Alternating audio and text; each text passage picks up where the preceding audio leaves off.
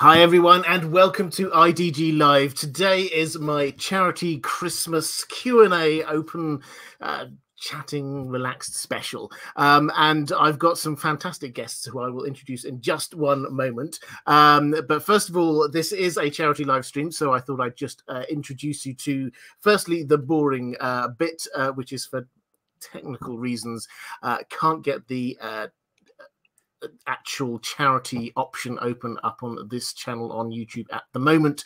But what we're going to do is we're going to do a workaround every single super chat, every single super sticker. If you're watching this back a bit later, every single super thanks will go straight to today's charity, which is Crisis at Christmas, which is a fantastic homelessness charity here in the UK.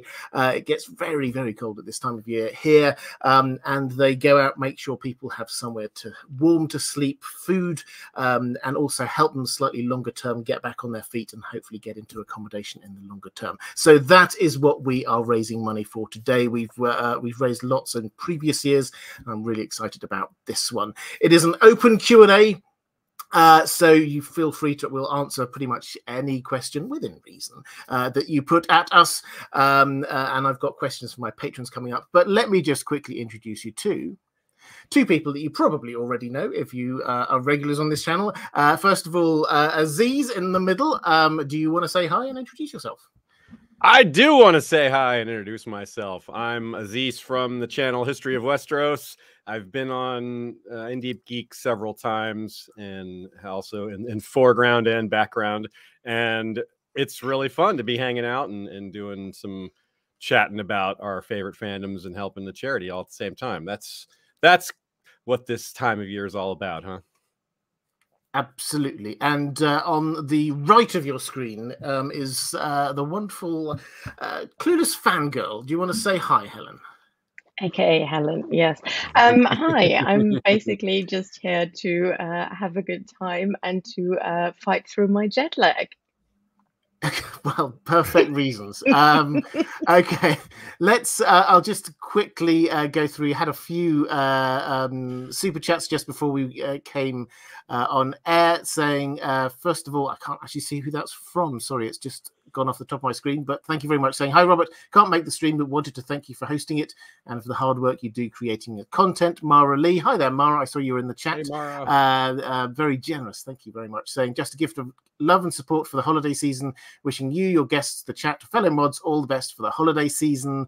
Uh, Nath Drum, uh, thank you very much, saying you're my favorite channel. Oh, thank you. Thanks for the content. Happy to give to a good cause. Uh, who else have we got here? Kate Whitehorse saying thank you and your kind heart. Well, thank you and your kind heart. Um, uh, Dilafan saying, wondering about your opinions on Westworld past season one. Well, you may well be in luck. We may well have uh, a Westworld expert coming on in, in a little bit um, mm. as a hmm. special guest.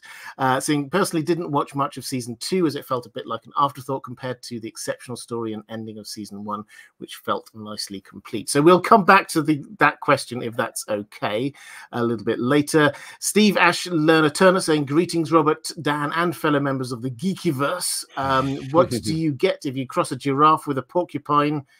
A bloody big toothbrush. Thank you very much. Um, uh, the Hammer Time 51 saying happy holidays. Uh, thanks for another great year. Thank you very much. Stephanie Brindle saying thanks for all you do. Thank you. Um, uh, and uh, miscellaneous AB, thank you. Uh, Stephanie Lash, very generous from you as well. Thank you very much. Saying uh, thanks for the charity chat. Love your work on this channel. Happy holidays to all. So thank you very much to uh, to all of you. I will at some point take this hat off because it's actually quite warm in this um, uh, but I thought I would uh, just sort of say, as we're sort of in a, a looking back at the year uh, mode, um, why don't we, uh, Helen? We'll start with you, just in terms of TV. Uh, before we get onto sort of all the questions that we've got, uh, what what what have been your sort of TV highlights of the year? What would you say has been the best TV that you've come across this year? I knew that this question would come, and you asked that the last years, and literally, I have no idea what year it even is. So I do not fully remember. I didn't. Well, um, yeah. Let me let me think about it. Let Aziz answer first. Oh, Sorry. Well, we'll I'm get to Aziz start. then, and then we'll come back to you. How's about that? and I might answer. That sounds fine. Yeah. Uh, I really enjoyed Foundation season two. I've enjoyed that show in general. Uh, that's been really fun. It's it's kind of a surprise because it's unique in that the adaptation aspect of it isn't particularly strong, but the stuff they've created to fill in the gaps is is quite strong, which I can't think of a show that's really pulled that off before like failing to you know not not having a strong ad- adaptation but actually being strong despite that because of their own inventions which anyway i highly recommend foundation. Also a, a fan of wheel of time season two. I, I, thought season one was just okay i didn't love the ending of season two but endings are hard and and i'm excited about the groundwork they've set if it stays at this level of quality then that'll be that'll be fine you know, not to say that it's perfect, but I certainly enjoyed the ride. And I'm I'm watching the show. Uh, it's not very geeky, but the show uh, The Curse uh, with Nathan Fielder and Emma Stone, and it's hilarious. The, the masterful cringe humor there. So uh, I'll leave it at those three for now because it looks like we we not only have more people, but a, a new person has arrived. Hello, has indeed arrived. Uh, hi, who are you, and uh, uh, why are you so wonderful? Um, I am Hax Dogma. Um, hello, everybody. Um, glad to be here. Happy holidays, Merry Christmas, and um, I make a little bit of YouTube videos about um, you know whatever whatever my hyper fixation uh, you know dictates. Um, this year I kind of covered Loki, which was amazing. Um, I also covered a show called From. Um, and uh, yeah, right now I'm actually working on a video about um, censorship and the effects on public trust, and kind of diverging a little bit away from from the the standard that I've kind of set for myself. Fantastic. Well, it's great to. I mean, Hax and I worked closely together on Westworld in years past, um, uh, and and Hax is an, an awfully good person. Uh, so I'm delighted that you're here. We did, uh, by sheer coincidence, I did not set this up. We did actually have a Westworld question, uh, which what? just appeared uh, in the chat just a moment ago. Uh, I'm just scrolling back up and see whether I can find it. Um, Uh, in the meantime, uh, Hax, uh, as uh, Helen can't remember anything which happened this year, uh, Aziz gave a very articulate answer. Uh, what what's what's your highlight in terms of TV? I know with the things you've covered. What what would you say is the best thing on TV this year? Oh man, um, so the best thing on t- the best thing on TV is going to be um, is Loki. The season two of Loki was just a phenomenal addition. Um, it kind of brought back the original plot of season one that we just everybody fell in love with.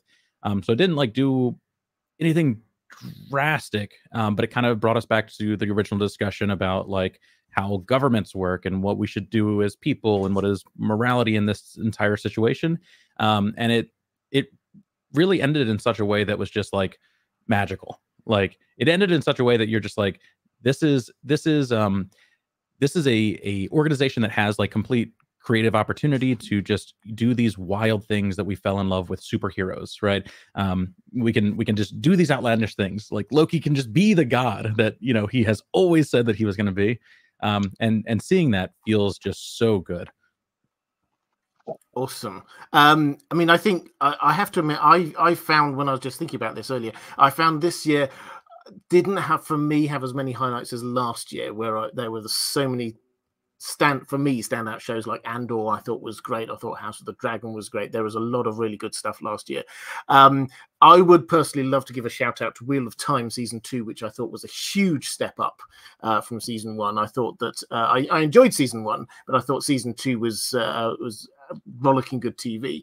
Um, also, if you've never seen it, it's not sort of the kind of thing we normally cover on this channel. But The Bear, if you've if you've ever um, sort of come across that, it's a really good uh, TV show. This was season two, happened this year. Um, uh, and uh, the other thing I would say was I think The Last of Us was this year, right at the beginning of this year, which was uh, really good. If you didn't get a chance to to catch that, please do. Um, but uh, Helen, have you thought of anything yet?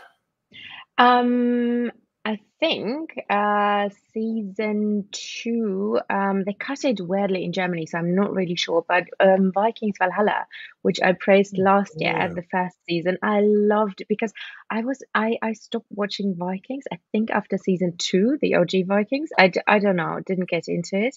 But Vikings Valhalla is standalone. You can watch it if you haven't watched the other ones, and I really really enjoyed it. Um, yeah, epic cast, and uh, I'm a big also Succession fan. Oh, um, so, so hmm. I, oh god, yeah, this season was really good. Um, yeah, and yeah, oh, Ahsoka. Didn't you like Ahsoka? I remember us talking about that. I did like. Okay, so I, I mean, I'm probably getting a lot of in the chat, but I really enjoyed because you know I'm, I'm a very um, well, I, I, I do like the old canon, um, and you know, Filoni always uh, brings in some little nice treats for people like me. um, and yeah, I, I like uh, how Thrawn was portrayed. Um, I'm excited for season two. I really enjoyed it. Um, I hated uh, with a passion uh, Obi Wan because I think that was really really bad, and I really loved Ahsoka. Yeah. Can I can I it can I tell on myself real fast? I sure. have not watched any of the Star Wars TV shows. Any wow. of, that's a lot of that's a lot of shows to have not watched. Yeah. yeah. that's usually how it goes, I suppose. You have seen the films, though. I take it. Oh yes, yes, yes, yes, yes. yeah, it's um, it, mean, it's I... just one of those things that is it, it just it doesn't cross my mind. Like it wasn't until this conversation that I've even thought of these TV shows and like in months, you know. Um, mm. And it's just yeah. not on my radar, I guess. Like they've blown for me. They've blown. Oh, go on, Helen. I, sorry, and I have just started the fall um, of the House of Usher, which is so good. Mm. I've just seen the mm. first. Oh no, I love. Well, I don't know because I I I love the story, but the yeah, the trailer different. struck it's, me as being very different to the story. It's very that, different. It but is, okay. yeah, so if you like spooky horror, I totally. I haven't finished it, so I'm I'm just. This is my Christmas treat. okay, uh, but I did promise you uh, Hax opining on Westworld. Um, Hax, I have oh, found goodness. the question. Okay, uh, this is from Dido fan. Um, uh, wondering your opinions, and this is taking us back on Westworld past season one. Personally, I didn't watch much of season two as it felt a bit like a, an afterthought compared to the exceptional story and ending of season one, which felt nicely complete. Now, I'll I'll just sort of throw my two pence in here first, um, which was, and I suspect this doesn't come as a surprise to people who watched me covering this. I loved, adored season one of Westworld. I thought it was one of the best seasons of TV there is. Um, I thought season two was very, very good as well. Um, not as good as season one. Season three uh, I enjoyed enough to cover it. Uh, had some really good conversations, but I could see a few cracks by that point. By the time we got to season four, the acting was still great, the visuals were still great, um, but it would just it kind of lost uh, the attention to detail and the um, uh, the the narrative drive that there had been in in the to start with. So that's my overall take. Um, but Hax, uh, what about you? I know you went deep into this. I mean, I was I was very deep into it, and I I mean I share the same assessment. It is it, it was a great show. Like in terms of uh, just like what could be done, it felt like season one was this amazing thing that just made you wonder. and then as we like kind of panned out and got um, more of the information, more of the world. Um, it just it just felt less thought out. Um, it felt like they at that point, and they had plenty of time, right? Like they had two years per per season. Um, and and I remember like being just so upset at how long it was taking them to make these these seasons while Game of Thrones was still coming out with like magic, but then you know Game of Thrones uh, kind of did its thing. Um, and yeah, yeah, yeah. The unspeakable. Um, and uh, and uh, I'm sorry. Uh, Westworld. Westworld was a great show. Season one will forever be the the most amazing part of it. Um, and honestly, if they got the chance to do season five, it it felt like we were about to get season one all over again.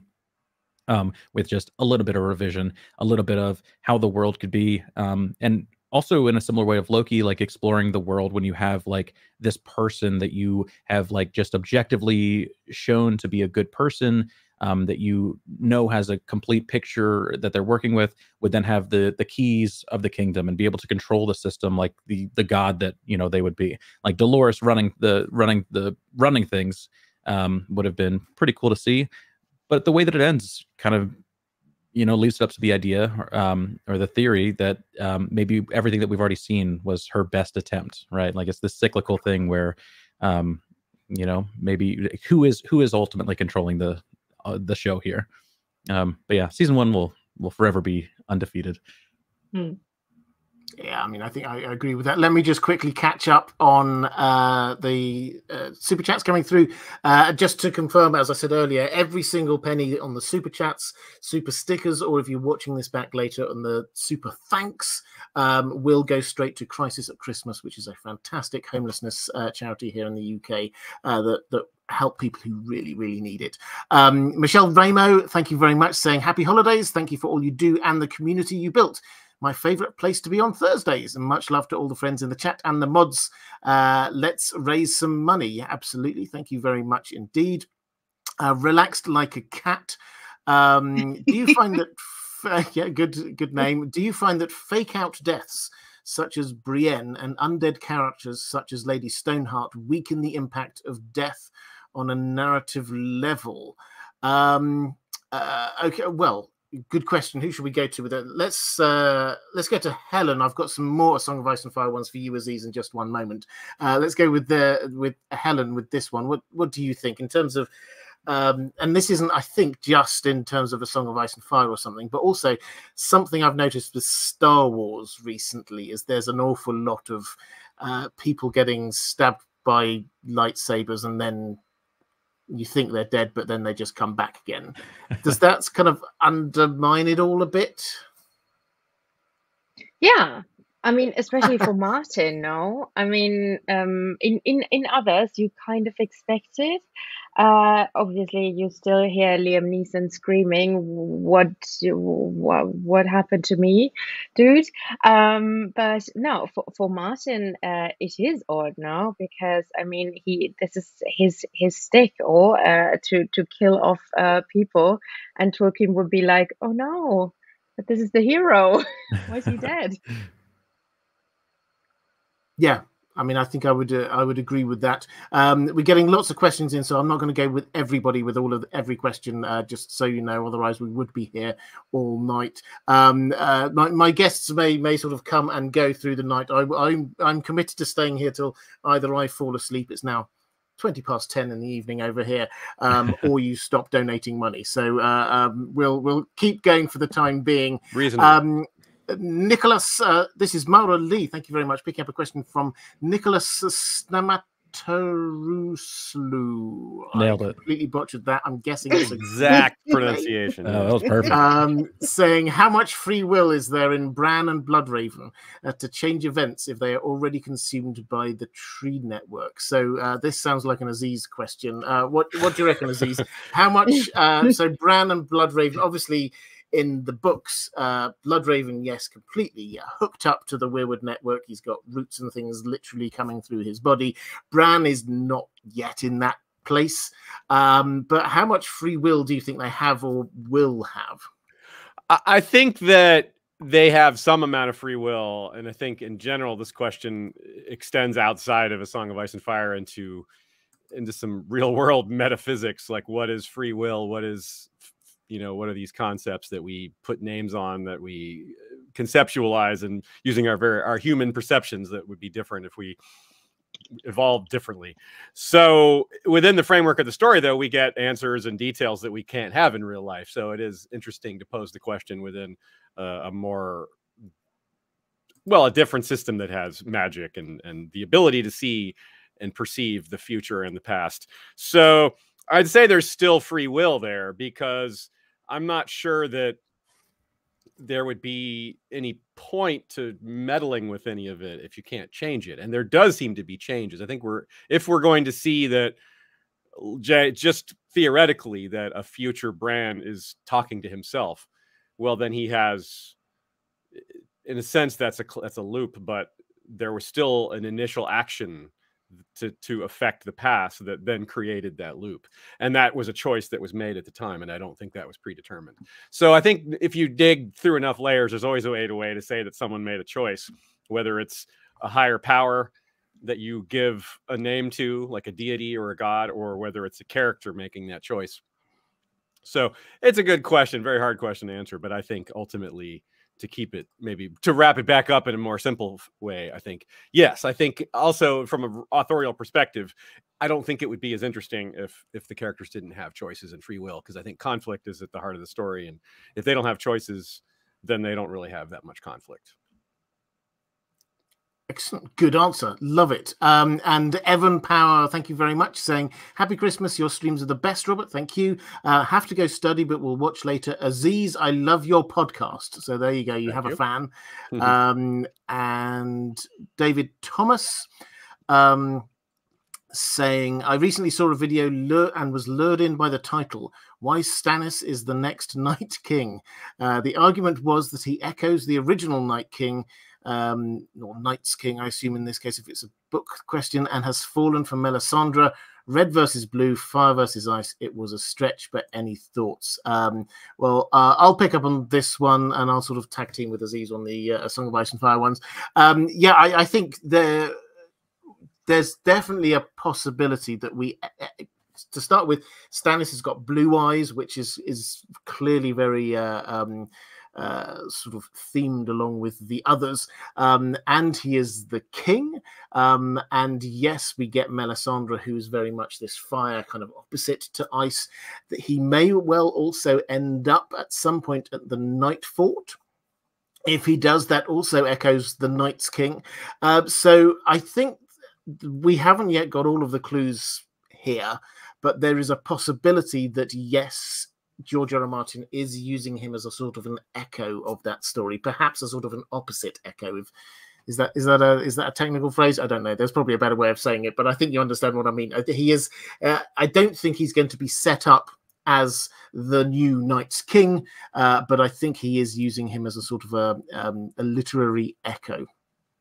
Um, a username redacted asking what locations in the north uh, will fall to the others. Will White Harbor be a massive refugee point for people fl- um, fleeing the north? Aziz, I shall throw this one to you, um, guys who would anonymous us song by Actually, before that, we'll let, me like... double, let me just d- double check. I, I know um, uh, Hax. What's uh, are you? Uh, I know you're you you watched and, and enjoyed uh, Game of Thrones. Are you uh, oh, yeah. a Song of Ice and Fire person? You know, I've not I have not given it the time that it deserves. I I think I own all of them on Audible and then um started it and then realized how hard it is to listen to an audiobook of any kind of fantasy where like the names are just like names that you need you need to see. Um and so I've always like started it and put it down um and just not really given it like a, a good shot. Um but yeah, I'm very familiar with the with the show well, in that case, uh, I will put book questions still uh, very firmly to uh, to Ziz and occasionally to Helen, who uh, I'm sure will have huge amounts of. Uh, Helen, would you want to answer this one? What do you reckon in the books? Is uh, where in the north are the others going to take? I've literally, I've, I'm tweeting about this stream. I haven't even listened to what you people well, are in that case, I, in that case, I shall, I shall ask saying, Aziz. I, I thought I'd try the rest of the I'm, panel, but you know, it's, it's just the safest. Sorry, option, buddy. well, yeah, I think uh, yes, I think that White Harbor's somewhat been foreshadowed to have that problem. When Davos goes there, he sees that there's already lots of people streaming into the city uh, because it's winter, just because of the regular notion that it's getting colder and food's harder to get, and so you go where all the other people are. And there's a, a Davos notices empty buildings. He's like, these might could be repurposed for for people. He even has a few spare thoughts about it while he's passing by. Uh, but he's on a different mission, so most of those thoughts kind of end up being just uh, lost in the shuffle, perhaps. But a bigger problem is disease that's been set up. So I think what we we might possibly have the grayscale plot align or at least be combined with the fact that people will be packing in close quarters during winter, trying to avoid both war, whether supernatural and or regular, because the Boltons and, and Stannis are fighting. So there's there's already war in the north and winter in the north. So if the others come, yeah. I don't know that they'll get as far as White Harbor, but they will certainly have an effect on the the southern parts of the north because of the refugees, and that could kick off and or interact with all sorts of other plots in very horrible ways that are not very Christmassy on in theme, are they? no, no, no. There's not much Christmassy stuff in A Song of Ice and Fire. It has to be said. Um, okay, uh, Martin S. uh, Martin S. Hi, Martin. Um, saying, have you guys watched or read The Wheel of Time? Um, now, this one I definitely can throw at Helen uh, because I know you've uh, uh, you've dabbled, shall we say, with the Wheel of Time. What What are your thoughts on it? Uh, as you said before, I did not. So I didn't read all the books because it's literally like eight million books. Um, I think I read 13. nine four. million. Yeah, yeah. Uh, I think I read four. Um, yeah, I I enjoyed season two so much because I do think they finally focused on um less characters in a way um and I, I i love where the show is going. I'm very excited for season three. Um and you kind of because in season one you literally didn't feel anything for these children. You're like they're all annoying. This this makes not even if you've read the, the books in the beginning right? And this is how i felt. I didn't i didn't like one of them. And now you really now you felt I, I, agree with you. I was bored. I read the when I read the first book, I was stuck on a Greyhound bus for 22 hours before cell phones existed. So I'm like, it's it's, it's you wow. and me, book. This is all. I, I, you're all I've got. So I plowed yeah. through it, and I. But by the end, I liked it. By the end, you know, and that's kind of reflects why season two is better because the source material is also more. Yeah yeah it yeah it is more interesting. But but finally i don't know what what they exactly did because again this whole year is a blur. I have a one year old baby so i'm like um, but anyway, um, I really liked that I finally felt something for the characters, and I'm interested now in their in their story and where it takes them. And um, yeah, I I feel we things are getting together now because you know they're they're meet finally meeting up again um, at the end now, and I really really enjoyed it. And I think you said that Robert um, that you also enjoyed the few bits they that differ from the book, but they make sense in the show now in season two. Uh, yeah, I mean, this is the kind of thing that can get you into trouble with that fandom. It has to be said. Um, uh, every every fandom has the exact. I've discovered this doing doing this. Is Every fandom has the exact not same. Innkeeper is not here. Matt is not, Matt is not uh, here. but uh, I am. Um, I, I, have read. I have read the uh, uh, the Wheel of Time, um, uh, and um, slowly listening my way back through it, trying to keep keep mm. up with hmm. the TV show. Um, so I'm like three books into listening through it as well. Um, uh, so I like it and I really enjoy it. Um, but yeah, I think season two. If you if you watch season one and thought yeah, I'm not that impressed. Season two is a definite step step up as far as mm. I'm concerned. Uh, yes, I think it would be controversial if this was like a Wheel of Time discussion, but I think a lot of the things they've done best are the things where they veered away from the books to make it work for TV. Um, so um, yeah, do go and check that out. Hax, did you are, are you a Wheel of Time person? So I have not read I have not read Wheel of Time. I have not watched Wheel of Time, but I'm not sure. Like, should I? What should I do first in this moment? Well, don't don't let that stop you having an opinion, Hax. I think this is. Oh, uh... Oh, great. Well, listen, listen. I those those kids, those kids. I hate those kids already. Everything I, I would pers- I would personally I would personally suggest the TV show. Um, okay. And uh, work your way through yeah. it. As I say, season two, def- for me, a definite step up. Um, uh, season one feels.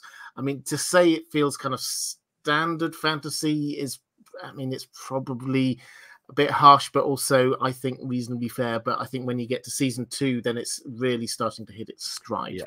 It, it feels a lot like Lord of the Rings, like a like a like it's borrowing heavily from Lord of the Rings in the season yeah. one, where they're just being pursued by, you know, it's a big, yeah. Anyway, Robert big, said it well. I, I I've read the books too, and and I enjoyed the you know it's the author died before finishing them, uh, mm-hmm. so that's that's a thing. But Brandon Sanderson did a good job yeah. of finishing them. Yeah, that, that uh, is that is quite literally the only thing that I know about the series. Um, you know, yeah, when I was when I was working on some of the stuff that I written, um, the like Brandon Sanderson was a was a big point of inspiration. I watched like a lot of his stuff and did some background on him and and yeah, him yeah. finishing the Wheel of Time was just like in cataloged in the back of my mind forever. Um, but yeah, I'll, I'll give but it. if shot. you love world building, uh, it is the the books are really beautiful. If you yeah. you know like all the religious stuff and yeah, well, magic and all that. Um, the thing you'll that is really bad. I'm sorry. That's okay. The thing you'll find, I think, with the books, and even even people who love the books will accept this, is that the pace slows. It starts off mm. really good, really good. Book one, I think, is good. Books two, three, four is probably the uh, the where the, the story really gets going once you get about halfway two-thirds of the way through the pace slows mm. hugely uh, there are so many characters so many things going on uh, some of the descriptions are uh, voluminous to, to say the least yeah. um, and it Brandon Sanderson did a really good job of sort of tying it all in uh, towards the end. And, and, and when I say back up, yeah, absolutely. I mean, I've, yeah. I've, seen Rafe Judkins, who's the showrunner on Wheel of Time, speaking about this, and he even he is just like you know, in front of an audience of Wheel of Time fans uh, who all sort of laughed with the sort of in humor, sort of saying, "Well, maybe we'll sort of skate over a little bit of like the two thirds of the way through." This. So like everybody accepts that, but it's um, a natural thing. Like how are they going to adapt all fourteen, but well, you really don't have to because yeah. there's, yeah. Some, there's literally a scene where one of the main characters leads his men on a quest to discover what's going on with some grain and then they figure it out and then they go back to what they were doing and this is like 11 books in like like and as was still on the greyhound like, yeah like bro we did not need this grain mission at all. That's beautiful. You know? Okay uh, let's I'm, let's I'm... let's move on. Uh Chaos Ballerina saying thoughts on doctor who's 60th um i as I'm sure if you watch this, uh, then you're aware. Joe Magician is in the chat. Joe Magician's in the chat. Hi there, hey, Matt. Joe Great to see you. Mm-hmm. Um, can he not on? He can answer Game of Thrones questions. He he mm-hmm. could. Um, uh, I, I did ask him, but unfortunately, he's he's got a, a more important things to know. He's sick, unfortunately, poor, poor, poor guy. So um, uh, I hope you're feeling better well. soon. Um, uh, so yeah, thoughts on Doctor Who's 60th. I'm very happy. If, if anyone else has uh, has seen this, then feel free to sort of jump in as well. I am a I'm a bit of a Doctor Who junkie myself. Uh, the 60th anniversary, they brought back David Tennant as the Doctor and Donna Noble, who was fantastic uh, companion as well. Uh, three episodes, really good fun. Um, introduced the new new Doctor, Ncuti Gatwa, who um, uh, you may know from Sex Education. Sex education and uh, he had a really strong start. So um, it was very silly, um, uh, but that's what Doctor Who is like when it's at its best. So um, yeah, I I really enjoyed it. Um, it felt like they're doing a uh, another soft reboot, which you have to do with a TV show that's 60 years old every now and then. You have to do a sort of a soft reboot. So, um, uh, yeah, it's starting afresh. Now is probably, if you've never watched Doctor Who and you're intrigued, then now is probably a good time to jump into it. I would say. Is that, is that a show that you like? You could just start watching with this new Doctor. I, that's the plan, yeah. So ah. basically, ah. the the the way that they did it was sort of not non spoilers for the specials that they've just done, but they the the way they set it up was that they're basically starting again with uh, Ncuti Gatwa. Um, that I'm sure that they'll anyone who sort of like exists in the sci-fi fantasy world knows the basics. Oh, so he's like a time traveling person and you know uh, goes TARDIS. places and has adventures in a TARDIS. So you know the basics already. Uh, but I the idea here is that rather than having what was probably what 14 seasons since they did the the restart again back in 2005 then uh, that um, uh, rather than all of that plot looking back at it and like referencing it again i think they're starting from scratch basically. Uh, so yeah now is probably a good time to jump in if you if you are intrigued. And they've also, and this is very important for Doctor Who because this has not always been the case. They've got budget this year uh, because they've uh, they've signed a deal. The BBC signed a deal with Disney, uh, so oh. that if you if you're wanting to watch Doctor Who, it's now appearing worldwide on Disney. Uh, so uh, that's uh, that's where you get it, and you can tell the difference in the quality of the CGI. I can assure you. Um, Carl Moxman saying, "Why did the first men not bat an eye on the destruction of a massive landmass, only to completely give up on the first hint of a White Walker?" Um, I, I, mean, I assume when you're saying the destruction of a massive landmass, you're talking about the Hammer of the Waters here. This is the Song of Ice and Fire question. Hammer of the Waters destroying the link between Essos and Westeros. Uh, why did they not bat an eye? I think uh, I'll, I'll answer this one, I'll, I'll put the next one over to next to Song of Ice and Fire one over to Aziz. I think um, uh, we do not know what their reaction was to that. Uh, we this is all ancient, ancient history, so they may well and possibly were completely freaked out by it. Um, uh, certainly, what followed was a massive, uh, seemingly centuries-long war against the children of the forest, uh, which seems to be how you might react if you did not react well to somebody destroying a massive landmass and you think that they were responsible. Uh, so so I think that's uh, the answer is we we do not know the exact reaction. Uh, Katrina Simmons, thank you very much, very generous, um, saying not sticking around because I have two tiny dogs in need of walking, but thanks for supporting a great cause and happy various assorted holidays. Thank you very much.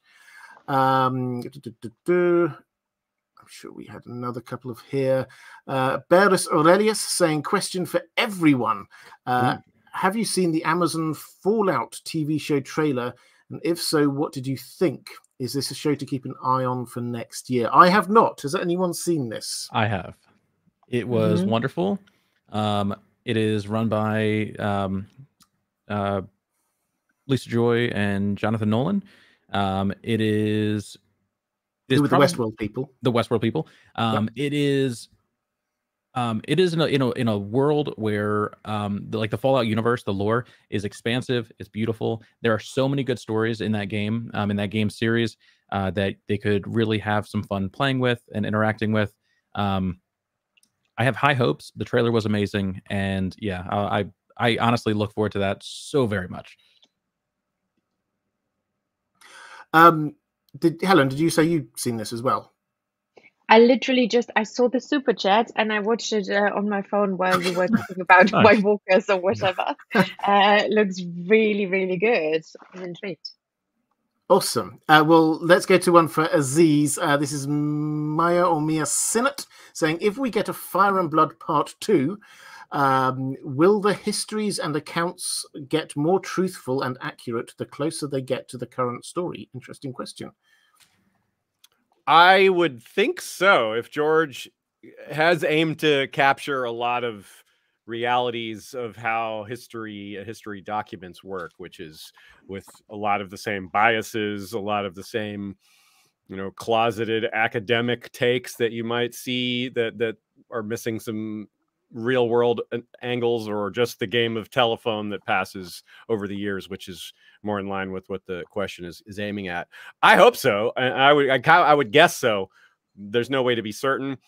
Uh, we do have sort of the guide of the world of ice and fire as a as a reference point because it does go closer to now than F- Fire and Blood does, and it is more accurate. It does have more detail. It has a lot about Tywin and Ned Stark and it doesn't have things that it shouldn't know from a maester's perspective, like answers for, about the Tower of Joy or what really happened at the tournament of Harrenhal. It doesn't know those things, but it does report the basics pretty well, and it gives us a fun secondary viewpoint to compare and, and use as a framework for showing how George likes to write history as compared to how his characters experience it. So I, I hope so. I guess is the short answer, and and given the way he's written it, I would bet on it, but no way to hmm. be sure until we get the book. Yes, which may well be some time away. It has to be said. Um, in, in like the last two years, he's written like two pages. So yeah, well, that's hey gains. Uh, well, I mean, I, I, I will just very briefly say, and I can't remember whether I said this on one live stream or just when I happened to be chatting to Aziz. But my ba- my basic take is for those who missed this news story, George R. R. Martin um, basically uh, said, um, I think it was in an interview a couple of weeks ago, that uh, and he didn't put it in these words that uh, he's no further on than he was a year earlier, um, uh, and that obviously caused a huge amount of people to just throw their hands up in the air and do the, the usual fan thing. Um, hey, they'll my, get it when they get it. Yeah, my my take on this is that that does not mean he's not writing it. Uh, we know the way that he writes, and uh, he's told us the way that he writes. He's, he calls himself a gardener writer, and he very happily, and he says that he does this. Uh, he will write two, three, four chapters in a row about a certain plot line, and then decide it's not quite working, and then just go back, change a detail, and then to, write two, three, four chapters again on a slightly different offshoot. So my guess is that he has been writing. It's just that he's been writing off on a whole load of tangents that he's decided actually don't work yep. because he's in the or he's the guy he's the meme guy on the whiteboard trying to get together all the that is that is it that is it he's that, absolutely, that, is, that yeah. is what it is yeah he is Charlie he Day pull, he can't pull a David and Dan be like oh I just forgot about Euron. Hmm. yes, this is true. Yeah. yeah. Oh, they can shoot at they can shoot at yeah. dragons. Oh, oh, the best the best example of Robert's comment there is how George wrote five Uh, I think five different versions of the prologue to A Feast for Crows, one from each point of view of the different companions that are in that drinking group there. And he's like, well, let's try it from this one, this one, or this one, or this one. And I doubt he finished it, like wrote a finished version of all five, but he wrote a substantial amount of each before he decided to which which character to settle on. So that's part yeah. of why it takes so long. Is yes, he, he does put a lot of effort into getting it right, and sometimes that means rewriting which which looks like no progress, but it kind of is. Yeah, and and well, like but... the like with that type of writing, like you're kind of an explorer. You're like trying to find your own story. Um, you know, and writing those different perspectives is like how you do that. Um, you know, and I, I honestly I like admire that process so much because it one it's so difficult. Um, you know, writing anything is is such a challenge, but like it it is really like you just putting yourself in situations where you write and you create and you do it to the point where you're like i love this and it, and that only comes after you hate it a hundred times you know? Um, so i'm sure he's working i'm sure he's doing his best and if he's not if he's like you know kind of just relaxing right now watching us talk about him i, ho- I hope i hope he's doing good. Well he needs he, he, he manages to avoid go on Helen yeah, sorry. No, I think he needs a Christopher Tolkien, you know, who's picking up all the um uh ideas he had and all the things he has written and just uh, uh creates a new Silmarillion for George R. R. Martin with the things he didn't put in. Yeah, actually, I'm gonna. This is not a question from anyone, but uh, Aziz, you you've been in this fandom for a long time, so I, I just uh, this is uh, questions asked. Uh, variations of this question come to me quite a lot, and I think maybe you're a person who can give a good answer, which is um, if he did, and obviously we hope he doesn't, but you know he is getting old and and, and all the rest of it. If he did stop writing now, it, it, what is there it, that anyone could pick up? Are there people there who know the story? Are there people around him who um, perhaps could be trusted to take this on? What What's the situation in terms of writing the writing team around him and his notes? I suppose that would be a like game time decision, but yeah, they do have a substantial collection. He does have all his notes in one place. He writes, you know, a lot of it's in his head, but he does write in a very coordinated manner in terms of it's all in one place. He doesn't uh, have a lot of pages here and there, like some on one computer, some on another. It's all in one computer that's not connected to the internet. So it's uh, so that limits the problems uh, he can run into. Uh, it does also limits a few of the options he has, but ultimately it's fine. And true story, the uh, one of the authors of The Expanse set that computer up for him. Oh, that's pretty uh, cool. and he, uh, they would probably a lot of his assistants, for example, are writers or aspiring writers or in the combination of the two. And I don't think they would take it up, but they are very well connected in the in the author Thor Hurl community it would be hard to find someone to finish it for him because it's a unique piece of work. Everybody, it's his, it's the masterpiece of a author who has had a storied career. You can't. It's not quite the same as Robert Jordan, who was an excellent author, but his story was easier to pick up. And there's more there's more authors out there like Robert Jordan than there are like George R. R. Martin. For example, the man who finished Wheel of Time, Brandon Sanderson, said that George R. R. Martin is number one author. He came up with this the way Brandon Sanderson would he came up with a four-tiered category system on how to determine who the best author is. It's like one of his magic systems in, ah. in his world. and George is the only author that checks that's a 10 on all four categories, which are that's pretty cool. Which are like pro, quality of prose, reach, like not you know popularity basically how much of been he he scores as high as anyone on that one or almost as high as anyone on that one uh, the changing how much it affected the genre, which he's like, well, that's one that George gets a 10. And also because he he as soon as George wrote Game of Thrones, everybody wanted to start writing dark fantasy. It was like he flipped a switch and everybody was like, oh, yeah, let's all do let's do that. And it's not like people hadn't written dark stuff before. Obviously, some of his influences are pretty dark. H.P. Lovecraft, Frank Herbert, Dune. I mean, there's a lot of Dune parallels to A Song of Ice and Fire. So yeah, uh, it, it, would be really, it's gonna be really hard to pull off. So, but it's gonna have to be done. There's so much money in it. Someone's gonna do it. I, I, have no idea who would actually do it though. It might have to be a collaborative effort. But I can't think of an author that would.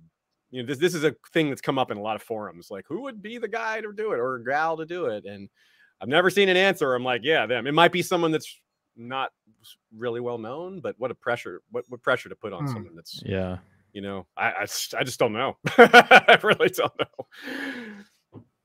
Awesome, thank you. As I say, it's uh, it's something which comes up in very people asking in different ways. You know, could it be finished? Basically, I think is the and and I think the answer is it would be very hard, but the notes and the information is there. Um, Callie Summers saying George R. Martin is notorious for his food symbolism. Um, he he does like writing a good food description. It has to be said, uh, George R. R. Martin. Uh, do food and drink have similar importance in Tolkien? Uh, Helen, this one's coming at you, especially considering how much the hobbits love to eat. So, so is there is there food symbolism in Tolkien? Yes, obviously drinks and food. I mean, it literally it it almost starts, you know, in a in a pub basically. Um, so yeah, no, obviously, and when you when you read about um how how the elves make the lembas bread and um yes, it is, and uh, and I do think that there's more behind it because obviously Tolkien, you know, was a child of war, not a child, but he he he fought in a war, right? And and what is what is a, a, big issue always, you know, for, for people living, um, for normal civilians living through war. Um, and you can see like like uh, little um, hints for that in all through through the books. Uh, yes, obviously the hobbits are always hungry and and uh, want to have a lot of breakfast, but um, when when you read about it, food is su- super important, even for characters uh, like elves, right? Like, why do they do this weird bread thing? You you would think of elves; they don't eat, they don't sleep. You know, they're just pretty and play the harp, right? Um, but no, they they make food. Uh, so I yeah, I think like for Martin, important. Yes, and I, th- I think the other thing I'd add is that so particularly for hobbits, ho- th- this is like the sign of what is the, the good life? What is uh, what is how we should be living? What is the, the, sort of this warm and fuzzy place that we've got is the shire. And what does that mm-hmm. mean for tolkien? Well that means yes friends and family and and gardening but food and drink and for him smoking his pipe. Uh, these are the things that he thinks are representative of good. Um, uh, so uh, yeah i think absolutely Aziz, go on. If I could shout out a fandom we have yet to mention, even in TV show or book form, even though it's one of the ones you cover here on In Deep Geek, which is The Witcher. I noticed none of us mentioned it as one of the shows of this year. That's no, not, a good, no. not a good sign. Not a good sign. Oh, anyway, not the best. Not the best. The books are also very big on mealtime as a really mm-hmm. important thing. Recurring meal times when the Witcher mealtime scenes are some of the most endearing yeah. and engaging moments in the story in the stories, and it yeah. happens at several different points. And I just wanted to say that because it's I, it just comes to mind anytime someone talks about mealtime. Yes, it's I'm a big a Song of Ice and Fire guy. It's my it's my career basically, but I, I, think about The Witcher even more in that because of how how much love he puts in those scenes and, and fun and, and like I don't know, I, I just stands out to me. So it was worth a shout out. I feel like um I like I feel like food and eating together is such a great way to like inform the audience and literature about like how they're doing, right? Like if they're only eating bread, um, you know, you, you kind of know that they're struggling, right? If they're at a feast, you know that like that moment is good. It, it feels like food is such a great way to to just give that insight or that feeling something that people relate to. Um, mm. You know, it's a good way to show like um, power in terms of like excess or gluttony, um, and at the same time, like be able to to you know see the people who are fighting fighting for scraps kind of thing um, food and food in any kind of media or story is just is kind of a really cool way to just give insight um, without explicitly saying hey these people are doing great these people are struggling mm. Yeah, I absolutely agreed. Um, as we've mentioned, The Witcher, I, I shall just say, say, my thing on The Witcher, Witcher season three. Um, I I enjoyed it personally, and I know there's quite a lot of mixed views on it. I, I preferred it to season two. I think it was a step up. If you're yeah. wondering, if you if you stopped at season two when we're thinking, uh, it, what's uh, you know, it was season three worth it? I personally, I found it a step up in quality on season two, um, and also. Uh, trying to get back to the book. Season two veered a long way away from uh, from the books in a number of different ways. Uh, season three um, did take it back to a place that is very close to where the books were at that point, uh, which is good. I mean, I think ironically, the episodes which were probably least well received by the fandom were the ones which were trying to stick the closest to the books, like the one with Ciri in the desert. And it's a like mess. That. It's a mess. yeah, you're right. Like the the most book adapted scene that, like, I agree with you, is the one they hate the most, and the stuff they change, they hate that just as much. It's like, yeah, they can't win. Like uh, some of it's a problem of their own making, but I agree, it's just a mess. Like it's hard, it's hard thing to fit, and of course, losing Henry Cavill's that's gonna make the whole thing worse. Everybody yeah. had that in mind when watching. Yeah, but I agree. I think season three was better because the baddie. I mean, every good story needs a good baddie, and the baddie in season two was so bad, not in a good way, bad. Um. So yeah, I really did not enjoy that.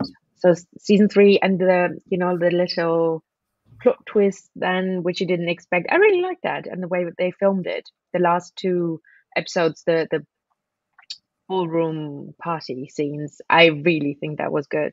That was good filming and good storytelling. Yeah, episode five was strong. I agree, uh, which maybe made the second half even more disappointing. The six, seven, and eight. But I did like the the desert stuff was pretty good, and the yeah. the, the fight between Geralt and Vilgefortz was was one of the best chore- choreographed yes. fights they've had since season one. And uh, yeah, so it did yeah. have its moments. I mean, it's like you guys were talking about Westworld. A lot of people didn't like Westworld season two, but episode what was it, seven or eight? Was one of the best episodes of any TV show ever. You know, it's just something oh, like Riddle, like, Riddle of the Sphinx. Yeah, that one was incredible. Yeah, it's like Game of so Thrones good. season eight gets canned, but like the the scene before the this episode two where they have the song and Brienne gets knighted. That was a great episode. It like was. the rest of it the season was, was like, yeah. Eh. But like, uh, yeah. So all these things have shining lights in their darkness, you know. So if we're being, hey, this is and this is a charity stream, so let's try to highlight the, be the charitable about it. Yeah. yeah. also, it's Christmas. It. Also, it's Christmas. Yes. So, you know? yes. I, I, also, I also um have su- something super important to talk about.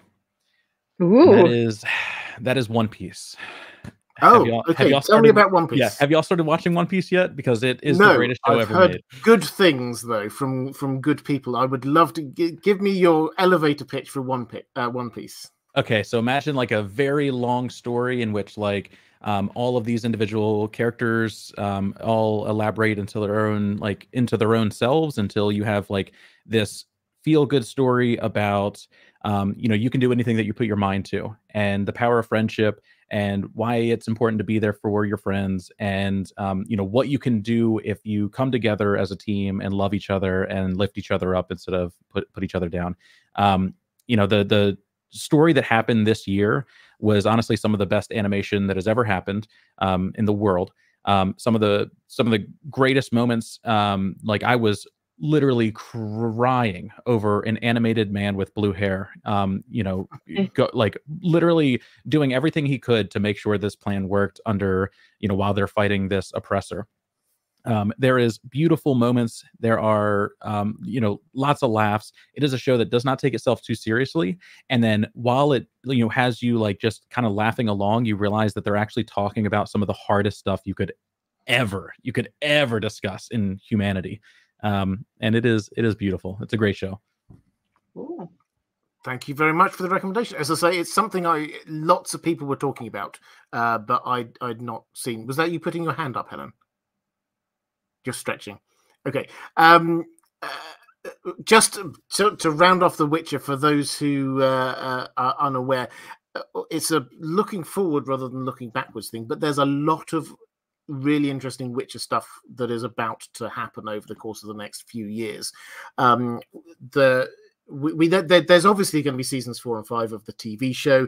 There's two spin-offs uh, one, uh, which is the Rats, which, if you've read the books, you know who that they appeared briefly at the end of uh, season three, but also an anime uh, of one of the short stories, which I'm really looking forward to. That's going to come out about this time next year.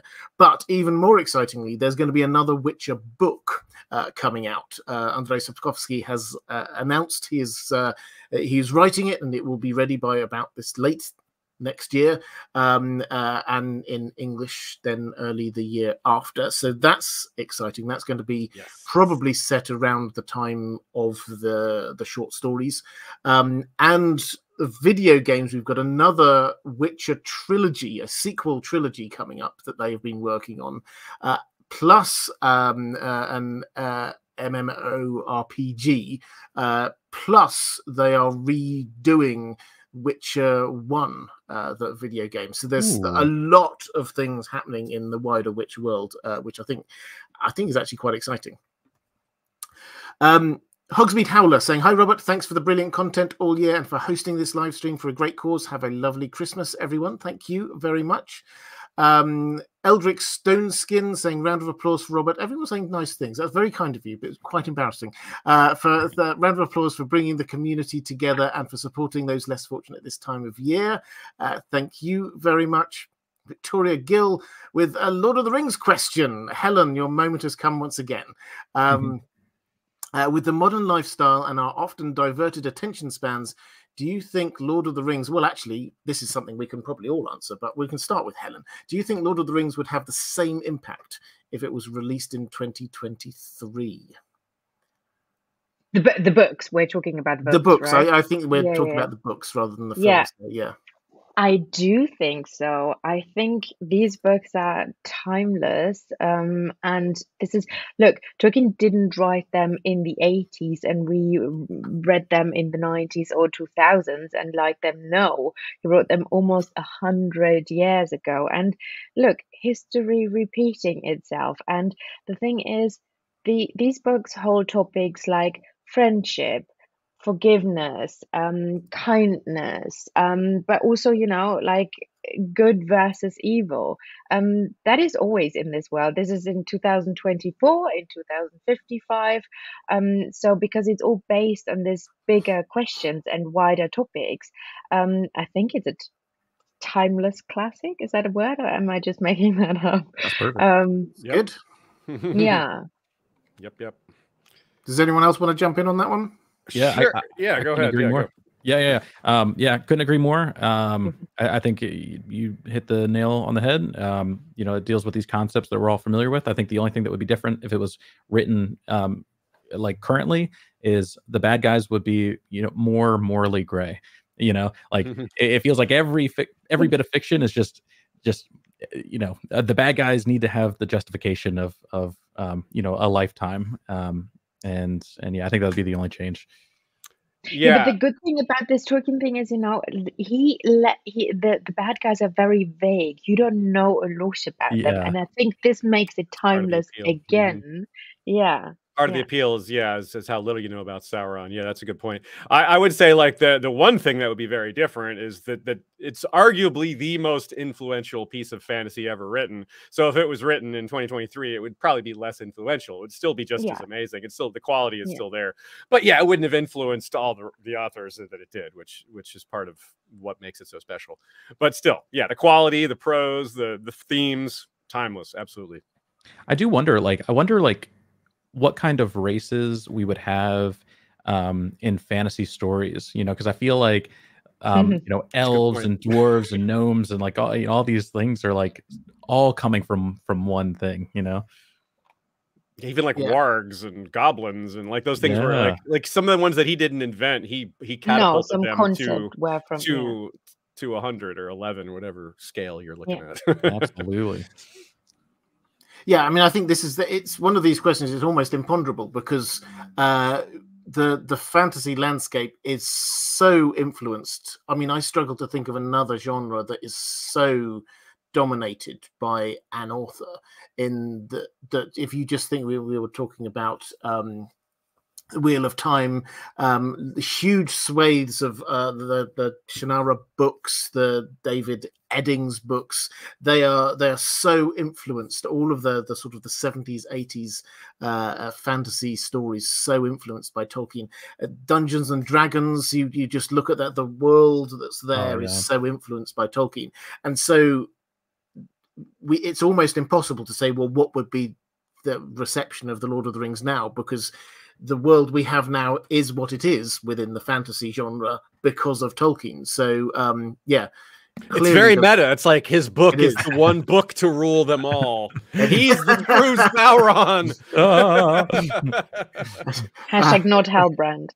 This is very important. yeah, well, let, us not talk about Halbrand. We can talk about Halbrand, guys, if you wish to. But um, hey, this is um, a Christmas stream. yeah, exactly, exactly, and and he is the giver of gifts. Hey, um, also, do y'all do y'all play D and D? Uh, I have just picked back. Uh, I've I've just picked up Baldur's Gate three after not playing D and D for like oh, twenty oh, yes. years. So I'm getting it's it's so familiar. Like the rule sets are like so much of it is sim- similar to how it was 20, 30 years ago. So yeah, I'm having a blast. But I'm, my character's level three, so I'm not that deep into it yet. It's beautiful. Baldur's Gate three is amazing. Um, and yeah, you know maybe uh, at some point we play D and D on stream. That, that would, would, be, fun. cool. actively That's good content. To, get, yeah. to get into it again. I did many, many years ago. Um, not quite as far ago as as, as easy as land before mobile phones. Um, uh, but uh, but uh, but many, many years ago, time, I was yeah. yeah, I was uh, I, I did indeed play quite a bit of it. Um, Darius Hutchinson uh, Hutchinson, sorry, saying if Jon is king, who might be his hand um, uh, by the end. Uh, well, if you're talking King of the Seven Kingdoms, personally, I don't think he will uh, become King of the Seven Kingdoms. Uh, whether he might be King of the North is a different matter. Who his hand is, obviously, they went um, with Davos on the TV show. Um, it's uh, yeah, I mean, I think he's it, that that is very dependent on what happens with Stannis, and I suspect what happens with Stannis might well be a bit different to what happened on the TV show as well. So I don't think that we'll be getting that. Um, I mean, I would I would love if if this kind of thing happens, something like Sam uh, to be. I mean, I have no idea whether the timing would work, but how great would that be to have Sam there being a sort of a wise counsel to Jon? Yeah. Um, Catherine Furseth saying thanks to Robert, all the guests, and all the cats in the background for yeah. doing this for charity. yeah, I have noticed the cats in the background. I have no cats. My dog is uh, is fast asleep upstairs. Uh, he, he uh, uh almost gate crashed last week when he was oh, there you go. to be let out. And there's your solution to there's your answer to the question. Clearly, Jon Snow's hand will be cat, as in Lady Stoneheart. They have so much in common, you know. They're both oh dead. love each other. They have they they have such a They're warm history.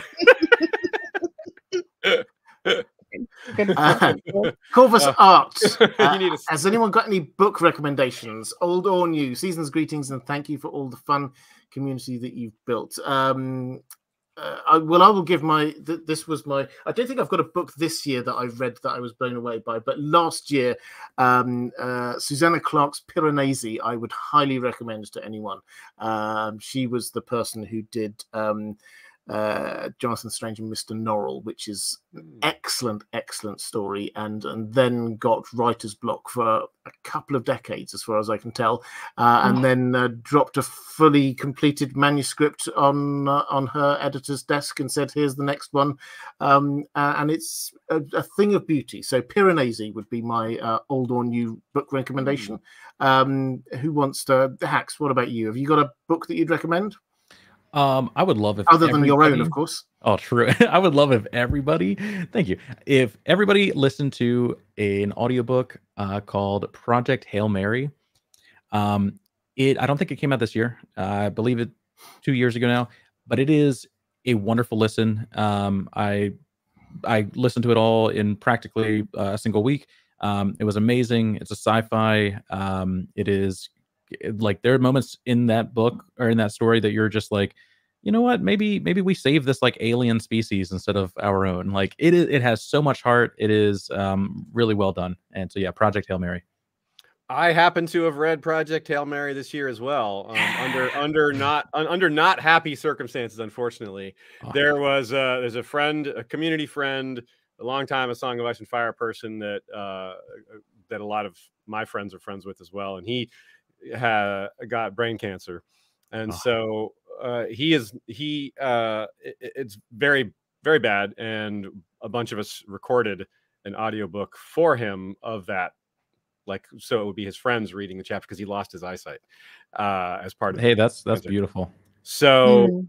that was just like six months ago. Um unfortunately he's since passed but they the project went forward oh. to give the book to his son who's he's got a, like a four year old so um yeah that it is a good book yeah it is really good definitely heck yeah wow um on the brighter note, my picks would be as well, besides that one, which again I recommend.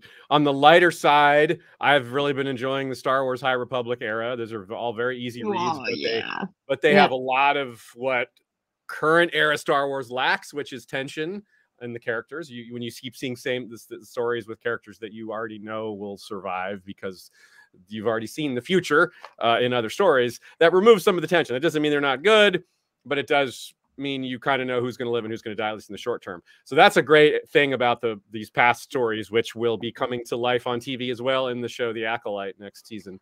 Yeah. But it's a big, long era, 150 years prior to you know the Luke Skywalker era. The Jedi are at a high point and they are wrestling with questions like should we have a standing military? And should we you know how do we handle the ex- expansion of the republic that's growing too quickly? And how do we handle planets and systems that are not included in under our authority et cetera? And there's no there's no sith at this at this point for most of the books. So uh, it's it's very different in, in tone. And on the heavier end i would recommend the three-time winner of the hugo awards uh, broken earth trilogy which um, mm-hmm. i'm about to do another run through on because it's not only great, but it's going to be a show eventually. Uh, N.K. Jemisin is the showrunner of her own series. she said she would it would only happen on TV if she got to be the showrunner. So we're going to see a new kind of show where the a, a very successful, well-regarded book series is adapted by the person that wrote it. So Never seen that. It's never happened before. Fingers Expanse, crossed. The Expanse guys were in the writers' room for The Expanse, which is part of the reason why that show is a cut above a lot of other adaptations. But they didn't have final decision. They were just a big voice in the room. She's got full control apparently, so that's going to be really interesting. But that's still it's still years away. But no, good time to get started on the books. You know, prepare yourself because you're going to want to. You're probably going to want to read them more than once. They're they're they're really really good. Awesome. Um, and Helen, book recommendations. I know you've had no chance to do anything this year, but it doesn't have to be this year. no, no, I actually finished a massive book uh, this year, which I'm very, very proud of. But I did read a lot actually this year. But what uh, I remember is um, Barbarossa, and you know, I'm big into um, the Crusades um, at this point, and I'm listening to a lot of audiobooks as well. Um, and they're actually really good YouTube channels who do who cover. Um, I think one channel is called the Crusader King or whatever. Really good one. Um, and yeah, it's about um, Barbarossa, who was a very very famous uh, German emperor, um, a bit like Charlemagne. You how do you call him? Charlemagne. Charlemagne. Right? Mm. Yeah, yeah, Karl der Große. Mm-hmm. Um, and yeah, it's a super interesting book. And he basically died, um, well, going to, um, but he was very old at that point, uh, going to uh, his crusade, to the uh, crusade, uh, the German one, and uh, going to Jerusalem, and he died on the way there. And it's um, it, it's a book about his life, and his valid and good friend is telling his life to his son, and it's really really good. Um, yeah, and it's not fiction; a bit is fiction, but mostly is actual factual history and a lot about the First Crusade. Um, and yeah, it, it's cool. I really enjoyed it. It's not you, you can read it if you're not German. It's about world history.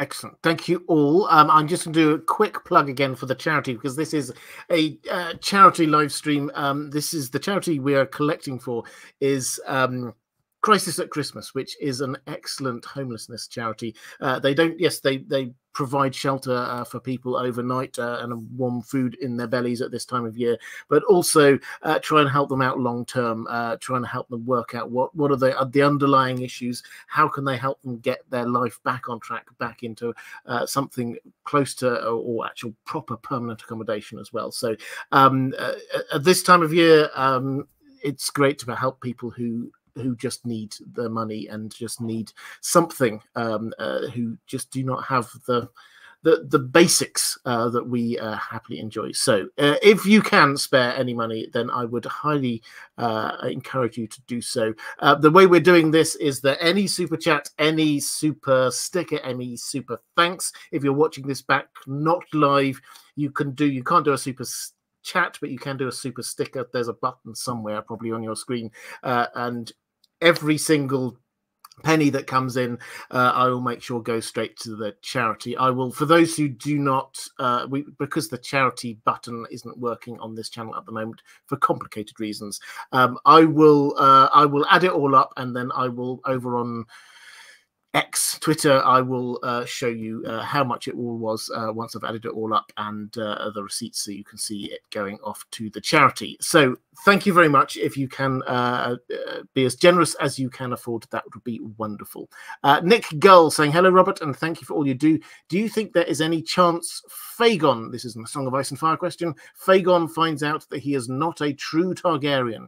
Maybe Jon Snow meets him before he dies. Uh, Aziz, what do you think? Do you where do you stand on this whole Fagon thing? For those who do not know, very high level, we have this character who, in A Song of Ice and Fire, who uh, claims that he is Aegon Targaryen, the uh, the long missing and thought uh, killed as a child uh, son of Rhaegar Targaryen, and therefore heir to the Seven Kingdoms. Um, he has just uh, landed in Westeros with a massive army, um, uh, but fandom is divided on whether or not he actually is who he claims to be, or whether he's actually secretly somebody else. But what what do you think, uh, Aziz? Do you think that he will find out that he isn't a true Targaryen? I'm not sure if he'll find out. Uh, I do think that there's a very good chance, though, because there's a couple of things that point to it. One will be the evidence that uh, how the dragons do or don't respond to him if that chance ever comes up. How uh, the clues that other people may point out to him. Uh, but I don't. But I don't think it's that easy to reveal parentage in this world, uh, except to to the readers it might be. But to to actually this 16 to 18 year old boy, how are they going to convince him of who his parents really were or weren't? You know, there's just there's not a lot of mechanism for that. Whether or not Dany is a true dragon or not, which he obviously is, that doesn't necessarily prove one way or another that Aegon isn't. Even if the dragons don't respond to him, that might be a clue. But is it proof? Probably not. He's probably not going to live a whole long time either. Uh, Dany's also in her vision is the slayer of lies. So that may be one of the lies she slays. Perhaps both literally and figuratively. Figuratively meaning she exposes the lie that he's a dragon, that he's a Targaryen, perhaps also literally he's slain, not just the lie itself, but the person uh, uh, so she could expose the people who have been behind his uh, rise as frauds, Varys Illyrio, etc. Maybe Jon Connington comes off badly, but ultimately, I think he probably dies still thinking he's a true Targaryen. Yeah, I think that kind of makes sense. Uh, Jonathan S saying, Robert, you should do a Crusader Kings 3 Game of Thrones mod. Let's play. Who would you play as, and what alt history from uh, Robert's Rebellion would you enjoy? Aziz, do you do a Aziz is Kings? playing that. I yeah. do that every Friday on my channel. Yeah, yeah on my Twitch yeah. Twitch channel. I play Crusader Kings 3. Right now I have a I'm 170 years into a House Dayne playthrough. And in fact, I'm playing tomorrow with a character who out of okay, so 170 years of playing House Dayne, I've had probably 12, 15 lords. For now, for the first time, I have a character who has become Sword of the Morning, who's finally have one who's been worthy to wield on, and he's only 16. So he's actually called Sword of the Morning in the game. You know, he's Apollo Dayne is his nickname because I, I, have the chatters help me name the characters. He has a sister named Artemis, twin sister named Artemis, and it's great. It's extremely detailed. It has all the the lore and the family trees and all the you know if you're a, a northerner, there's a there's a super small chance you could become a skin or you could be born with skin changer genes. If you're a uh, you know a Tyrell, you can go on to be a tournament champion and ha- et cetera, things like that. There's just a huge amount working with it. Now at this point, the game is still in beta because you know, CK3's been out for a couple years, but the Song of Ice and Fire mod is like like you would expect is a huge eh, undertaking. So you can only play Robert's Rebellion and right after Robert's Rebellion right now. In the previous version, you could play almost any timeline. So they'll be adding those in.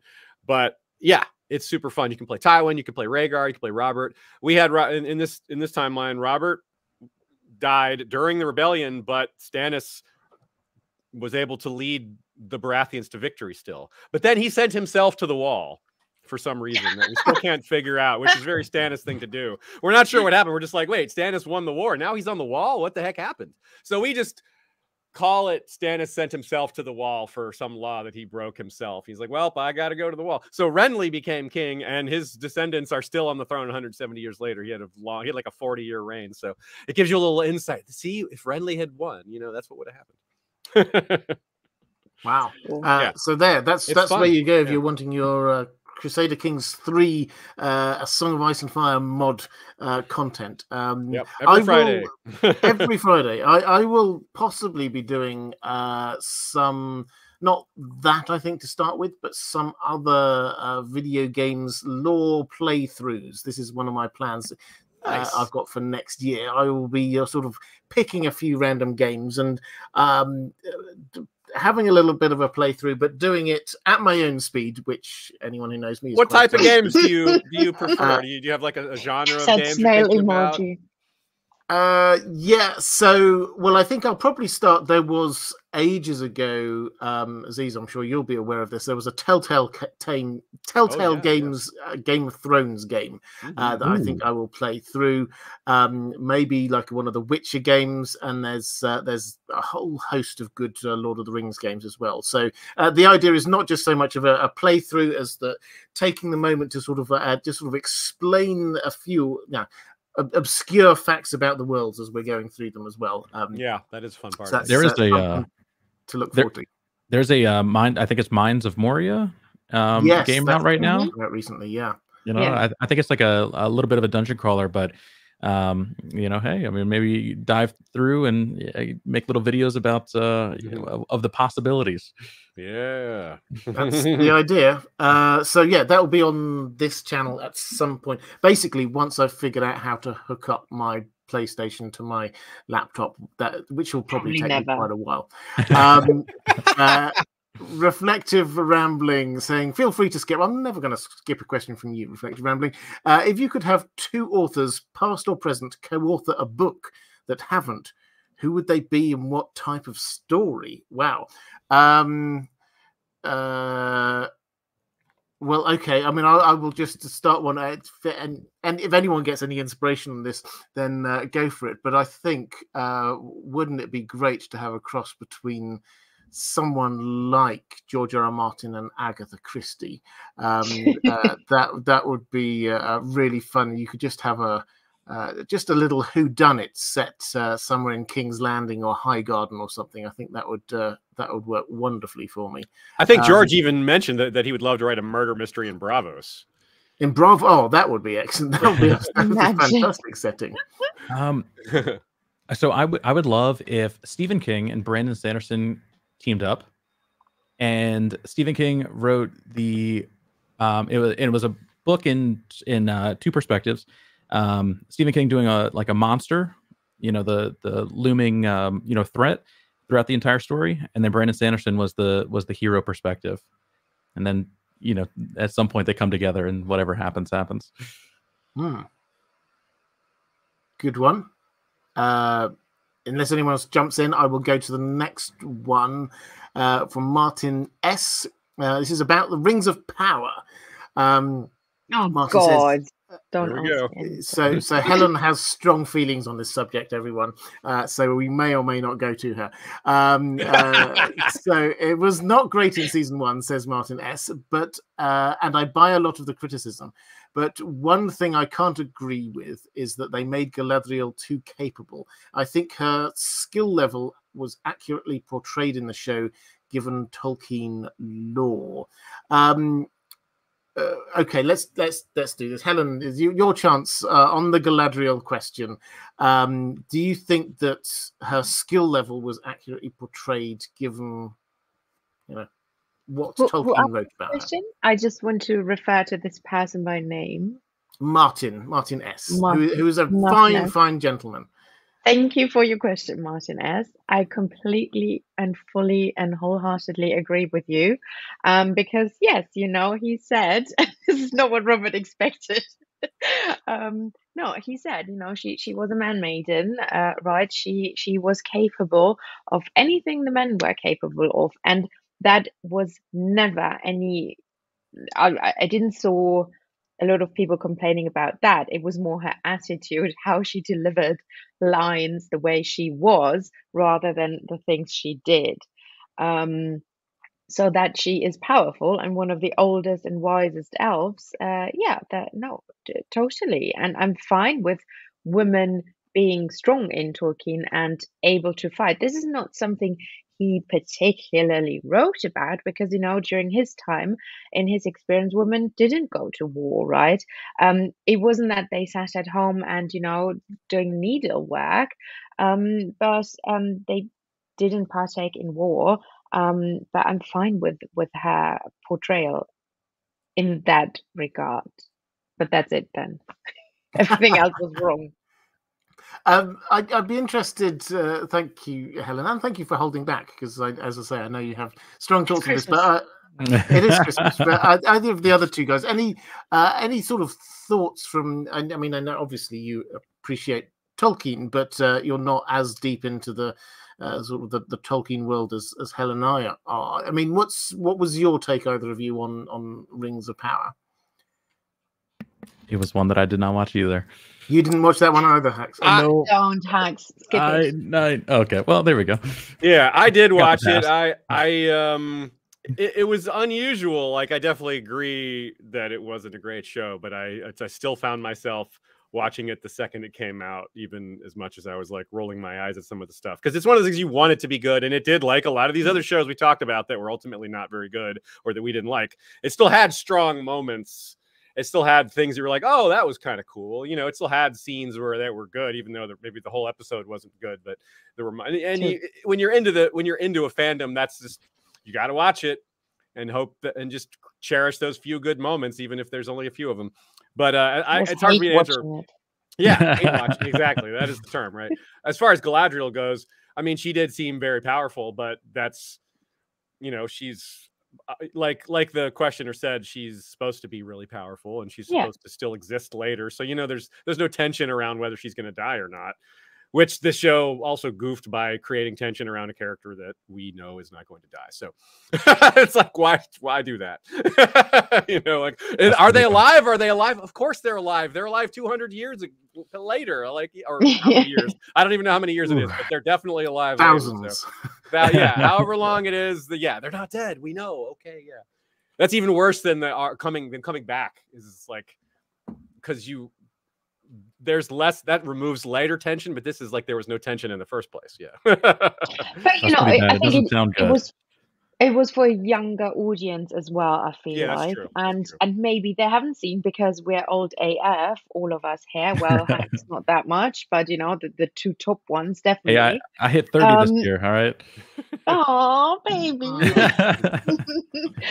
um but but no i think it was for a younger audience and maybe they haven't seen the og ones you know there are a thousand people online on youtube i love to watch these reaction first time watching something reactions have you have you ever seen uh, one of those and it's like super young people like 16 or whatever um and they they watch lord of the rings for the first time and then they film their reaction and it's hilarious but i mean yeah there are a lot of people who haven't seen the og ones and definitely haven't read the books doubt that some of them even can read, but you know, it's another topic.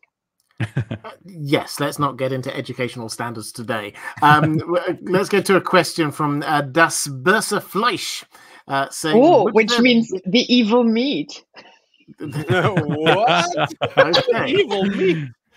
So, evil meat. Uh, would there be a Lord of the Rings without Tolkien's traumatic wartime experiences? Uh, also, what holidays does Middle Earth have? What holidays Middle Earth have? Um, actually, I've just been making a video about. So, if you hang on until Monday, maybe I don't know. I'll see what I can get it out for then. Then uh, you will have the answer on that one. But would there be a Lord of the Rings without Tolkien's traumatic wartime experiences? I, th- I think is a really it's an interesting question. I think clearly his creative spark was always there, um, Yeah. uh, and I think that he As he a was child. already yeah as a child he was already creating this universe. Um, I think what some of the the rounding of the world would would not be there but for his experiences. Um, uh, I think certainly there's a lot of things like I mean the the obvious examples are if you think of the Dead Marshes. If, even if you've just seen the films, you can you can remember it when Frodo and Sam go through when you get like the marshlands and their faces down uh, in sort of in the water staring up. That is directly from his really traumatic uh, experiences in the Battle of the Somme uh, with faces looking up out of puddles at him. Um, and uh, w- you just think about that and you go, okay, that's quite horrific. So there are clearly some elements that are influenced by it. Um, and also, I think that his that there's a sense of loss but hope that came out from that. I did a video ages ago. So one one moment, Helen, I'll just finish my point. But I did a video ages ago about the Ents and the Ent wives, which, if you remember, the Ents are just like and Treebeard is there going like, "Have you seen the Ent wives? We've lost them. They they they've gone away." And it's like uh, that sense of loss is permeates now, and everyone's got sort of where are they? Are they going to find? And the whole point is that they're lost. And if you ever read Tolkien when he writes about his wartime experiences, he's he's he clearly was hugely impacted it by it, but he writes very concisely but incredibly powerfully. And he's saying i went to when i when i went to war um, i had you know 30 really good friends around me. When i returned all but one were dead. And it's just like if you just stop and consider that for a moment that man understands what it is to lose things important things in your life. And i think that kind of experience played out into it. But as a whole his creativity started well before he went off to, to war. Sorry, Helen, you were about to say something. Yeah, no, and I I agree. I I think we would have had similar books because mainly yes, you know, the war plays into it, and yeah, it's it it is a story about uh, the war for the ring, right? But in the end, it is about mythology. It's about you know he created a lot of this based on him wanting to create uh, and talk about languages, right? And so he created a universe uh, around it. So I think um, the topic of and a lot, you know, he got from North mytho- mythology and all that. I think those main topics are not war related, and even if he wouldn't have been a soldier in the First World War, I think we would have gotten something similar. To it's my opinion because mm. it was more about the mythology for him and the languages and building a world. And yeah, war is part of that, but war, you know, everybody's lifetime um, since our world exists. So he could have talked about another one, right? Not him being a soldier, but maybe you know we wouldn't have gotten that scene as you said about the dead marches and the personal feel definitely gives uh definitely gives like some kind of you know perspective or inspiration to draw from like you know, being able to see those faces and and then just recreate that in the media that will be shared with people so that it's like you know they can digest kind of what it was like to to be that person seeing that. I think that's just such a beautiful thing. Yeah yeah absolutely uh, lost for words thank very generous thank you very much um, uh, uh, for there's uh, for the uh, donation um, and uh, Joe Magician is still in the chat. Hi there, Matt. Um, uh, great to see you still. Um, Berus Aurelius saying, "Is there anything Gandalf?" Having said that, there's a, there's a whole load of uh, my patrons have given me masses of a Song of Ice and Fire questions that I was going to shoot at Aziz, uh, but we've not even gotten to them yet. Uh, as I say, I, I might be a late night oh for me, uh, but uh, we're getting lots of Lord of the Rings ones here. Berus Aurelius saying, "Is there anything Gandalf and the Fellowship could have done to turn Saruman to their side?" Would Saruman have drastically changed the outcome of the war if he was working with Gandalf. Okay, Helen, I will throw this one at you as, as well. Could, no, you could Gandalf... I, am interested oh. in your reply. Actually, oh, okay. I, I, don't think that they could have turned him to this. I think he was too far gone by yeah. this this point in time. Um, I think he'd been affected far too much by his studies of uh, the ring magic, and um, uh, he, I mean, he his sort of descent to the dark side, as it were, had started a long time ago. But by the time of the Lord of the Rings, yeah. then definitely he was on the wrong side. Um, would he have drastically changed the outcome of the war if he was walking uh, working with Gandalf? Um, well, if if he didn't have his army, then the entire Rohan uh, plot, um, Battle of Helm's Deep, and things like that would not have happened. Uh, so, yes, that entire bit of the story would have changed. But the for me, the whole point of this is that the the force of arms is not what won this. Uh, it was the hobbits um, who who yeah. snuck into Mordor, um, and that was what the point is. So, yes, the the the story would have been very different had Saruman been on the good guy's side. Uh, but ultimately, having a a large army would not have made that much difference. But Helen, and go on. Think, no, and you can see um, that his you know um, decline started early on because the elves didn't choose to give him one of the elven rings, and they gave it to Gandalf. So there you see um, they choose wisely, I think, and they. It's not like they knew what would happen, but they could feel something is off, and he has other ambitions. The vibe, the vibe didn't. He didn't pass the yeah. vibe check. Exactly. He did yeah. not pass exactly. He did not pass the vibe check. no, this is true. Um, Dragonborn, do you think uh, this is a Song of Ice and Fire question? Do you think uh, why no new dragons were born after the Dance of the Dragons was because the dragon eggs were poisoned or there was less magic in the world. How could the maesters poison so many dragon eggs that are supposed to exist in Westeros? Um, this is this is something I've.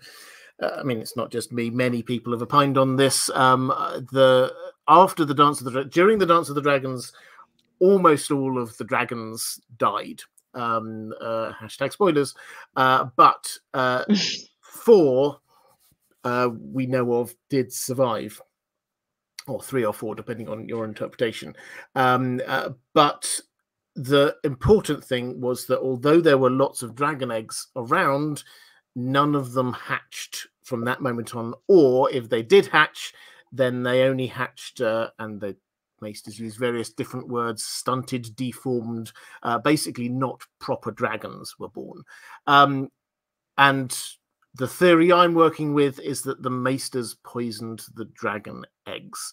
Um, now, Aziz, do you go along with this theory, uh, or do you think it's something to do with there being less magic in the world? How could this happen? What What do you think?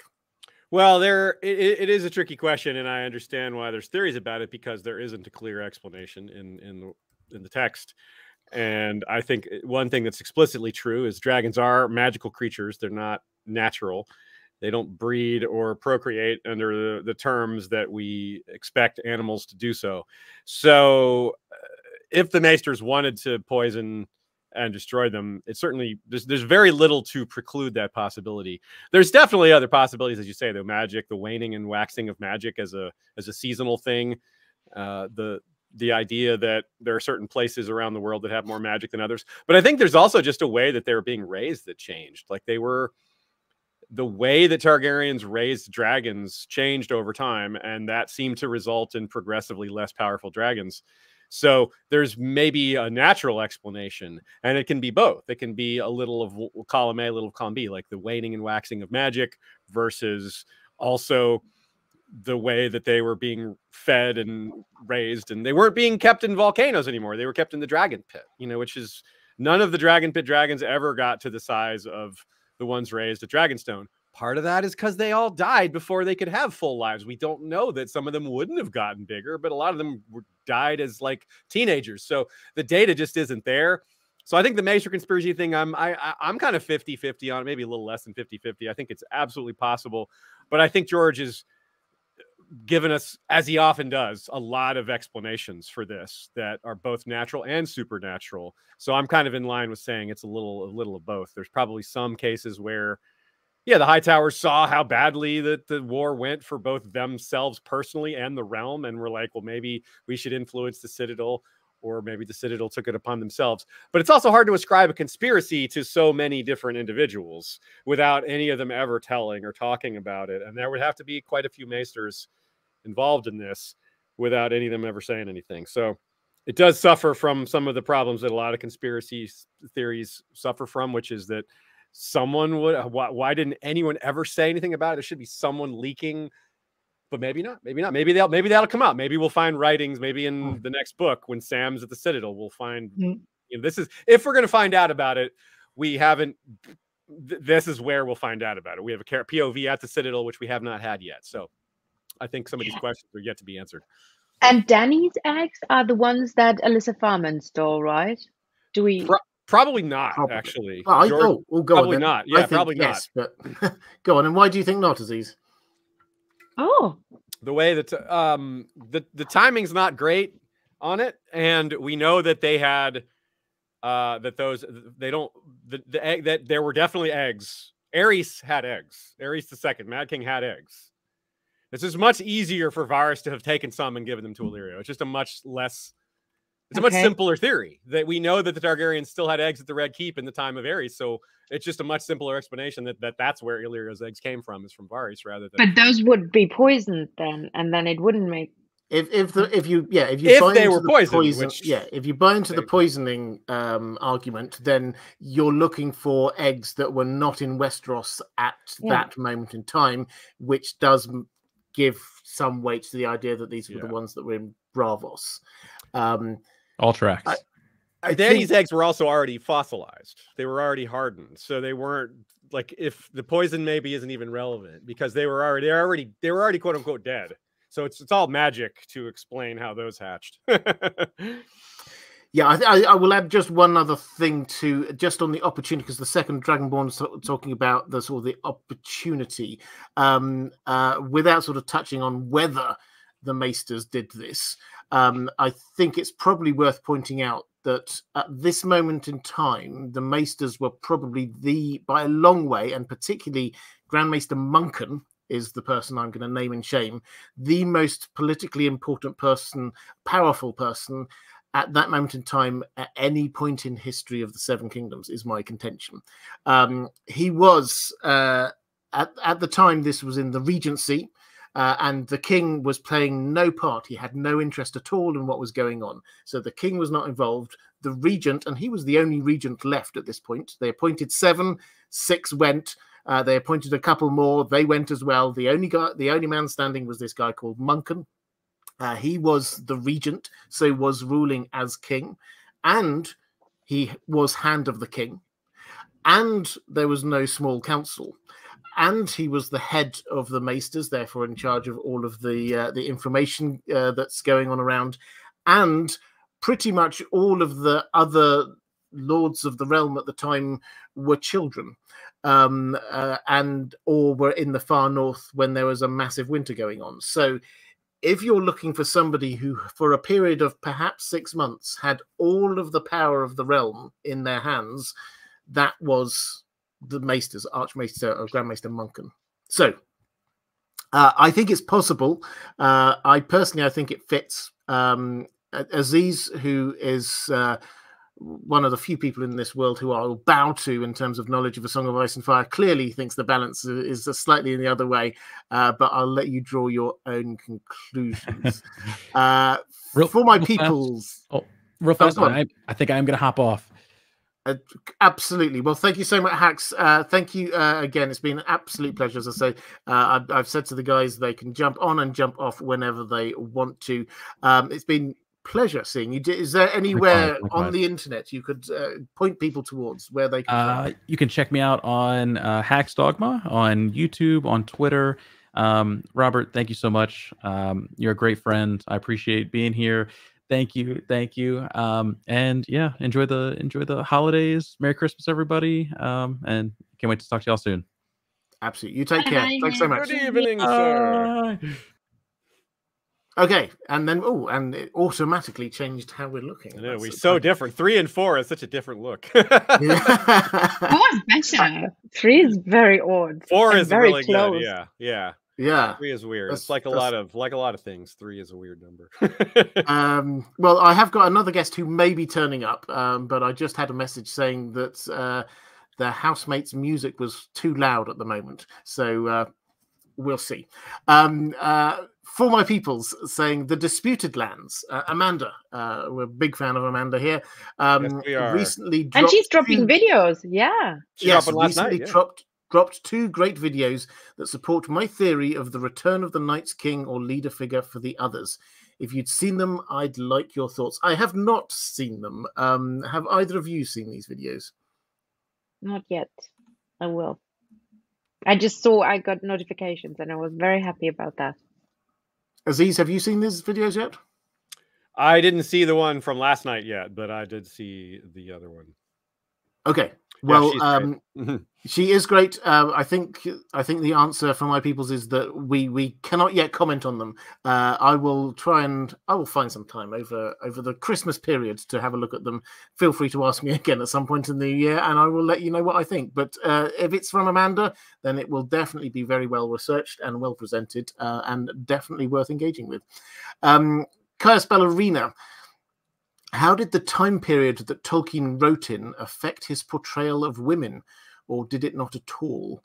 Um, uh, well, interesting one. Uh, well, obviously, the time period he was writing in, uh, the situation facing women, particularly in England at the time, is very different to uh, where they are now.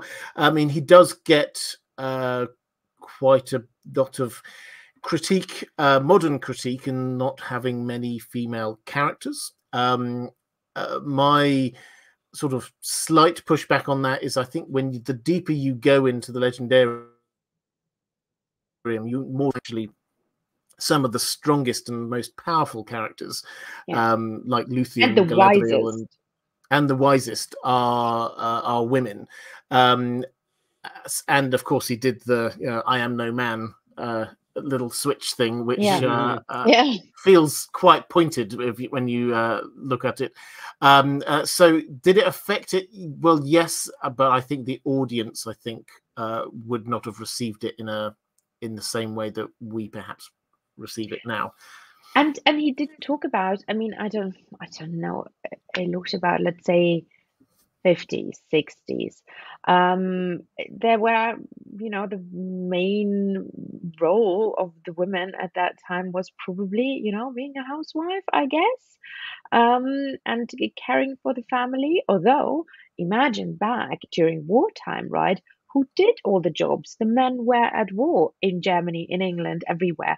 So the women were not just secretaries, they did a lot of jobs, right? And even after the war, I know that from my own family history, the women also helped rebuild the countries, right? Rebuild Germany and all the other countries.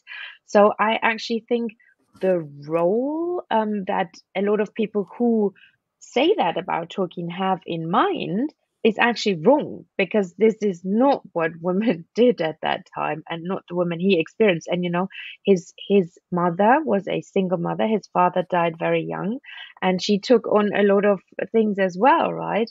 So i think he had a great admiration for women and i think you can feel that in his characters and they were capable.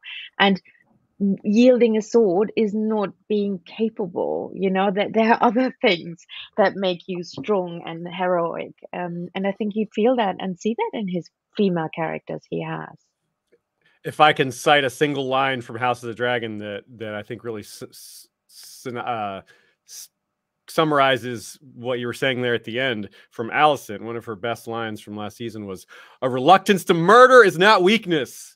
When she shouts that at her father, I know a bunch of people who are like, yes, yes, that is so true. Yeah, reluctance to murder is not weakness. Yes, that's very true. And that's a good point. It's like, yeah, sometimes it's the braver, stronger thing to do by far. Yeah. Yeah.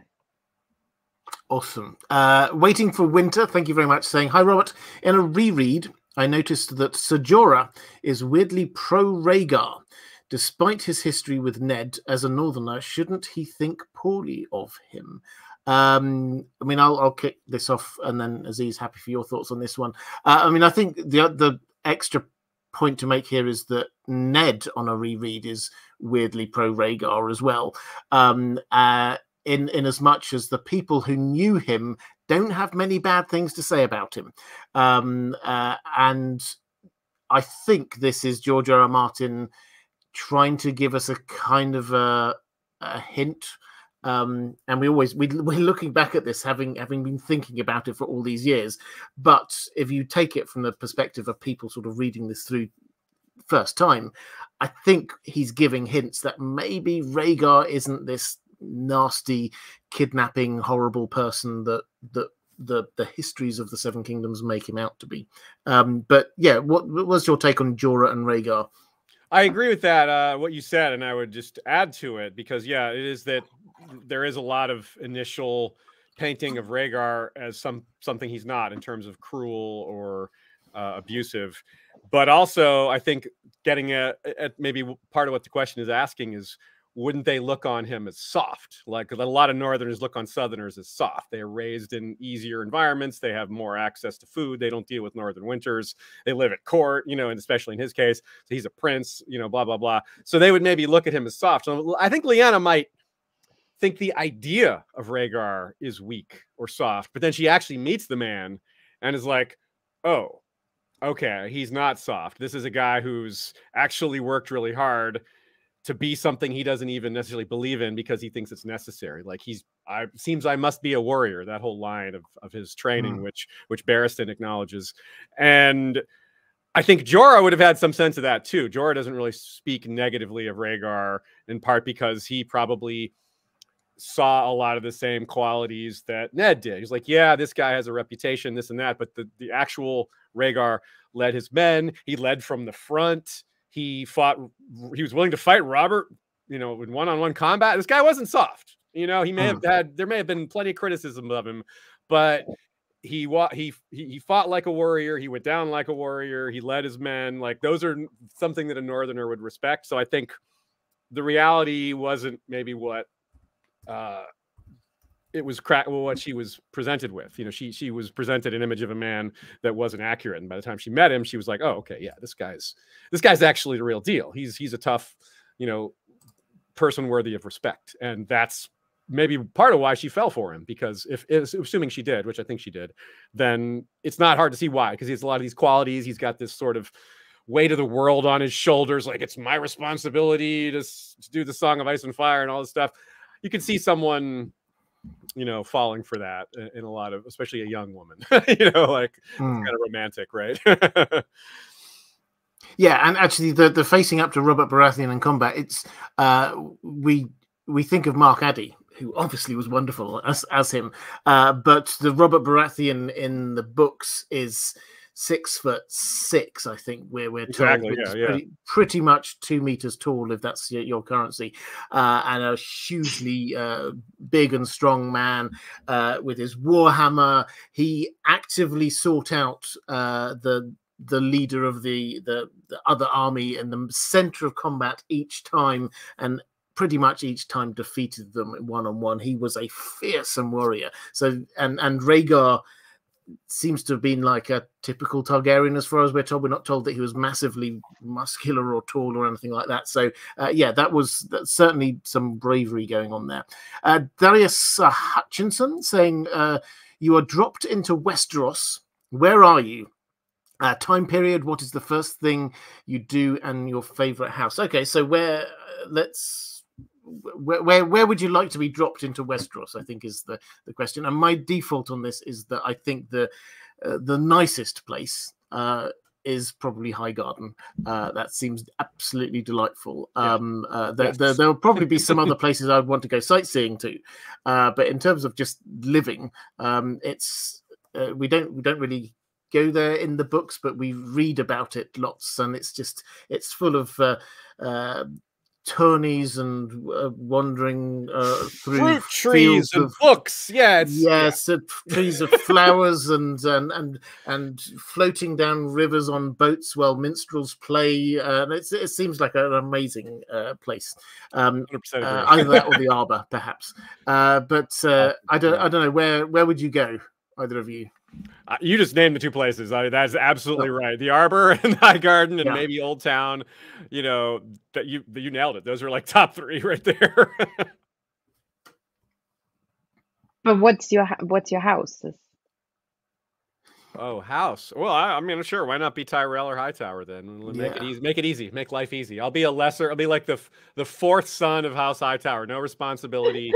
just, I'll read the books. I'll just hang out in the library. Have some Arbor Gold. Just don't. Yeah, I don't need. To, yeah, I'll just do my thing. Do the equivalent yeah. of podcasting in Westeros, whatever that is. Stand at the top of the high tower and shout. I yes, like hello. Probably yeah. yeah, I wouldn't have I wouldn't be of much use, so you know that's why I need okay. to have money. uh, where no, you are what... of use, though, go on. And you, are you gonna? Have you got a thought on this one as well, Helen? Of course. I mean, everybody who knows me knows I'm a Lannister. I mean, hello. What's greater than that? And you know, I would go back in time and really try to get that sword, um, or a um, Valyrian sword. Um, so, and I would get it, you know, with I don't know trickery or whatever, and my gold, obviously. Um, so yeah. Awesome. Uh, Carlos Ballerina, a question for you here, Aziz. I think is Rosby's ward Olyvar Frey, and will it matter? Uh, Olyvar Frey, for those who don't know, is one of the many members of House Frey, um, but then became Robb's um, uh, squire yeah. um, uh, when uh, heading off into south and into battle, and they grew quite close. Uh, but then he was mysteriously absent for the Red Wedding. The implication Uh-oh. being that they knew that he was friends with Robb and therefore they didn't want him around and they dispatched him off somewhere. Um, and uh, well, I'll, uh, as for why he might be Rosby's ward and whether he is, uh, I'll let Aziz explain. Well, he might be Rosby's ward because he would be in hiding because of his loyalty to the Starks amongst the fray after the Freys did their thing.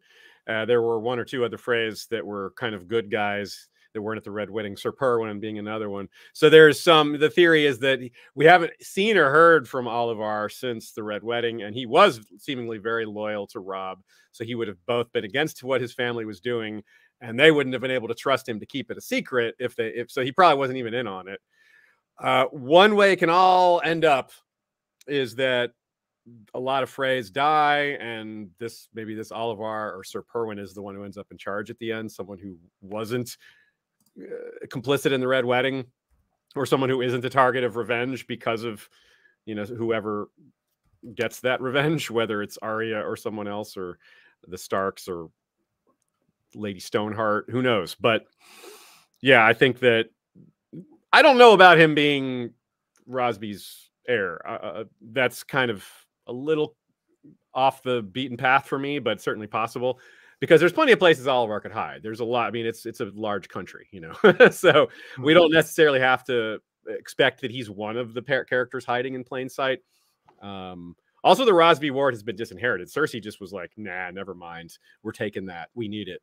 so whoever he's, a, so we this character's been pushed to the side regardless of who they are yet again. So um, I'm not sure that's a way, a good way to introduce a character or reintroduce a character to have them not named and then have them kind of shoved aside off page anyway.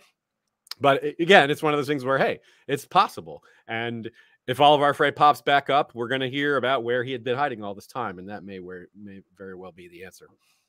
Mm. And I think it's uh, just for those who are wondering why this might be important. Rosby is one of the. There's a handful of um, uh, sort of medium-sized places uh, just north of uh, King's Landing. Places like Maidenpool is around there as well. Duskendale's around there. Um, uh, the, the, the, there's a lot of these places that are uh, near to King's Landing, so always in its sphere of influence. Uh, but they, they, sometimes get a little bit rebellious, and this is what's happening at this point where we are at in the story. Is that um, uh, we've got uh, Cersei, who is sort of or will be ruling the roost in King's Landing, and there are some slightly rebellious lords just outside. And uh, so uh, the the question is: Is she going to get distracted by all of this business that's going on there, while actually a whopping great big army has just landed two weeks march away from her? Mm-hmm. Uh, it's entirely possible. We're going to see a lot of these places in season two of House of the Dragon. From mm. the first trailer, we've yes. already seen Rosby shields, D- Darklyn shields. We saw a shot of Duskendale, Rook's Rest. Yeah, so we're going to get to see them kind of up close. That's neat. Uh, Berus Aurelius in the chat just spotted saying huge shout out to modders, by the way. So, uh, yes, let's do that right now. Uh, moderators, you are wonderful. Um, uh, thank you so much. Uh, I'll do. Uh, thank you for the entire year. Actually, I'll take my glasses off to show my sincerity. Um, uh, there is. Uh, uh, uh YouTuber could not ask for a finer uh, set of, of mods than uh, than I have.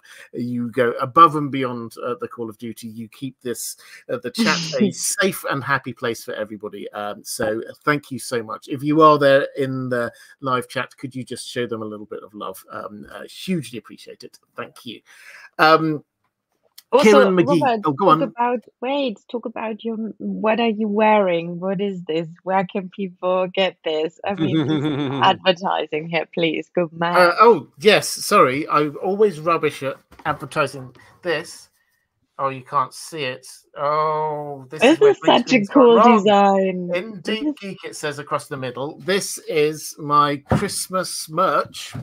Um, and uh, you can probably find it down linked somewhere down there. It's available as uh, this is a t-shirt, but you can get hoodies, uh, sweaters, tote bags, all that kind of stuff. Uh, so if you're interested in that, then uh, yeah, just have a look down at the link down there. Uh, and while I'm doing this random other stuff, um, patrons thank you. I know i've not got to any of your questions yet um, uh, but uh, i do value i will get to them in just one moment i promise you uh, but i cannot do what i do without your support so a huge thank you uh, from me uh, for all your support throughout this year. Um, right let's keep going with the chat. Kieran mcgee longclaw and dawn. Um, two swords in uh, the world of song of ice and fire. I think there will be a sword swap Dany promises Jorah a mighty sword. This she does. This is just uh, right after she gets her dragons, um, or around that time anyway. Um, uh, Jon needs Dawn. Um, uh, would love to hear your thoughts on how this convoluted plot comes to pass. Love you guys. Uh, yeah. So, so the the the issue we have um, uh, is uh, so Dawn is down uh, is down in Dawn uh, so to speak. um, uh, Longclaw Jon has, which is right up at the wall. So at the moment, they're a very long way away from each other. Um, uh, so any kind of sword swap, if there is such a thing, um, is not going to happen immediately. Uh, now, my best guess is that Dawn. So Dawn, for those who don't know, this is the House Dayne's sword, um, and uh, it's different. All these named swords, Valyrian steel swords, uh, this is different to all of them because this is far more ancient. This is uh, uh, uh made from uh, the metal within a, a, meteorite that fell to Earth. This is not Valyrian steel. Uh, this is storied and probably the most famous sword in, in all of Westeros. Uh, this is significant and big, and I, there's a a fair to middling chance, I think, um, though we don't have any evidence on this, that it could turn out to be Lightbringer. dawn equals lightbringer is an obvious uh, sort of uh, linguistic trick. Um, Jon has Longclaw, as you've said. Uh, Longclaw is the historical sword of um, House Mormont. Uh, so yes, all of these can, and Jon potentially is uh, is Azor Ahai or one of the many Azor Ahais, or however you say. So yes, the potential here for swords shifting around does make sense. Um, but what what do you think, Aziz? Is is there a chance that they could be swapping these around? I kind of doubt it. I don't really see a connection for Jon and the sword Dawn. He's not of House Dayne. Uh, I don't know that the sword swap makes a lot of sense in terms of the plot. Like, why give him Longclaw in the first place if he's going to end up with a Valyrian's, not a Valyrian, end up with Dawn later? I'm not sure that works for me. I don't see it. Uh, but I do think Dawn is important to the story, and I think some of the clues to how it's going to be introduced are to be read sort of in between the lines. George had planned a five-year gap, right? And he introduced Edric Dayne, who was 12 at the time. If Edric Dayne had been given the five-year gap like all the other characters, he would have been 17 and he was shown to be very honorable and just a very good kid all around in his short time with Arya, and how he was squire to Beric Dondarrion and uh, tried to you know protected his body and was acted very noble and dutiful. So this is a kid that really looks like he was going to wield Dawn in the, in the confines of the story. But then George changed his mind, but he still wanted to bring Dawn into the story. He just can't have a 12 year old be the the sword of the morning. So this is where I think High Hermitage and, and Gerold Dayne, uh, aka Darkstar, comes in. Obviously, not the type of person that you would expect to be worthy of wielding Dawn, but he doesn't have to be worthy to simply claim it and take it and wield it. And what better way to represent his father, his so-called father, putting father in air quotes for Fagon, to have a Dayne wielding Dawn at his side legitimizing him as the son of Rhaegar, Rhaegar, whose best friend was Sir Arthur Dayne, the Sword of the Morning. And what better way to recall his own famous father, if it's really his father or not, than by reminding people of that heritage by having this sort of same parallel uh, persona at his side. So I kind of think that's how Dawn's going to come into the story. Where it goes from there, I have no idea, but I, I don't really see it going to Jon.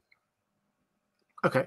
Uh, that's that's fair. I mean, I don't think I would uh, disagree with uh, with much of that. I mean, I, I, definitely agree with the thematic idea of uh, um, uh, Gerold Dayne with Dawn joining up with uh, with Fagon. I think that makes sense. Um, why don't we, uh, as we have you here at the moment, Helen? I know you've got to go at some point soon. Um, Five minutes. Why don't was that? Five minutes, I would go. Okay, well, uh, let's give you a, a, Lord of the Rings question or two. Um, uh, and uh, this is there's a Kelly Summers question from one of my patrons. What would have happened if Smaug had acquired the One Ring? Um, so, so what what what do you think to that one? Oh, okay. Smaug acquired the One Ring? Um, well, I mean, the the, the dragons. I just, I don't know. You answered fast. Sorry, I have to think about that one. I just, I mean, I I do not like this what if uh questions. I'm not a big fan. I always skip these videos if people have these videos. But um, yeah, you answered fast. I'll think about it for a second. Sorry, it's very uh, late. Yes, uh, yeah, it's it's late later for Helen than it is for me. Um, so the, uh, I mean, it, clearly Smaug is a very powerful being, uh, and having the One Ring would increase Smaug's power, probably also increase Smaug's greed. Um, so I think that the first thing you would say is that whereas Smaug seems to have very happily gained all the gold in Erebor and then just like lay on it and fell asleep on it for quite a long time. I suspect that what would have happened is that Smaug would have then uh, gone searching for even more. So I think the first thing to say is that uh, there would be a trail of devastation across uh, northern uh, Middle Earth. Um, it's... And Sauron would feel and know where the ring then is. You know, the whole thing with the with the hobbits was, you know, it it stayed hidden. With Smaug, obviously, he would find out. No. Yes, I think he, I think it would become obvious if um, if Smaug had the ring. I mean, I think this is one of those sort of uh, the, the the fun question as a part of this is uh, would the ring uh, expand out? We we we take this idea that the ring shifts and changes its size according to the uh, the the owner at the time. Yeah. Um, but does that include going out into like a, a talon of, of a dragon? Would it sort of expand out no. in size to be? Um, in, in, which case, you're saying that he can't wear the ring; he could just be be have possession of it. Uh, so yeah, so it's a fun question, um, but I think I think the answer is bad things. Um, yeah, and again, the ring would try to escape, you know, because it wants to go back to uh, his master, and it, it's easier with somebody like Smaug to actually escape um, Smaug. Yes, absolutely. Um, let's go to. Um, do you do you want another Lord of the Rings one, or are you happy for some? Oh, look, Kelly, Kelly, Kelly is um, Kelly is clarifying the question here in the oh, okay. chat. She's in the chat. Hi, Kelly. By the way, she's awesome. Uh, the context was a bit more: would Smaug be controlled by the so, sorry it just disappeared um by the ring's power would he have enough power to use it himself like galadriel or gandalf um what do you think? So, are you controlled or do you control? No, I find that an interesting question. I think it's a bit of both uh, with the the the One Ring. Is that um, so? Just to take one of the the simplest characters who had control of the One Ring at a point in time, Sam. Um, would the One Ring have controlled him? Well, you could say yes, it would have done. It would have taken him over. It would have changed his personality and what he was like. But at the same time, he also would have gone. If you've read that little bit of the Lord of the Rings, you know his temptations were about having a massive garden and being with the greatest gardener in the whole world. He would have also controlled it uh, to do achieve the things that he would want to do. And it's so it's not a, like a you're in one of two camps. It's the where is the the balance, where is the dividing line between these two things. So whereas somebody like um, Gandalf or Galadriel, if they had the One Ring, uh, they, they might have more sort of power and control over it. It would also have great power and control over them. So it's a two way thing, and I think that would apply also to Smaug. So yes, it would it would change him and affect him and have control over him, but also he would be able to control and use its power. Yeah, and I find it fascinating. I, I thought I understand her question differently. Um, I, I thought she was saying the other elven rings in comparison, and it's interesting, you know, that the elven rings basically are switchable. Like you you know you can hand that ring uh, to to Gandalf then and then that ring can be handed over to somebody else. And it also because those rings adapt to the power the one ring in a way is a bit different how it works and it always wants to go back to his master right? Um and i find that fascinating if you the the distinguishing be, between the rings although all are powerful in in their own way and enhance somebody's power. Absolutely. Um, Couch Ballerina, thank you so much for the uh, super sticker. Um, Helen, just shout when you need to go, by the way. I'm just going to carry yeah, on. Yeah, uh, two more minutes. Yeah. okay, I'm just going to go plowing on through uh, the chat. Um, have we got any more? We do. Stringer Studios. Um, uh, this is, I oh, love this group. Uh, thank you. They're they're good people. Uh, I've invited. I've got immaculate taste in friends. Uh, will Barbrey Dustin get Ned's bones? If so, will she destroy them, or will they uh, eventually reside in the crypts?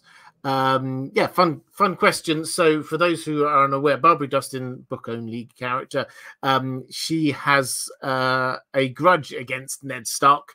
Um, uh, a long-standing grudge against Ned Stark. It has to be said uh, that I'm not going to go into all of the backstory on that one, but basically she has vowed that his bones will never get to Winterfell's crypts. His bones uh, were last seen going heading towards the neck, and she has put people out uh, there watching if they ever emerge. She also being in Winterfell at the time, um, has gone to just double check in the Winterfell crypts to make sure that they're not already there. Um, so, uh, Aziz, what do you think? Will she find them? She clearly is hunting for them.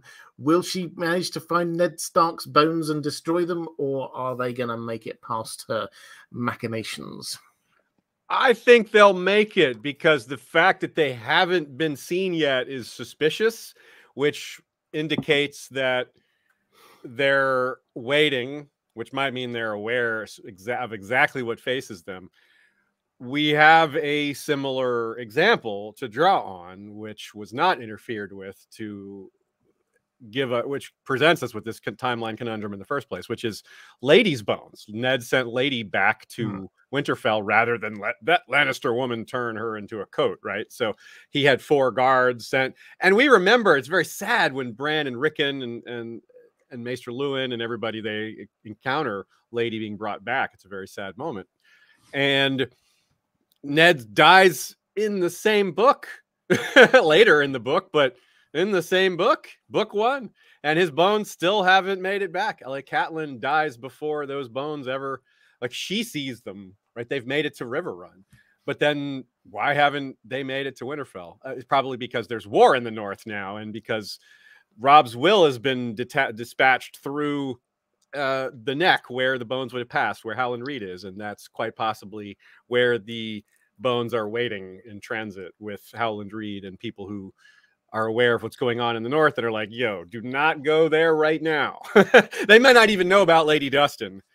But by hmm. the time they've gotten to the neck, Winterfell's been sacked and taken by, well, in reality, by the Boltons, but the public explanation is the Ironborn. Either way, Winterfell's been sacked. So going back there is already sketchy because they would have heard that. They're like, we're on our way home to take Ned's bones. And then wait, wait, Winterfell, what happened to Winterfell?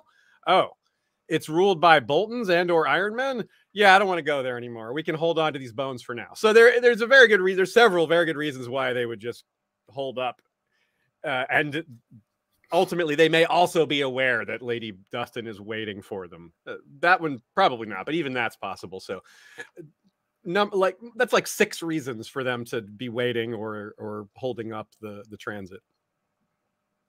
Yeah, so I mean, my general take is that they're is very probably a big party of Stark loyalists going on in the neck at the moment, uh, with Howland Reed, Maege Mormont, Galbart Glover, um, the, the the gang who are heading up north with the uh, uh, the bones, and so they will emerge at some point. And yeah, I think I'm with you that they will they will wait until Winterfell is secure, and then they'll head up. Whether the question is whether once they've made their way up to um, to Winterfell, she then personally tries to do something uh, to disrupt things. I think that's the the big question. Uh, Victor- can I go now? You you can go now. Yeah. Um, uh, thank you so much, Helen. It's been Bye, an Helen. absolute delight. Uh, is there anywhere that you would like to direct people to if they wish to find more of you on the internet? No. No. uh, that Her case, presence will remain mysterious. Exactly. Exactly. So I'll see Aziz soon. We go to this wonderful con in January, mm-hmm. and Aziz will meet uh, all my crazy cats, and and Shea and Aziz will. Uh, I'll see them soon. I'll see That's you right. soon, Robert, and the chat. You know, don't find me. I'll see you whenever. Probably next year, next Christmas.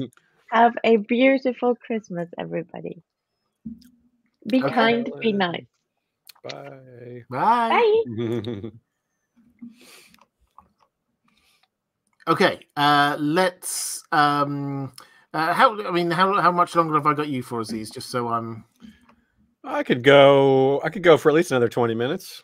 Okay, go, well, in that yeah. case, um, uh, if you've got your questions in the chat, I will come back to them. I'm going to plow through a few of these questions from my patrons, uh, which are sort of a Song of Ice and Fire heavy. Um, let's go to uh, Corvus Corax saying, Hi, Robert. I have a curiosity about the significance of Sansa losing Lady. Um, I always interpreted it to mean that she would never again regain her starkness, possibly become Lady of the Eyrie. Could you talk about Lady's death and what it foreshadows? So, what what do you what do you think what do you think it means?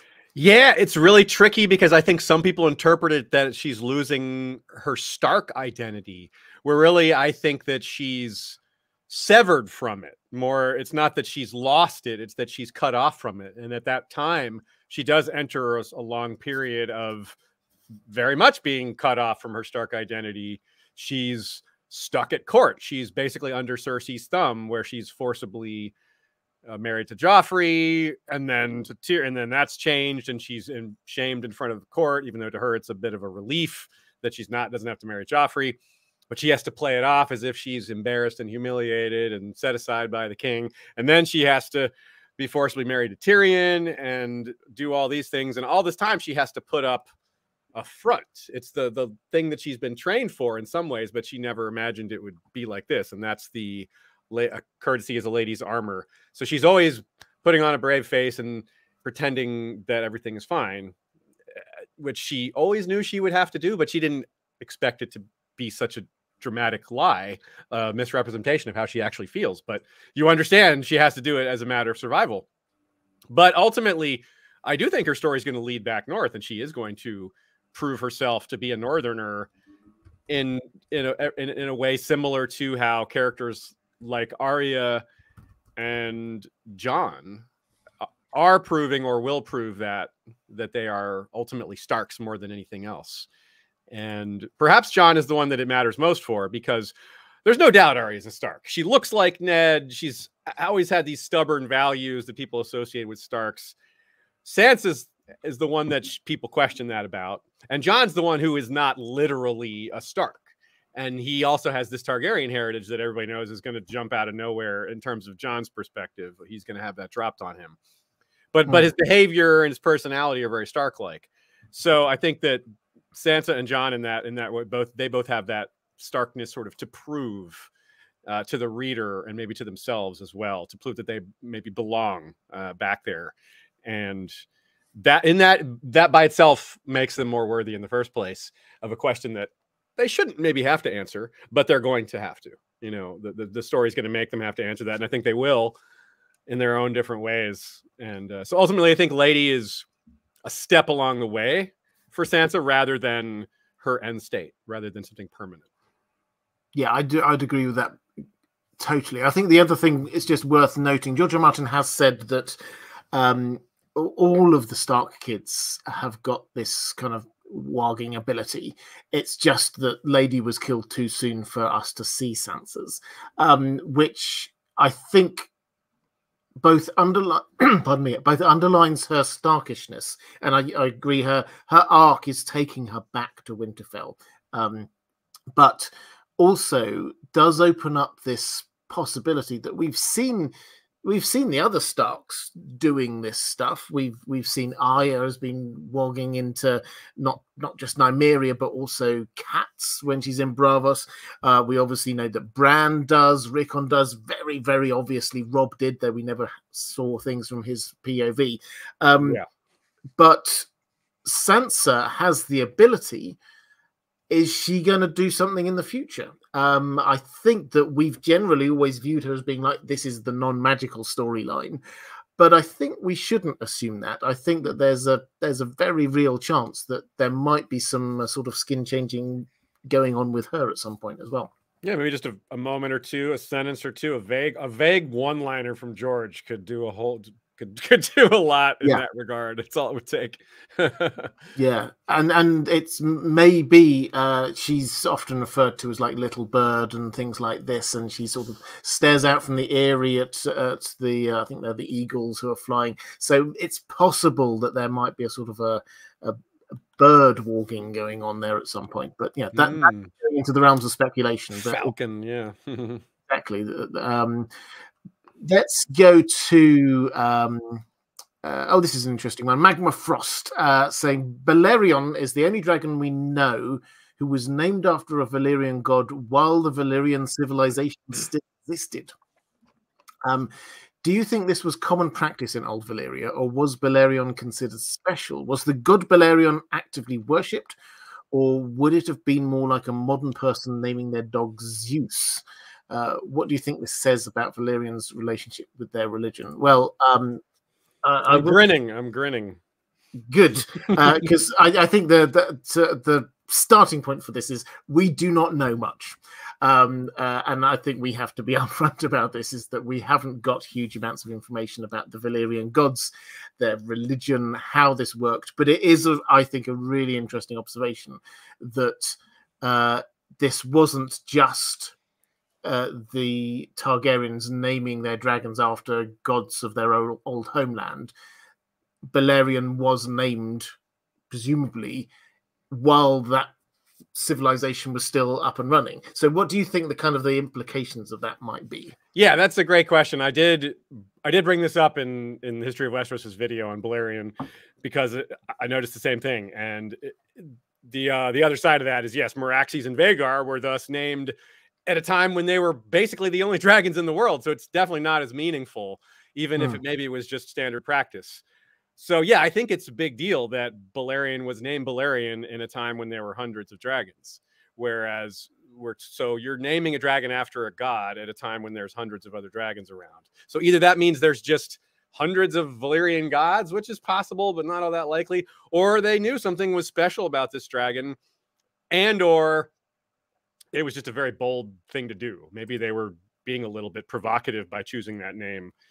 Uh, but my pet theory to explain this is that this is the same era of Daenys the Dreamer. Daenys the Dreamer, the very mm. person that predicted the doom. Now, what makes sense more that Daenys the Dreamer's vision was believed out of nowhere, or that she had credibility because she had already had lots of visions that had come true, and they were like, "Oh, she's predicted many things. That's why we have to take this one so seriously. She probably doesn't have that much credibility if it's her first prediction. So she had probably predicted a lot of things. And one of them maybe was related to this dragon. She may have seen Balerion. Balerion, after all, would have quite a future ahead of him, even though it's an animal we're talking about. If you're looking at any random dragon in the freehold, there you would from a dreamer's perspective, they would just their doom would be coming soon. But for Balerion, yeah. this one example, this one dragon out of all of them is going to survive. Besides, actually, a couple others went with him that survived but didn't live to into Aegon's time. So there were a couple other survivors, but this would have been the youngest one. And maybe she saw how huge Balerion would be. There's lots of things you can imagine that would be outstanding about this dragon's future if you're thinking from the perspective of of someone that can see the future. So, like if you look at like a Wheel of Time thing where you use the the more aura they have is because of how big their destiny is. Balerion's destiny out of all the dragons in Valyria at the time was just va- much vaster, like by orders of magnitude. So, from that perspective, you can see why there would have been from Daenys or from some other source some reason to think this dragon was special, and thus it may have earned a special name uh, from early on. Uh, but th- of course, like Robert said at the beginning, ultimately that's just some theory. we really don't know, but I think there has to be something. Like it's we're right. I think our insight is is correct that this is significant, even if we can't interpret the significance of it. I think it is significant. Yeah, I think I, I think it, it, it is significant, but as I say, we, we don't know. I, I do hope perhaps House of the Dragon dropped a couple of small nuggets of, of information about uh, Valyria through um, uh, Viserys and his his big uh, um, uh, sort of model that he's he's been he's been making, and he sort of dropped in uh, about the Oenogrion and uh, the source of the power and things like that. So I'm I'm hopeful we might get another couple of uh, little nuggets of information yes, coming please. about that. Um, let's have another. Uh, actually, th- this is another interesting one. Actually, again from Mag- Magma Frost, um, uh, saying Uh, you've said in the past, this is me, I've said in the past that the Hammer of the Waters cut off the Weirwood network's connection to Essos, but the land it destroyed was connected to Dorne, which doesn't have any Weirwoods to begin with. So, how could the network have been connected to Essos through the arm of Dorne? Uh, now, which is a really interesting question. So, for context, um, I mean, this isn't a. Uh, I mean, I don't know whether I've ever stated it as as fact, but this is just my working theory. Many people's working theory is that um, the the shade of the evening. In fact, I, I, think we were talking about Amanda. Disputed Lands has done a very good video on this uh, in the past. Uh, the shade of the evening trees are very similar to uh, the um, weirwood trees, but do feel sort of like a uh, maybe they're sort of uh, corrupted, um, uh, they're sort of inverse of them in some way.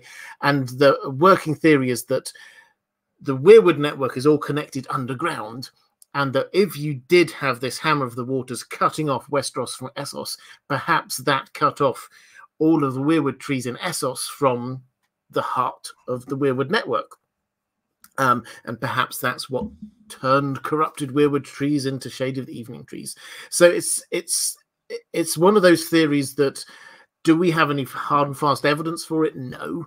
Does it kind of fit all the facts? Yes. Um, uh, but uh, yes, are we ever going to truly find out? I suspect probably not. Um, uh, so, so that's the sort of the background to it. Um, but what what's your take on on well I'd, I'd, happily have your take on that as a theory uh, but sort of and, and the sort of the follow-up into the question Magma Frost was asking is that uh, is Dorne do you think this impulse that there are at the moment as far as we can tell no uh weirwoods in Dorne. The children of the forest call it the empty land. Um uh is your take that there never have been? Or uh, or it's just that they got all chopped down? What what's what's going on there? It's kind of hard to imagine that there were never any there, but how long ago is are we talking about? Like we could we there's the era around when the land bridge was destroyed, which should have had an impact on the local geography, but not not necessarily the entire region of Dorne, but certainly would have changed some of the region's climate and thus could have affected what would and could exist there. So, uh, but there's a chance it's been a desert for just tens of thousands of years, in which case, yeah, I can see just no weirwoods being there, except maybe in some of the higher places. Maybe there's a few exceptions, but even those are pretty dry. So, on the other hand, there is the presence of the Ifequevron in Essos, who are, uh, given the descriptions, which are very vague, woods walkers, forest walkers who are small people in the forests of Essos, northern Essos. And they sound a lot like the children of the forest. They might not be, but if they are, then there's got to be a connection between the two.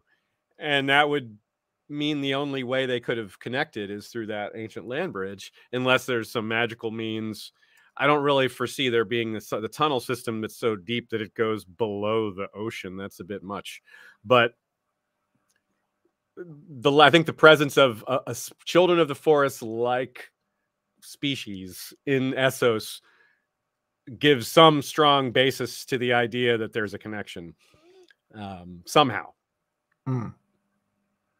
Yeah. So, I mean, I think I think we're probably in the same boat on this one. Is it? It kind of makes sense. Um, uh, I mean, I think in with in Dorne, the fact that there aren't any trees. Uh, I mean, one of the few things we do know about the first men when they first came across is that they did quite a lot of deforestation. Uh, so um, it's entirely possible that they did just.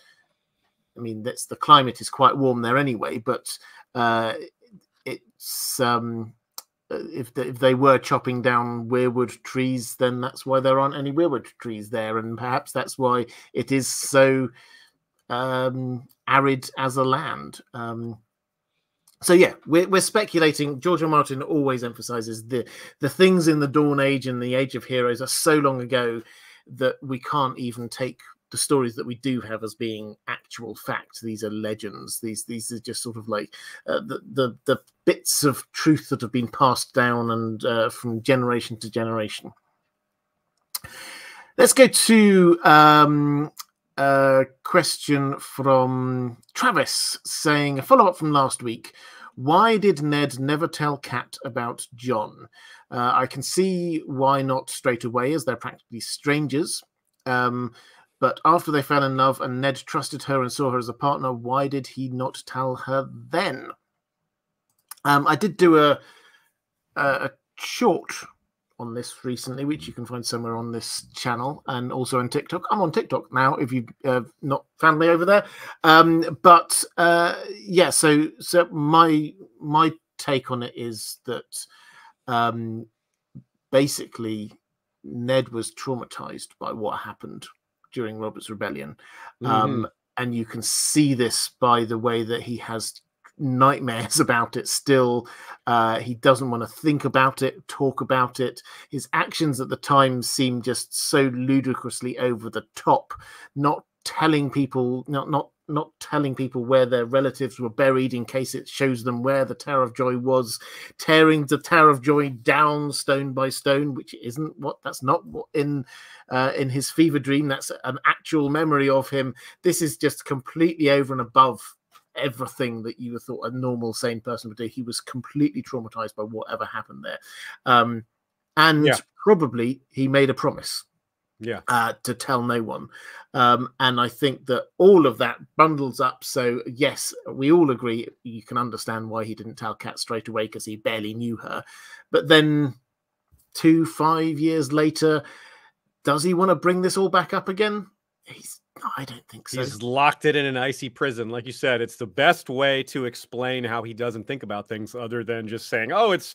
authorial license. I don't want to give away, I don't want him to think about Jon Snow's parentage trauma is a is a is a, a human and accurate way to describe a way why people aren't why someone's not thinking about something. Repressed memories yeah it, it, it absolutely fits.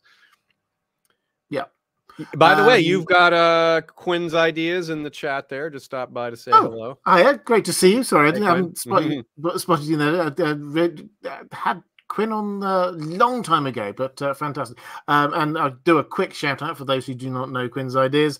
Um, excellent channel covering, among other things, mostly sci-fi these days, and particularly Dune. Um, and I would highly recommend uh, checking mm. out if you're the Dune part two is coming out, I believe, in March uh, of of next year, um, and it, the trailers look amazing. So if you're if you're wanting to get into a bit of uh, the background about that, then I highly recommend checking out Quinn's ideas. Books and and movies, yeah, he's an expert, absolutely. Um, fantastic. Uh, question from Travis about uh, this is a Song of Ice and Fire again. Uh, what holidays, religious or otherwise, do the denizens of Planetos celebrate? Most feasts and parties we see are associated with life events like marriages.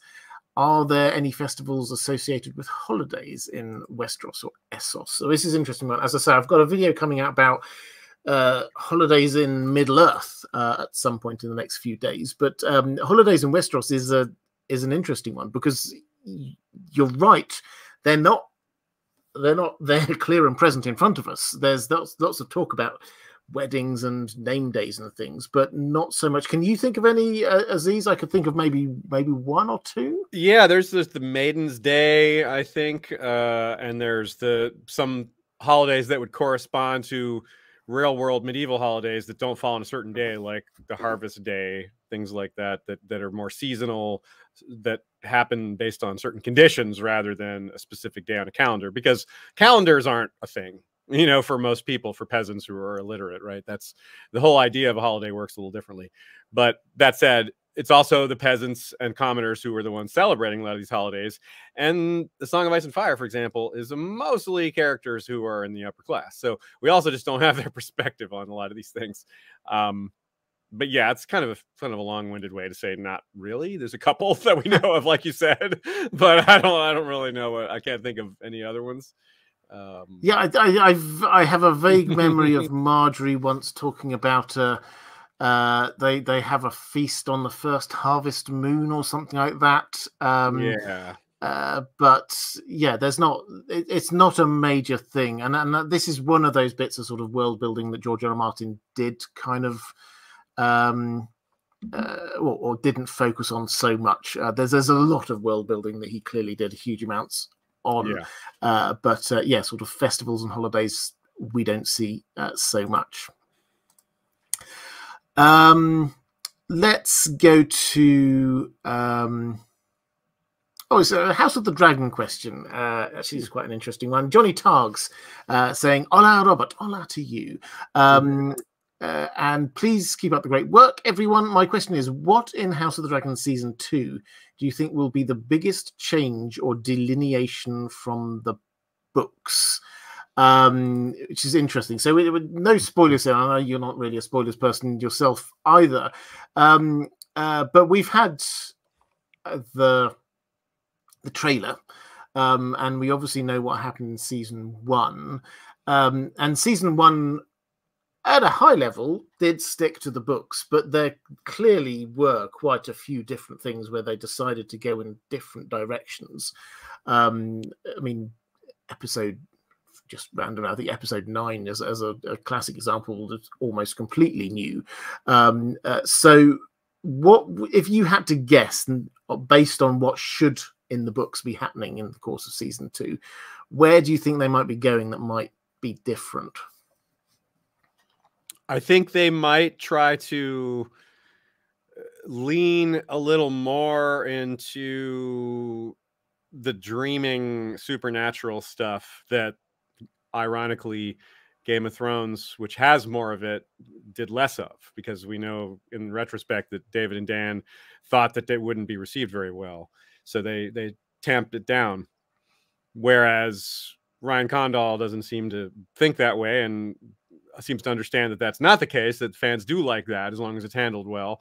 So since there's not very much of it of that sort of thing in the maesterly history, why would there be much of it? Then I think that's where there's room for them to expand. And they, they could do that in the north. They could do that with Dragon Lore. They could do that with uh, Alys Rivers. They could do that with any Targaryen dreamer. Helaena, they already made her a dreamer, and that's not in that's not in Fire and Blood. So they could they could build on that or expand on that. So I think that's I think supernatural. It's kind of a vague maybe category, but I think that's that's where they have the most room to surprise us, other than just maybe they have a character die that doesn't die, or the other way around. That would be shocking. There's probably going to be that. That's probably going to happen once or twice throughout the rest of the show, the run of the show. Um, but it may not be the most surprising thing or the biggest change. This this might be a bigger change or implied change. So, and, and maybe more. I'm hoping more for of. yeah, I mean, I think I, I think I would agree that that's definitely something which is is happening on the show. I think there's a couple of things which we saw in the trailer which we can probably extrapolate out from. We saw a couple of people on Dragonback looking like they might be in combat or certainly angry. People like Baela and mm-hmm. Rhaenyra, who in the book weren't really involved in battles. Um, right. So it's possible that they might go down that route. Secondly, we saw. I wasn't sure when I first saw the image, but uh, people reliably informed me that that shot of the north that we had that those were Night's Watch characters. Now, uh, if that's the case, then um, uh, we didn't really in the book. Jace, yes, went to the north, but it was mostly sort of Winterfell and uh, things like that. But we might go up to the wall and we might see more things going on up there. There's a lot of scope, I think, for them doing things in that bit of plot because in the book they just basically they just said he went up there here's a couple of outcomes they had a pact and they agreed that they were joining the war um, but here's a whole load of rumors things mm-hmm. that might mm-hmm. have happened um, so i think that there's a fair to middling chance that uh, they will use that particularly as they've gone quite heavy on this whole threat from the north thing. Yeah, Aegon's um, dream and all that. Exactly. Yeah. yeah, that fits in that with that very nicely. And yeah, it would give them room to to play with that plot line and to give more screen time to Cregan Stark, which they probably want to do. yes, absolutely. Um, Mara Lee has a question. Hi again, Mara. Hi, saying, Mara. Um, in fact, actually, Aziz I don't know how she knew you were going to be on here. A question specifically for Aziz, um, saying uh, to do with uh, Lady Stoneheart, Robb's will, and the Stark succession crisis. What will be her role in helping to solve the issue, and uh, what do you think will finally give her peace of mind in the books? Hmm, well, I think the most peace of mind she could get is learning that all of her children, other than Robb, who she saw die, are actually alive. Who she thinks that Arya, Rickon, and Bran are all dead.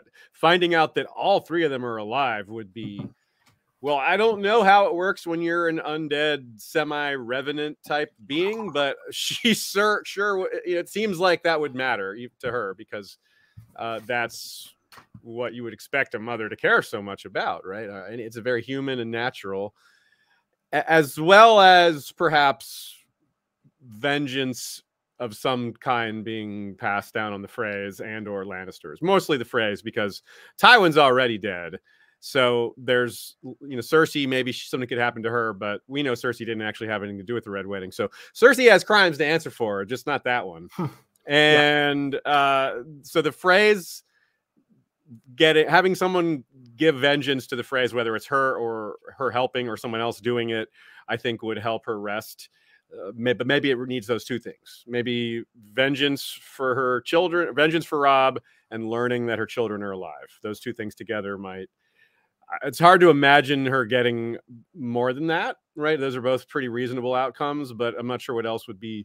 You know, maybe her, maybe the Kingdom of the North being restored, maybe seeing that that might help too. You know, um, but the way she's portrayed, it doesn't seem like she's going to be uh, a character that's like around at the end, say, for example. You know, so I do think that having a, a, like a relatively peaceful end or positive end for such a tormented character would be it's, it's reasonably set up and would be would be nice. I don't know if that's what we'll get, but I, I could see that happening.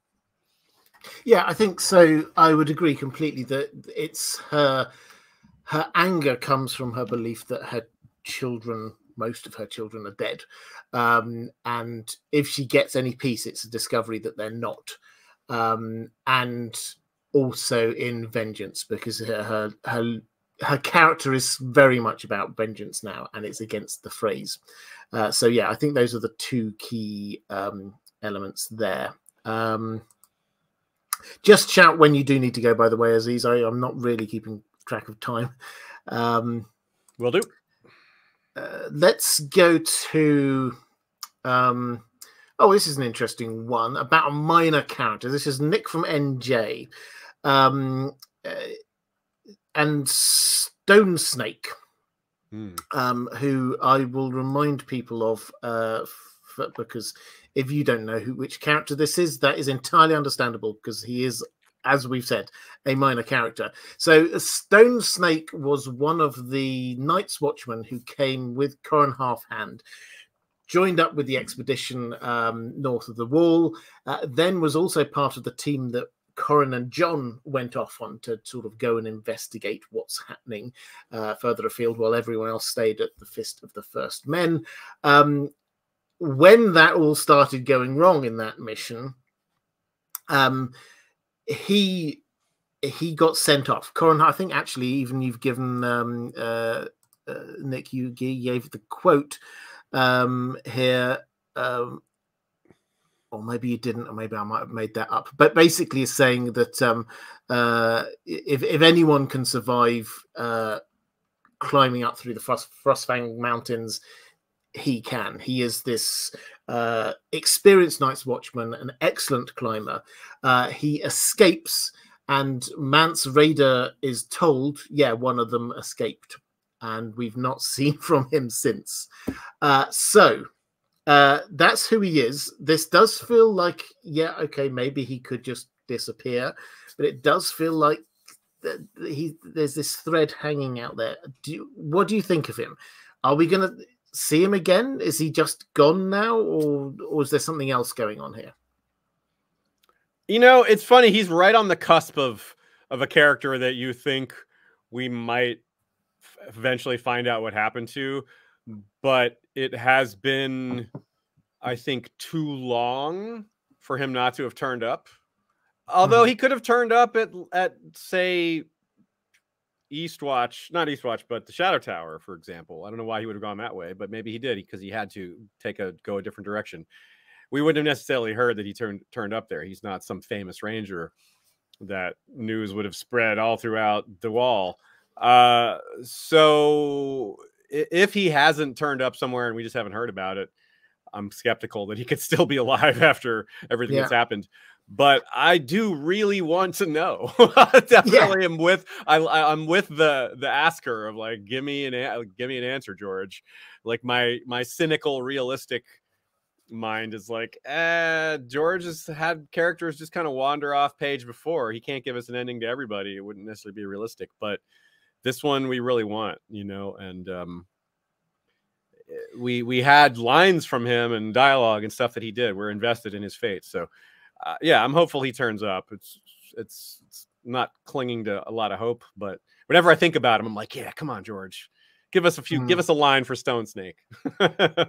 yeah, I mean, I think this is this is interesting because I I I do want to see him again. I want to hear what happened, um, and also because he's heading off into the wilds to basically off to the far north, away from the wildlings and he might see stuff there. George R. Martin did say a long time ago that in the Winds of Winter we will see further north than we have done so far, which I've always found a really intriguing comment because uh, how? Yeah, um, it's, it's, like so. Yeah, so Bran is the furthest north of the POV characters, but he's not going any further north. Uh, so are we going to see? Is he going to be like looking out through the Weirwood network and seeing stuff? Um, are we going to get somebody walking into a you know, bird and flying north? Uh, how, or or is it one of the very small handful of characters that we know that have headed north? Benjen being one of them, and Stone Snake being another one. Is there is there a chance that they're going to come back and tell us what they've seen to the far north? That it, would certainly make sense. You could expect, you could think almost that George left it this way in part as an option for that mm. for that resolution. He's like, well, I've got, I want to give myself a few different ways as a gardener. He's planting a few different seeds that are like these are characters that exist beyond the wall who might be a way for me to convey information to the reader. If he wants to go really direct with it, it's Bran or Jojen or what one of those characters. He wants to go a little more oblique, a little, little out of, little coming out of left field style, then he's got characters like Stone Snake and maybe maybe one or two others. So yeah, yeah, yeah, think about it as a as a as a from the authorial perspective as well as from the reader perspective, and it, it gives us maybe a little bit of hope. Yeah. Yeah. And and just as a building on that, Nick from NJ also said what or asked what a Song of Ice and Fire character uh, as a minor character captured your interest the most? Who would you like Ooh. to see more going forward? Um, uh, which is, as, I mean, and and this as in, and he describes a little bit about what he means by like a minor character. So like somebody who's got a few lines, but clearly isn't like big or something. I, I will start because I had a quick think about this beforehand and give you a chance to think of one. Um, I would love to find out more or see more of the captain of the ship Myraham.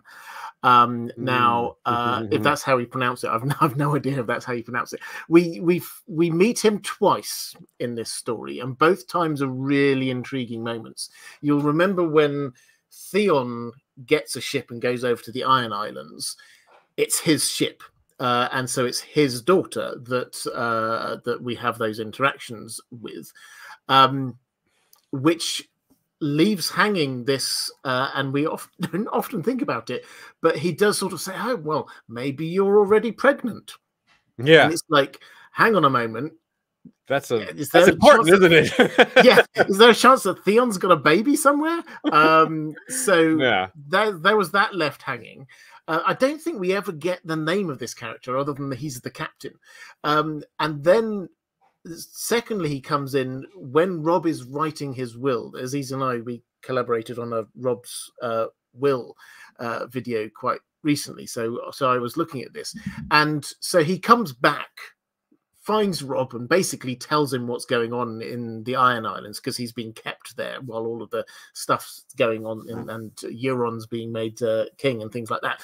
Um, and then he arrives back. And uh, while Robb's writing his will, and he basically says, Okay, I've just got to finish doing my will here with all of these witnesses. You just hang outside for a bit, could you? Because I want to talk to you again. Um, and then we kind of leave it and it's kind of left up in the air what's what's happening because is is does Robb give him something to go somebody's got to go and tell Jon that Robb's made just legitimized him he's not asked anyone to go and do that. Has he asked him to go and do that?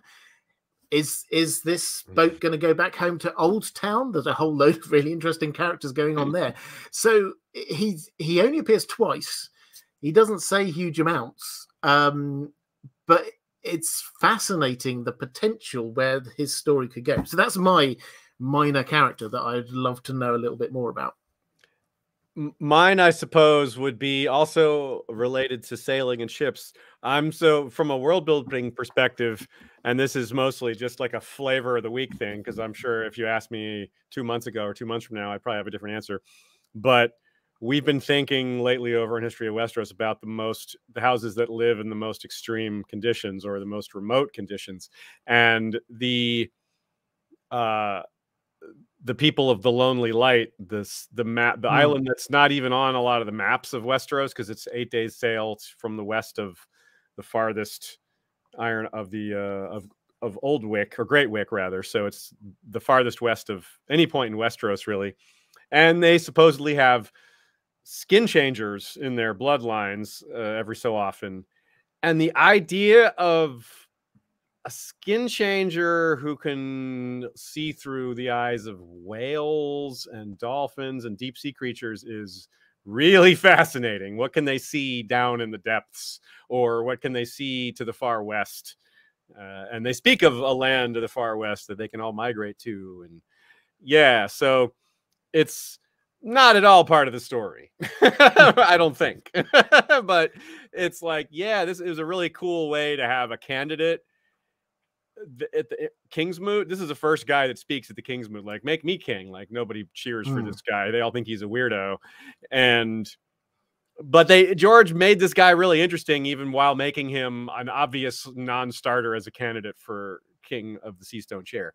So, uh, yeah, again, just well done, George. And what's up with that? What's up with these naval, like ocean sea cha- skin changers? Like, give me, give me whale, whale skin changers and, and orca skin changers and all. That's cool.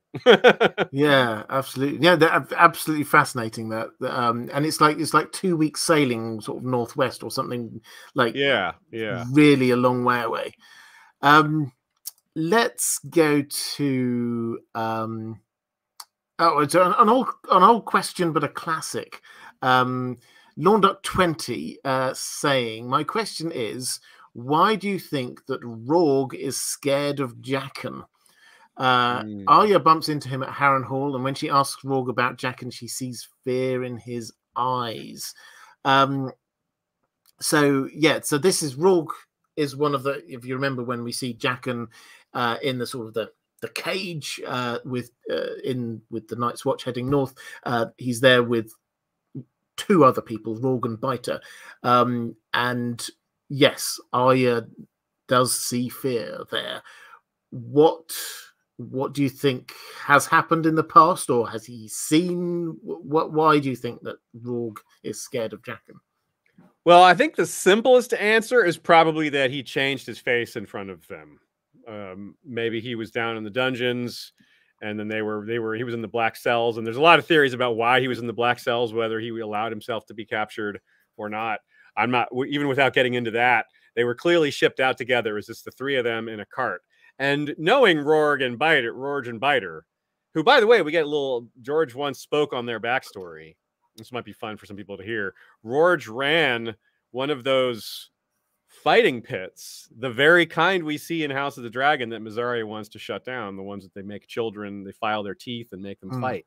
Rorge was one of those, and and and uh, or Biter rather was one of those fighters, and Rorge was one of those who ran one of those operations, which is, you know, obviously illegal, even though it, a lot of people get away with it.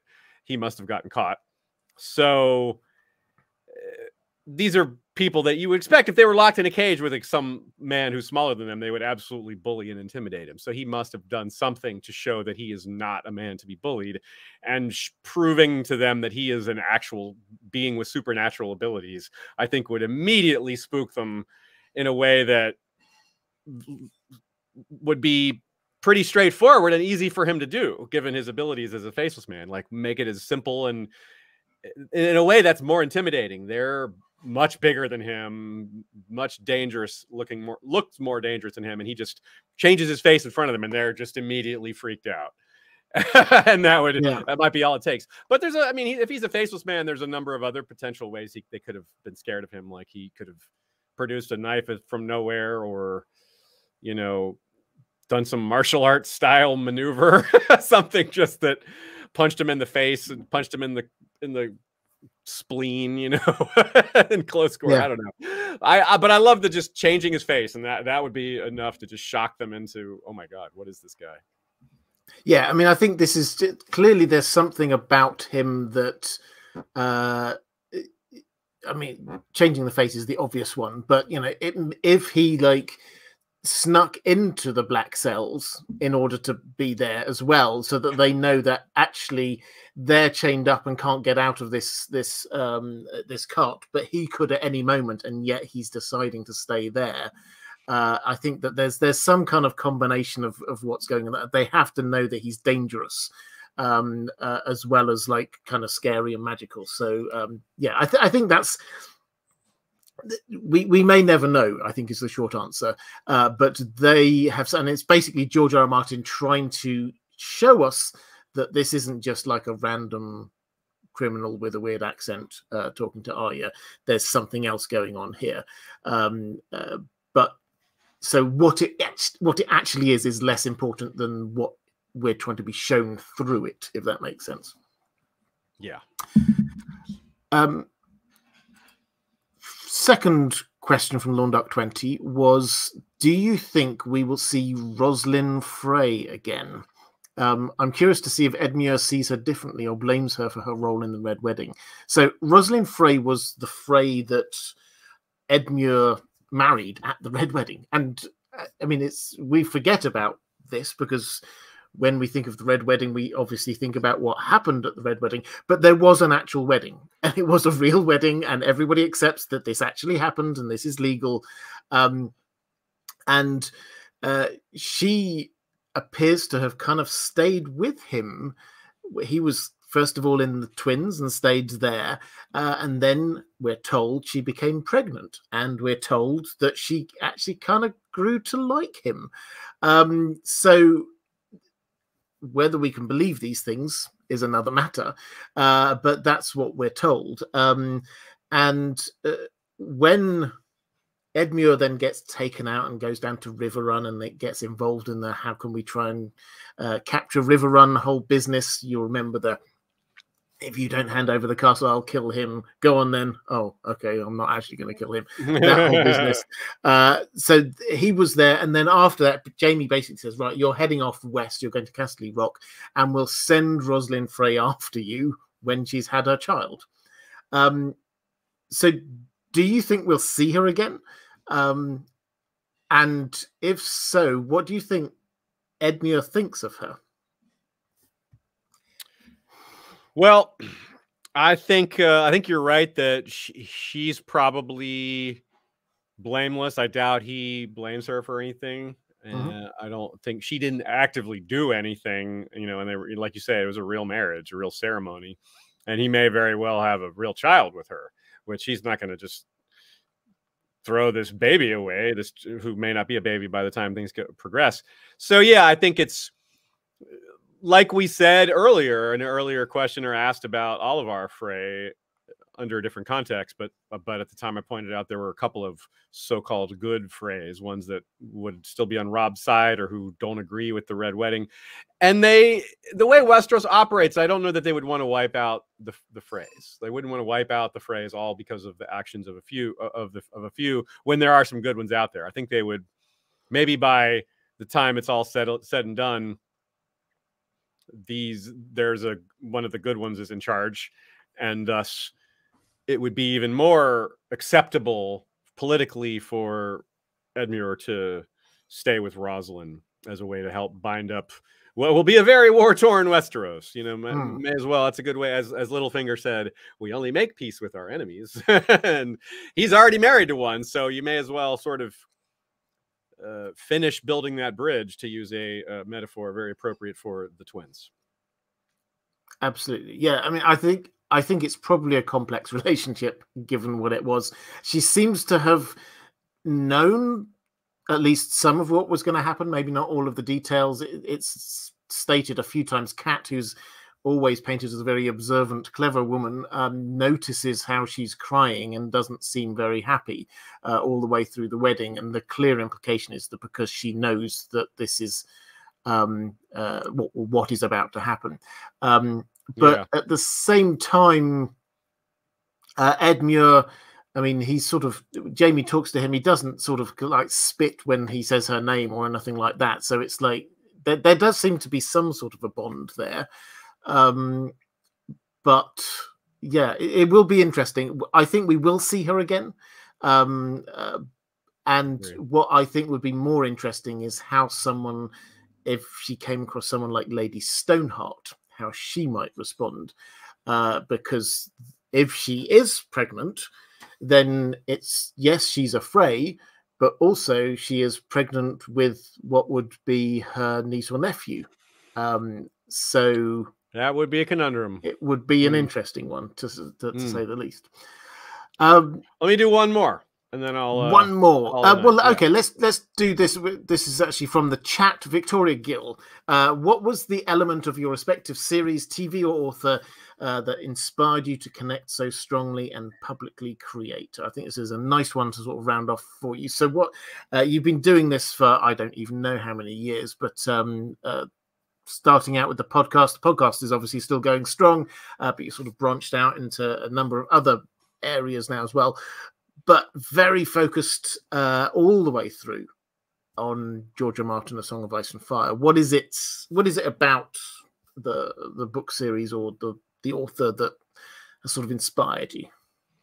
Well, I think it's the uh I'm not sure. It's hard to say that maybe dependent on one thing, but I think it's the the the, the believability of the way the characters behave and the emphasis on that within the fantasy setting rather than the fantasy setting being the the emphasis itself and how it as a someone who's been interested in fantasy stories and history all my life it was a change from what was expected. It was a uh, different way to write fantasy. George did change the genre in a way, in, in that uh, he started emphasizing morally gray characters and grimmer outcomes. What people just a lot of people just shorten it and call it grimdark fantasy or just grimdark in general.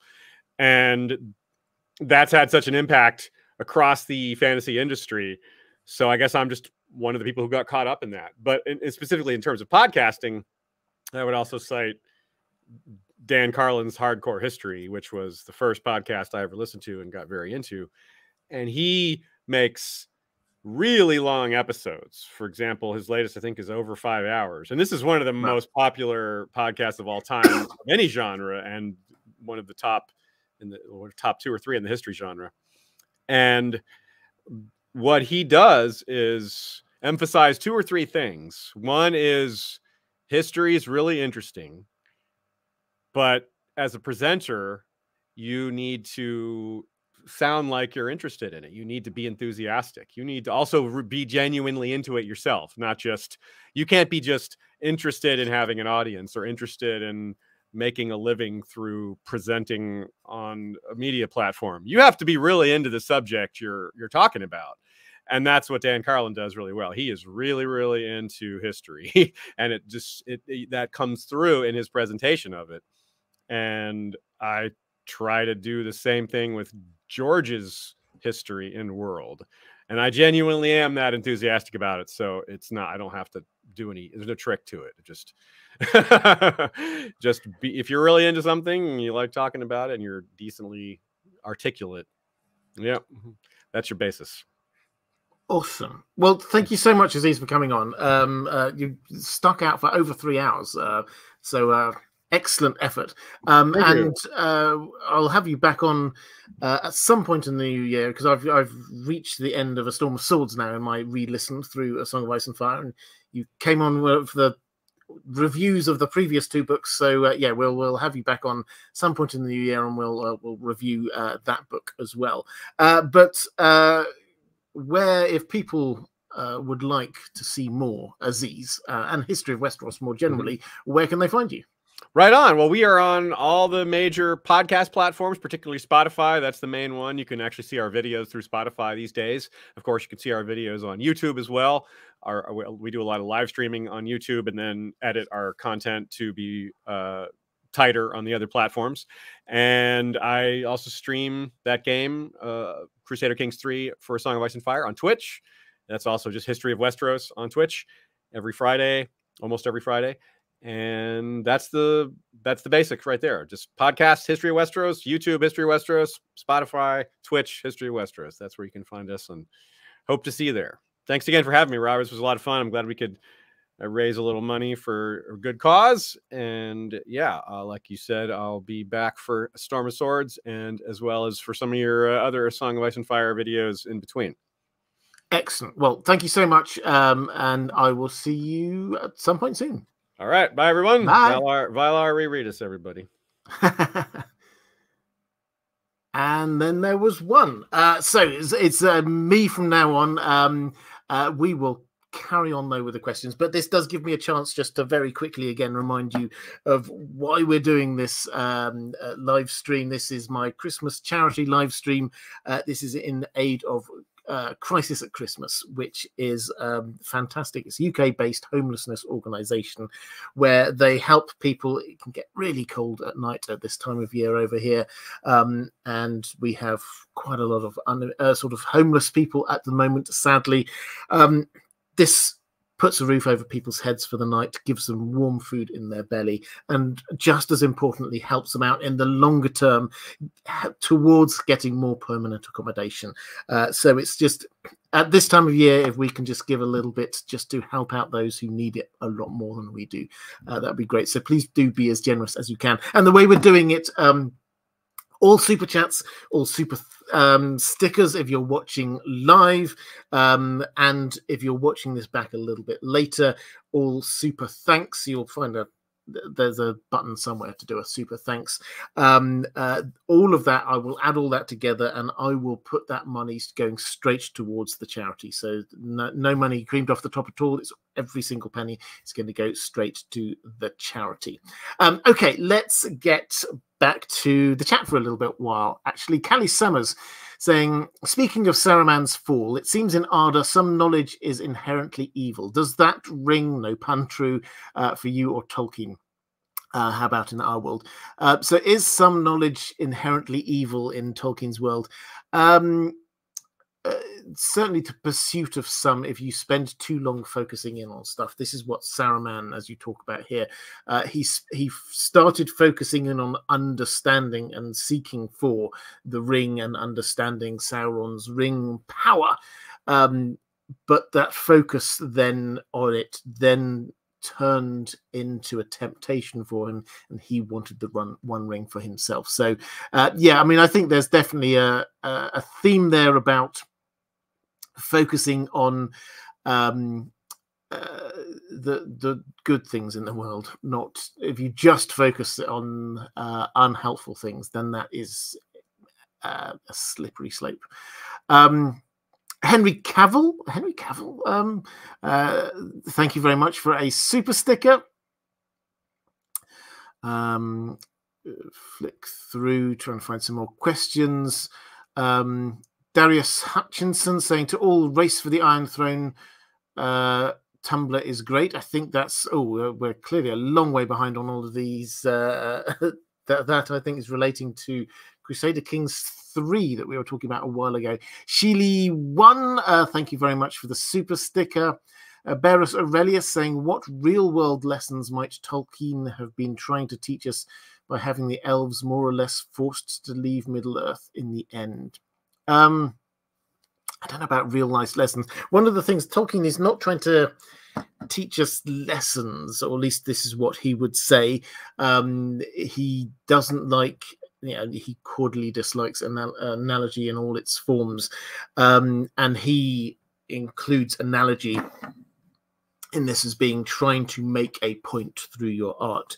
Uh, he was striking, he was uh, going for applicability. People can draw things from what he wrote, but he was not trying to uh, tell people what they should be taking from uh, from what he wrote. Um, so, uh, in terms of lessons from that, I don't think he was trying to give us specific lessons about having the elves uh, sort of leaving Middle Earth. Um, uh, yeah, I think I'll probably leave that one, that one there. Um, Ian Buchwald or Buchwald saying, "Love the content, IDG as always. Thank you. Your videos inspired me to read the series. I love to hear it when uh, uh, when people say that. It makes me very happy. Um, super happy to contribute to this charitable cause. Uh, thank you very much for that." Um, Anthony Gonzalez saying, uh, I recently sent Aziz a message on History of Westeros Patreon. Oh, I've just read this out too late. I'm very sorry. Um, I recently sent uh, on History of Westeros Patreon page. Could you guys mayhaps answer it here? Um, well, I will. I will happily prompt him uh, to uh, uh, to answer that one. Um, Kelly Summers, hashtag super tinfoil. Um, okay, Meera brings Dark Sister down. Dany claims it for her family and gives it to Jorah. Meera is Sword of the Morning, as she is a Dayne. Okay, there's a lot there. Um, uh, Meera is a Dayne um, uh, because, uh, according to a working theory I have, um, her mother is Ashara Dayne um, her being given the sword of the morning. Um, uh, I, I, think there's there's one one bit which I think is definitely makes a lot of sense here. If Dany sees Dark Sister, she may well claim it for her family for the Targaryens. I could definitely see that happening. Though why that would come all the way down to King's Landing, um, I don't know. Um, but uh, Meera, I mean, I think Meera claiming the Sword of the Morning would be a complete, that would be very left field. Uh, I like it. I don't think it's likely to happen, but I do like it. Um, Jewel Elson saying, "Is Henry Cavill a leading candidate for a role as Maekar the First in the Dunk and Egg show?" Um, well, I mean, in terms of casting, I've literally no idea. Um, in terms of whether he would be good, Maekar is, uh, I mean, a big guy. So, yeah, that would work quite well. We know that Henry Cavill can rock the blonde wig quite well. Um, I think, yeah, so I, I've often wondered whether he might work well as someone like Maegor. Um, uh, he does norm I mean, he, he, normally is the sort of the good guy, whereas in Maegor, it's very hard to find any redeeming uh, characteristics about him. But uh, yeah, Maekar, I think that could work. Uh, that could work quite well. Das uh, Bursa Fleisch, um, as somebody who only played necromancers in uh, Diablo, I'm very happy that two kings of Gondor saved the day with a legacy necromancy joint venture. Um, uh, yes, so uh, Kings of Gondor save the day with a legacy necromancy joint venture. Uh, this is obviously referring to Aragorn, um, who, uh, when he passes through the paths of the dead, um, and he brings the the army of the the, the dead uh, with him, which we saw on the TV show. There's um, not the TV show on the films, uh, and is definitely there in the books as well. In fact, if anything, it's a bit more impressive in in the books. This is another one of those things uh, which is evidence uh, of Aragorn's kingship. Martin S. What would have happened uh, had an immensely powerful being greater than Sauron, like a Valar, acquired the ring? I'll leave Eru Ilúvatar out. Um, uh, well, this is quite interesting because uh, we're now entering into the realms of the theoretical in as much as uh, all of the uh, beings who possessed the ring or or could potentially be in possession of the ring were equal or less powerful than Sauron. Could what hap- what would happen if a more powerful being got hold of the ring? Uh, would they be in control or would would they be invulnerable to it? Um, I think we see um, the one exception to what I said just a moment ago being Tom Bombadil, who is clearly hugely powerful. Um, and he was unaffected by the ring. Um, the question there, though, is without wishing to go too far down the who is Tom Bombadil thing, whether or not he is unaffected by the ring because of his great power or because of the nature of who he is. Uh, but I think the short answer to this, I'm, I, and I don't know if Tolkien ever went down that route, but um, uh, in in his thinking in his letters or something like that, I'd have to hunt for that. But my take is that yes, a more powerful being perhaps might be have been a better, uh, been better able to control it. Uh, Anthony Schifano saying, "Cheers, Robert, long time listener. Happy holidays, my friend, and to you too." Um, uh, yes, I've just looked at the chat. I'm now exactly one hour behind in the chat. Uh, so um, apologies for this. I'll, I'll uh, get through this uh, as quickly as I can. Um, Simon Schaffner saying, disregarding morality, in this scenario, they totally uh, like or won't hurt you. Who from A Song of Ice and Fire would you find most enjoyable or annoying to get a beer with? Um,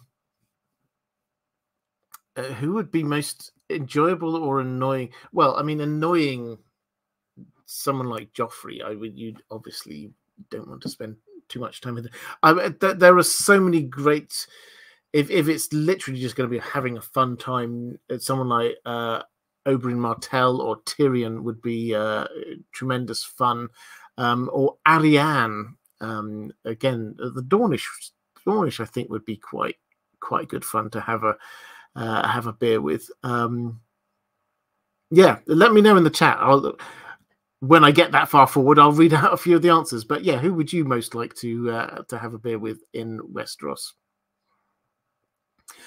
Um, Evan, no question, just a thanks to IDG and History of Westeros, both for another year of fantastic content. Thank you very much. Uh, a large part of my enjoyment of Game of Thrones is the content you both provide. What a wonderful community. Thank you. Uh, Mike Hanna saying no question, just a thank you to you both. Uh, I'll pass on these thanks to Aziz afterwards. Uh, so thank you. Um, and uh, there we go. I think actually I might now be caught up in the chat. That's uh, if if I have missed out your uh, your super chat or super sticker, then I do apologize. There's been a lot of them going through, um, which is uh, very kind and generous. Right, let's go to oh the hound. I've, I've now caught up, and now people are saying who they would like to have the beer with.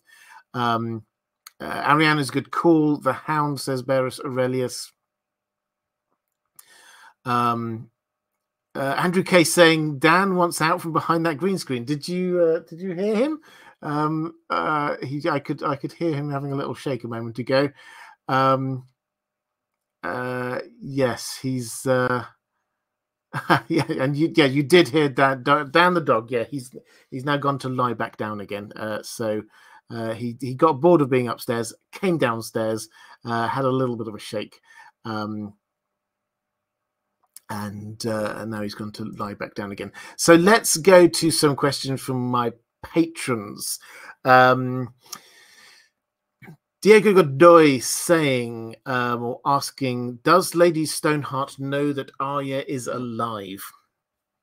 Uh, she is with members of the Brotherhood without banners that ran into Arya in a storm of swords, but have they told her about this? Thank you. Yes, I think the answer is yes. Um, when we get Lady Stoneheart introduced uh, in um, Storm Swords in the epilogue, uh, basically she or the people on her behalf are quizzing um, Frey, who's this is whose POV this is from. And the questions they're asking are very pointed. Um, they're saying they're asking where the hound is because the hound is the person they last saw um, with Arya, and has he seen the hound? Um, and then they they follow up there. So he might be with a 10 year old girl, or possibly um, uh, you might think it's a 10 year old boy. Um, so, yes, it's very obvious that they know that certainly at that moment in time, Arya was alive and with the hound, and they are trying to find her. So, um, yeah, they don't know that she's still alive, but they know that at that point in time, uh, she was. Lady Pushkins um, saying, Merry Yuletide greetings to all. Can you talk about magic beyond the wall? It doesn't seem to work beyond the wall somehow. Silverwing wouldn't go beyond the wall, and Cold Hands is unable to pass. However, Bloodraven's magic, Greensight, and Warging works? Question mark. If the wall is a barrier for magic, how is this explained? Yeah, so the wall appears to be a barrier, so magic can't pass one way to from one side to the other side. So, for example, when when Jon is south of the wall and um, Ghost is north of the wall, he cannot sense Ghost. We we hear him saying, "You know, I haven't been I haven't been able to feel him or his presence at all until he heads north of the wall and discovers uh, Ghost, and then it's it's there again." So it's a barrier, uh, and this is why uh, Cold Hands couldn't pass through the wall because he cannot go through the barrier from one side to another. This is perhaps also why Silverwing, this is back in history, uh, Queen Alysanne went to the wall, tried to fly her dragon over the wall, and the dragon would not do it. And the implication is because dragons are magical beings, it simply it cannot pass the wall. So it's basically just drawing a line across the land, and, and magic cannot pass over from one to the other. Melisandre does magic on both sides of the wall. So she clearly obviously does magic on the south, but she also does magic north of the wall. Uh, she sees an eagle, uh, was Yoren's eagle, um, it's now Varamir's eagle. She basically burns it down out of the sky. So she, when she is north of the wall, she does do magic, and other bits of magic are possible. It's just the wall is a a block there. Um, Commander Ray, if Lyanna hadn't died, what do you think she would have done? Uh, gone home, married Robert with Jon named heir, or do something else? Um, what do you think she would have done? Would she have gone home, married Robert with Jon named heir, or something else? I don't think she would have married Robert. Um, uh, I think um, my best guess is that she would have, if she had not died, she would have gone off somewhere and hidden with baby Jon. That's my best guess. I mean, this is clearly, we won't know, um, but she wasn't willing to marry Robert um, and uh, her child would never be safe. And I suspect she would not have le- left her child, so she would have gone off in hiding somewhere, perhaps to the neck, um, which would be a, a, good and sensible place for her to go. Um, Darius Hutchinson, will Jorah or Jon Connington fight as their stories echo? Um, their stories echo so in as much as Jon Connington has an unrequited love for Rhaegar and Ser Jorah has an unrequited love for Dany. Um, uh, will they fight? I mean, maybe. Um, uh, I, I, don't think it's something that George R. Martin has pulled out hugely as a sort of an echo for us all to to look at. Um, uh, but uh, yes, there, there are echoes. I mean, another one obviously is that they were both um, uh, so effectively forced to flee Westeros after a disgrace of some kind. Um, the disgrace from Jon Connington was just not winning a battle, and it was from the Mad King. Um, but uh, for Jorah, it was slavery. So um, I'm not sure. I, am not sure that the story demands it, but it might do. Um, Let's go to Hey Robert says Jay. In A Song of Ice and Fire, there's the highborns, the small folk, some notable rags to riches stories, etc. But are there any major characters or groups you might consider middle class? And how does that impact the world? Yeah, it's an interesting question. So we, and I've said this uh, quite a lot. The story is told through the eyes of the one percent, and we have to always remember this. These are the very, very top echelon of society that we're talking about um, the Starks, the Lannisters, the Targaryens, these are the nobility. Um, and we often talk about the small folk, but who is in the middle? Well, it's the the trade professionals is probably the the, the people we would talk about. So uh, smiths are probably the, a good example of the middle class as as far as it goes within Westeros. Um, someone like Tobho Mott in King's Landing seems to be respected at the top of his trade, um, be independently wealthy from his business. Um, uh, you wouldn't really call him part of the small folk, but at the same time, he's clearly not part of the nobility same uh, ship's captains. I talked about the captain of the Myraham just a little bit earlier.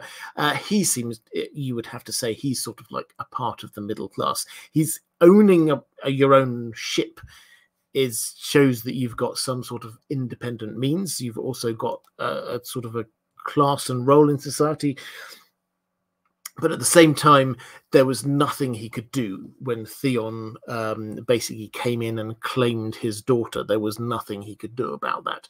Uh, he is not part of the nobility. So that's the kind of level we're talking about. There are quite a few of them, but they're not central in the story.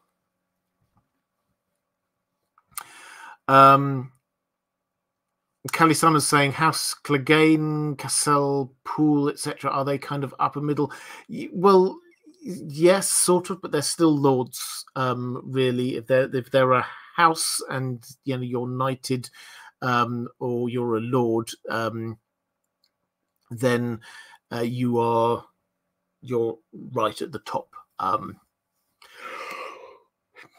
pardon me. So, um, uh, yes, Andrew K saying thank you to everyone who's donated so far. I hugely appreciate this, by the way. As I say, I'm I'm happy to stay here for as long as the donations come, or I fall asleep at this desk, or Dan comes charging through and uh, the whole setup comes crashing down around me. Um, uh, let's have a flick through questions from my patrons. I think uh, there might be a few more uh, that we've got. Um,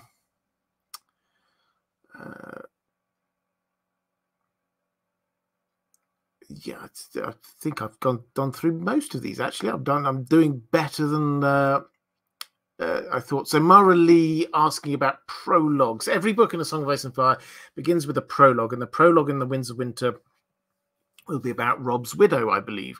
What do you and your guests think the prologue will be about in the last book, A Dream of Spring? And what about an epilogue?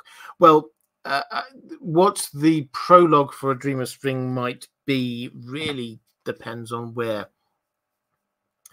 where the story ends. Obviously, at the end of the Winds of Winter, but the role of the prologue is to introduce themes that will play out all the way through that book, or indeed through the the, the series of books. Um, I do wonder if we are if we end the Winds of Winter with, say, the others getting to the wall or breaching the wall or something like that. I do wonder whether George R. Martin would be able to resist. He's done it a bit once already with Varamir, but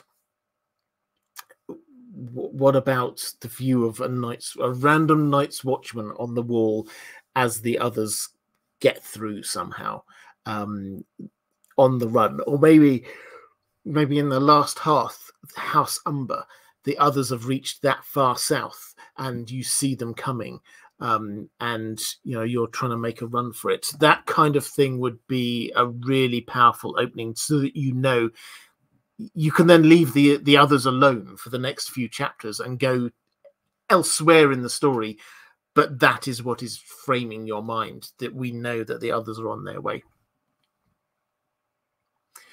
um username redacted saying what about weirwoods especially magic as opposed what about weirwoods are especially magic as opposed to other trees were they blessed by the gods or the children is all nature intelligent and connected in George R. Martin's world? Love the channel. Well, thank you very much. Um, I mean, what about them is is special? Um, I mean, they they just are. I think is, is probably the boring answer to that. They have been created in the way they are. However, I think they are supposed to be representative of Westeros.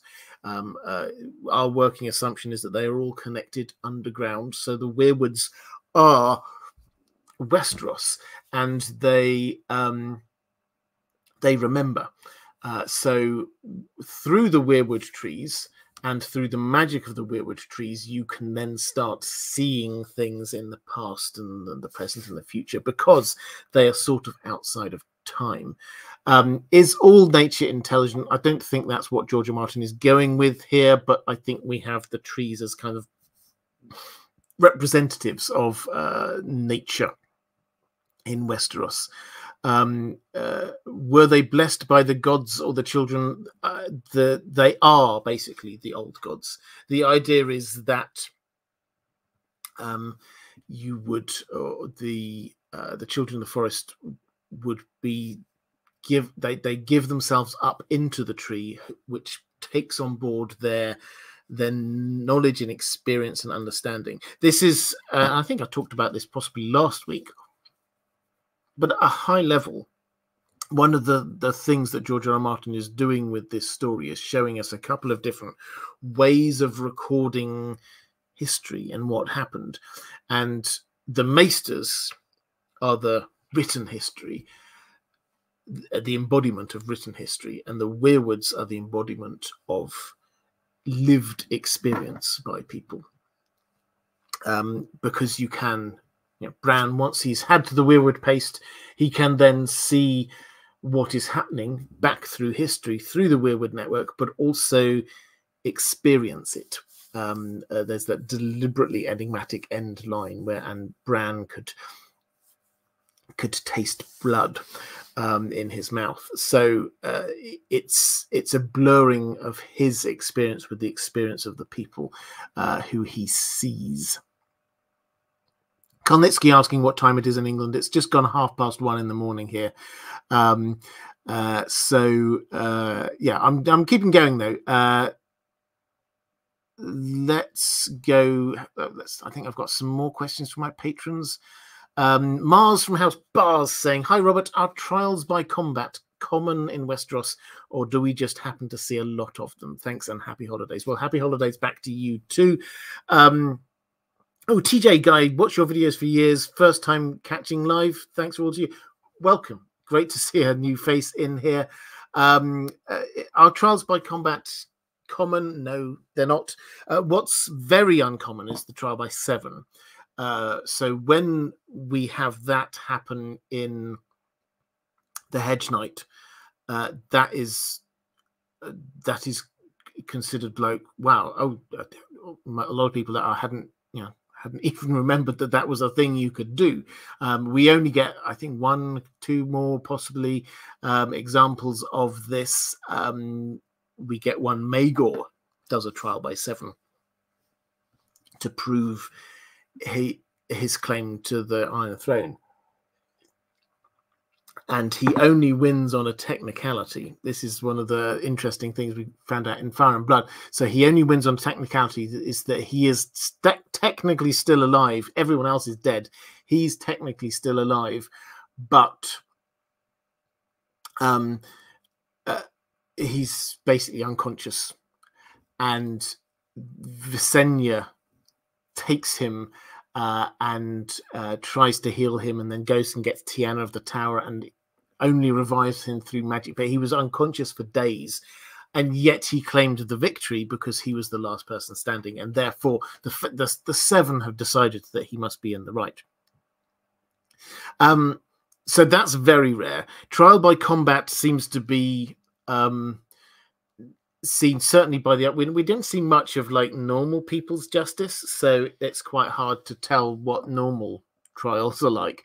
But certainly in um uh in the, the world of the the nobility it seems to be an option that people have uh, we we see it not just in when uh, the mountain and uh, the red viper face off, but also Tyrion calls for it in the area of you remember when Bronn comes to save him, uh, and these things are uh, accepted and taken as yeah, oh okay, that's annoying, but that's your right kind of thing, rather than uh, what? Why are you trying to drag up some obscure bit of law here? So they they they do happen. It's not all the time, but sometimes.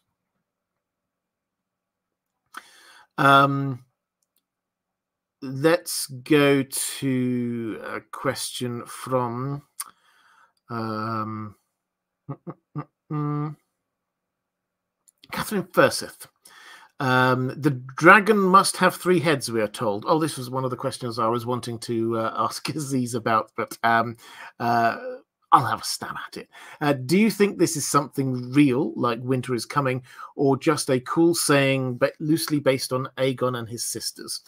Um, uh, if it's not just a cool saying, what does it mean and what will it imply going forward in the story? So, until a year or 18 months ago, I would and probably did say that the main thing here is this is based on Aegon and his sisters, the dragon, so that they turned their sigil into the three headed dragon uh, because um, there there were three of them, and that that's kind of cool. Um, so the dragon must have three heads. Um, fits in with this. It's a terrible thing for a Targaryen to be on their own. Um, that's the kind of feel we had. But in House of the Dragon, I did a video about this a while ago. In House of the Dragon, we had um, Daemon singing to Vermithor, the dragon Vermithor, in High Valyrian, and we got the translation. Now, this is quite interesting because this the the translation came from uh, David uh, Peterson, who is he's the person who created the Valyrian language, but the original English or the the that was translated into High Valyrian. This came from T. Mikkel, who's part of the writing, pardon me, part of the writing team for House of the Dragon, but also for a long time was one of George R. Martin's assistants.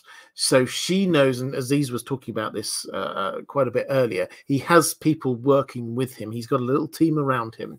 Uh, they're not co-writers or anything like that, but they they're in involved helping him uh, with little bits of research or talking to him about things, stuff like that. They are in the inner circle. She, so T was in that inner circle, and so um, and knows as much about Westeros as anyone does. And if you read those lyrics, you will find that although they're a little bit enigmatic, it's very clear that this is a person doing the singing to a dragon with another uh, another person, a, a rider there, implying that there are three parts in this. The dragon has three heads. There are three parts in this. There is a dragon, there is a rider, and then there is a interlocutor, priest, whatever role this is that Daemon is taking on. And basically, he was preparing um, uh, Vermithor to have another rider. And this adds, and we don't get any of the lore around this. We're just going on those words. The clear implication is that the process of dragon bonding, in some way, uh, in the truest way, is not just a matter of one person and a dragon. You get a third person who is involved. Um, so that adds another layer to our understanding of what the dragon has three heads uh, might mean. Martin S. Um, a Lord of the Rings question. What would have happened had Elrond fought in the Battle of the Pelennor Fields uh, with Vilya and all? Let's pretend he wasn't needed in Rivendell. Um, well, so Elrond would have been a very important and powerful person in battle. Um, and uh, ultimately, I mean, in the Battle of the Pelennor Fields, ultimately the good guys won. Um, so uh, yeah, I think he would have just helped tip the balance a little bit more there. Um, his sons did fight in the in the book. Uh, his sons both came down, and uh, the Grey Company came to be there with Aragorn, and they fought very admirably. Uh, so yeah, I think basically he would have um, he would have bossed it a bit, um, uh, but I don't think it would have impacted on the um, the outcome of the battle much.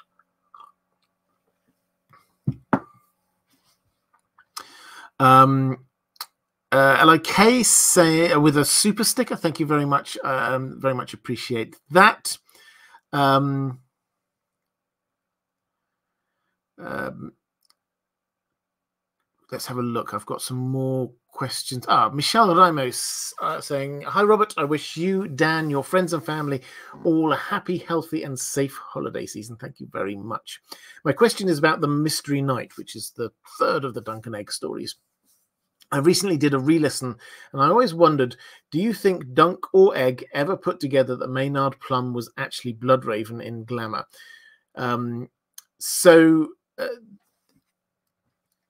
Bloodraven uh, appears at the end of this story, uh, which is basically the story of a gathering of people who are about to launch the Second Blackfire Rebellion. Now, um, Bloodraven suddenly appears with an army uh, and ends it all. But through the story up to that point, we have this character called Maynard Plum. I'm not going to go through all of the evidence that we have, but to my mind, it is 99% certain that this character is actually Bloodraven with a glamour. Now, um, throughout this, it's very clear that Dunk, we see all this from Dunk's perspective. He he doesn't have a foggiest idea. Um, he clearly thinks there's something odd with Maynard Plum, but he doesn't ever sort of go, "Oh, that's uh, Bloodraven, or that's somebody in disguise, or when he sees Bloodraven, uh, then it's not like, oh, you you were Maynard Plum." He, he never does that. So Dunk, I don't think puts this together, and he, as he notes, is uh, Dunk the Lunk, thick as a castle wall. He he is not the person to put these kinds of things together. Uh, Egg, however, might be. We don't see him drawing that conclusion in the book, but perhaps he did. Perhaps we will see um, uh, next in the next story that we have. We'll see him mention it in an offhand way. He's basically, um, uh, although there's not much magic going on at that point in Westeros, Egg is very matter of fact about the fact that Bloodraven and Shiera Seastar are magic users. So it's not as if he has to completely you know change his worldview or anything he would expect this so i think probably egg will figure it out if he hasn't already uh, but dunk no not unless he's told um and who would be my dream cast as blood raven um uh, I I'm I'm never good at casting people. Um, I would love to know. This is, is an interesting. If you've got an idea who would make a great Blood Raven, please put it in the chat. I will happily read them out. Um, Commander Ray, my question is more of a brain teaser. What would your fantasy Game of Thrones small council be? Only rules uh, that the characters you choose must be alive at some point during the books, even if they die in one. Um, well, let's work our way through some of these. King, Hand of the King, Grand Maester, Master of Coin, Lord Commander of the King's Guard, Master of Whispers, Master of Laws, Master of Ships, Master of War. I mean, uh, there's a few that I think are kind of shoe ins. Um, I think that um, Ser Barristan, for all of his flaws, and he does have many flaws, I think uh, he's he's a good Lord Commander of the King's Guard. Um, King, I mean, it obviously would never happen, but I think I think Ned Ned Stark would make a good king. Um, I think he would be even-handed. I think he would be just. I think he'd be wide, wise, and I think that he would be happy to take uh, advice from people. Um, uh, as Grand Maester, um, I mean, I don't know. I always quite liked Luwin, Maester Luwin. I thought he was he was good. I think Sam will, assuming he's going to earn some links on his chain at the very least, then I think he would make a great uh. Master of Coin is an interesting one. Um, uh, I mean, Tycho I think you probably have to say, um, uh, again, he never would, but he would be a good character for that. Um, Master of Ships, obviously Davos. Um, I I think um, uh, Master of Whispers, uh, Whisperers. I think. Um, well, if if Bran um, manages to max out his powers, he could spy on anyone at any time, uh, and I think that would make him excellent at it. Um, uh, let's uh, just having seen who would be as good as Bloodraven. Uh, Lapu Lapu says Lars Mikkelsen. Uh, yeah, I think I could certainly see that. Agree. Weirwood saying any of the Skarsgård sons. Yep. Um, and uh, yeah, I think those are the only two uh, suggestions we uh, have here. Barris Aurelius saying Stannis is the one true king. Um, uh, yeah, would he be a good king? I mean, I'd, I'd love to see Venli as a king. I think that would be a lot of fun. Um, uh, Al had saying, um, Merry Christmas, Happy New Year in advance. If possible, can you keep the donation facility open even after you go offline? Yeah, absolutely. So if you wish to donate, um, I will keep this open till Christmas Day.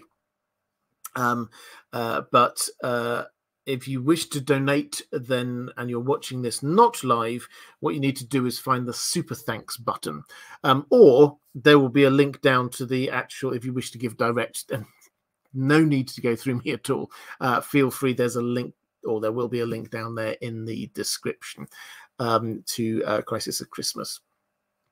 Uh, but yeah, uh, thank you so much. Uh, I will tot up after after Christmas Day. I will tot up everything, and then I will um, I'll let you know in the next uh, live stream. So yeah, this is the last live stream of this year for me, and I will be back um, first Thursday in the new year, I think.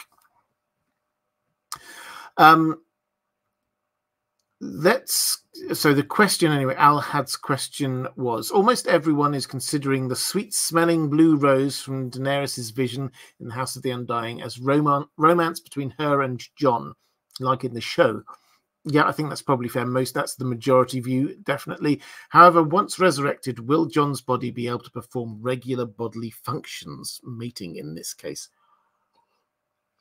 Won't his body be uh, behave much like Beric, Lady Stonehearts, or Cold Hands? So I think this is where we get the difference in um, what is going to be happening to Jon compared to other characters.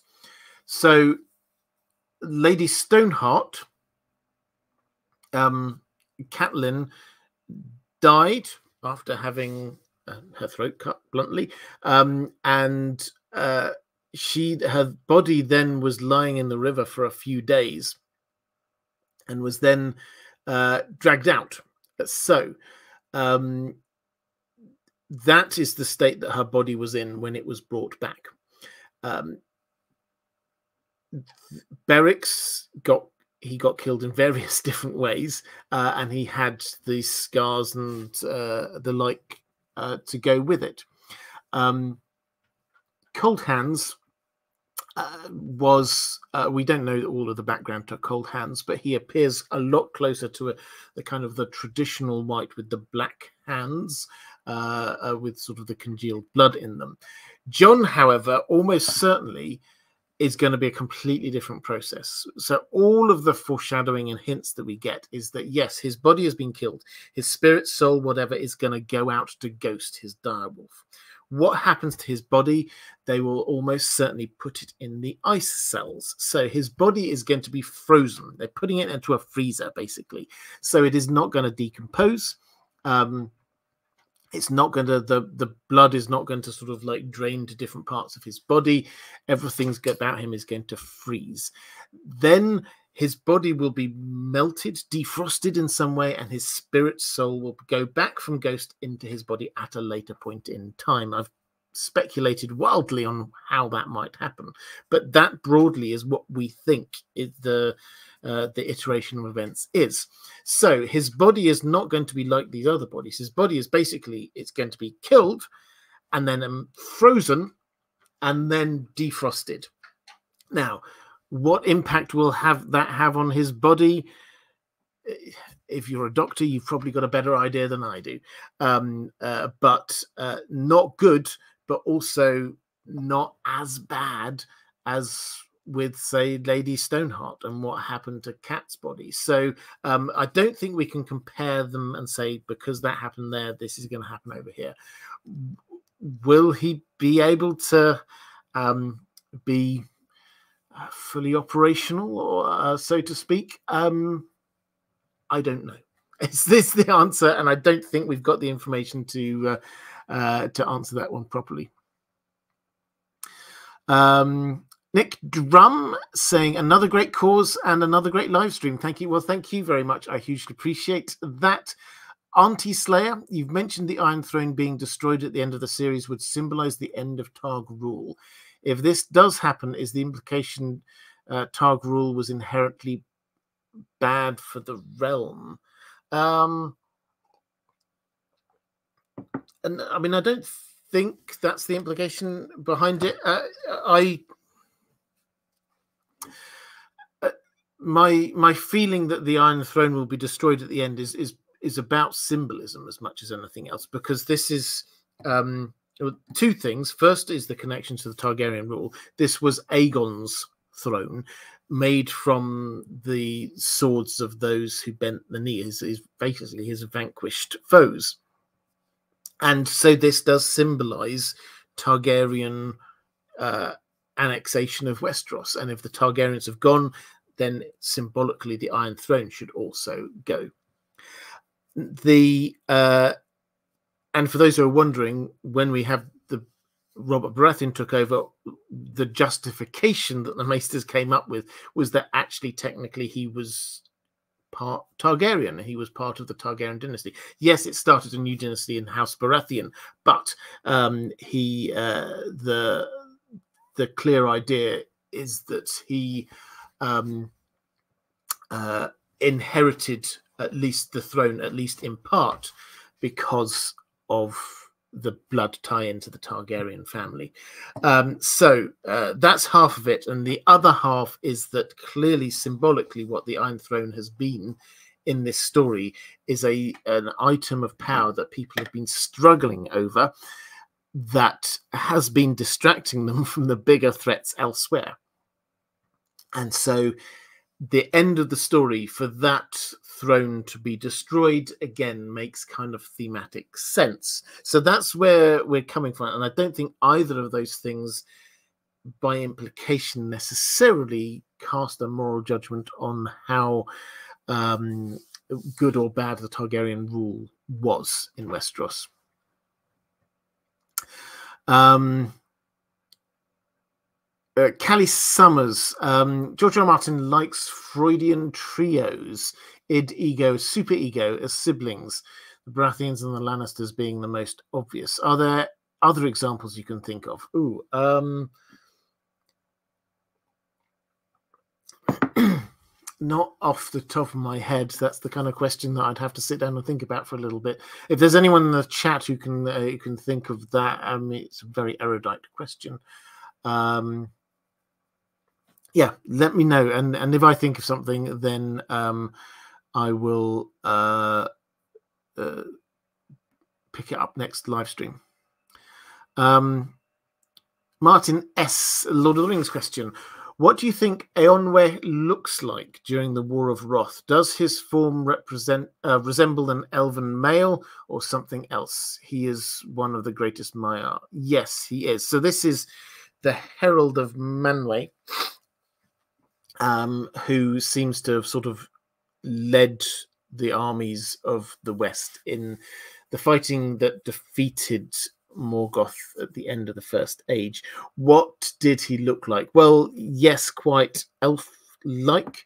Um, this was deliberate um, uh, to sort of uh, the elves and the the Maiar. The Maiar took on shapes which are similar to because uh, they, they, could take on uh, the Valar at least could take on shapes uh, that um, were you know any shape really to be to be honest um, but the the maiar also could take on a variety of different shapes um, the the Balrog was a maiar for example um, but uh, over in the undying lands the general rule was that they took on human or elf type shapes so yes i think he looked like that Paris Aurelius saying Aegon and his sisters. Yes, absolutely. Yes, there's a uh, there's a good example for you. Um, uh, let's go to um, uh, Alhad uh, from my patron saying, I always suspected that the shepherd from the Dance of the Dragons has some other influence nudging him. Maybe Larys Strong. Larys was also with Perkin the Flea, if I remember correctly. What is your take? Yeah, so um, this is potential spoilers for House of the Dragon, uh, but this is what happened in the book. Um, and in case you're new here, the, the rule here is the book spoilers are okay. The books have been around for a while now. Um, uh, TV show spoilers are not okay. Uh, but obviously, there might be some crossover. What happens in the TV show is largely reflective of what happens in the book, but not necessarily. So I happily talk about what happened in the book.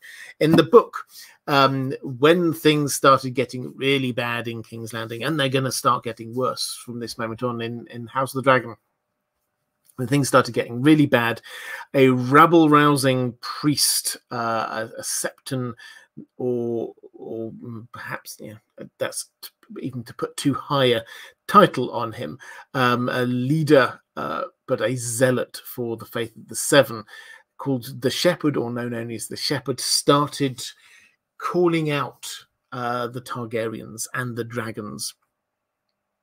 And um, uh, this led to the storming of the Dragon Pit.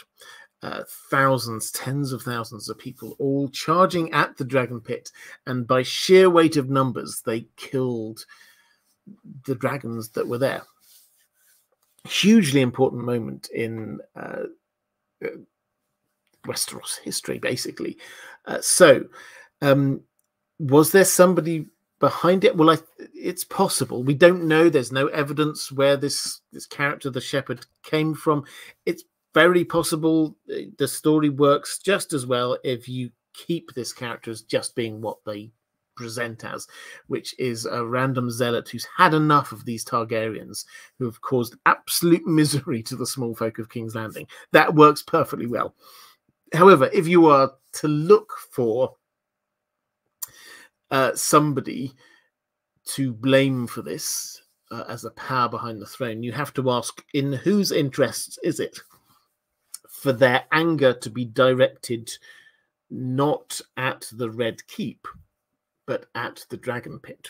Because that for me is the, the key thing here.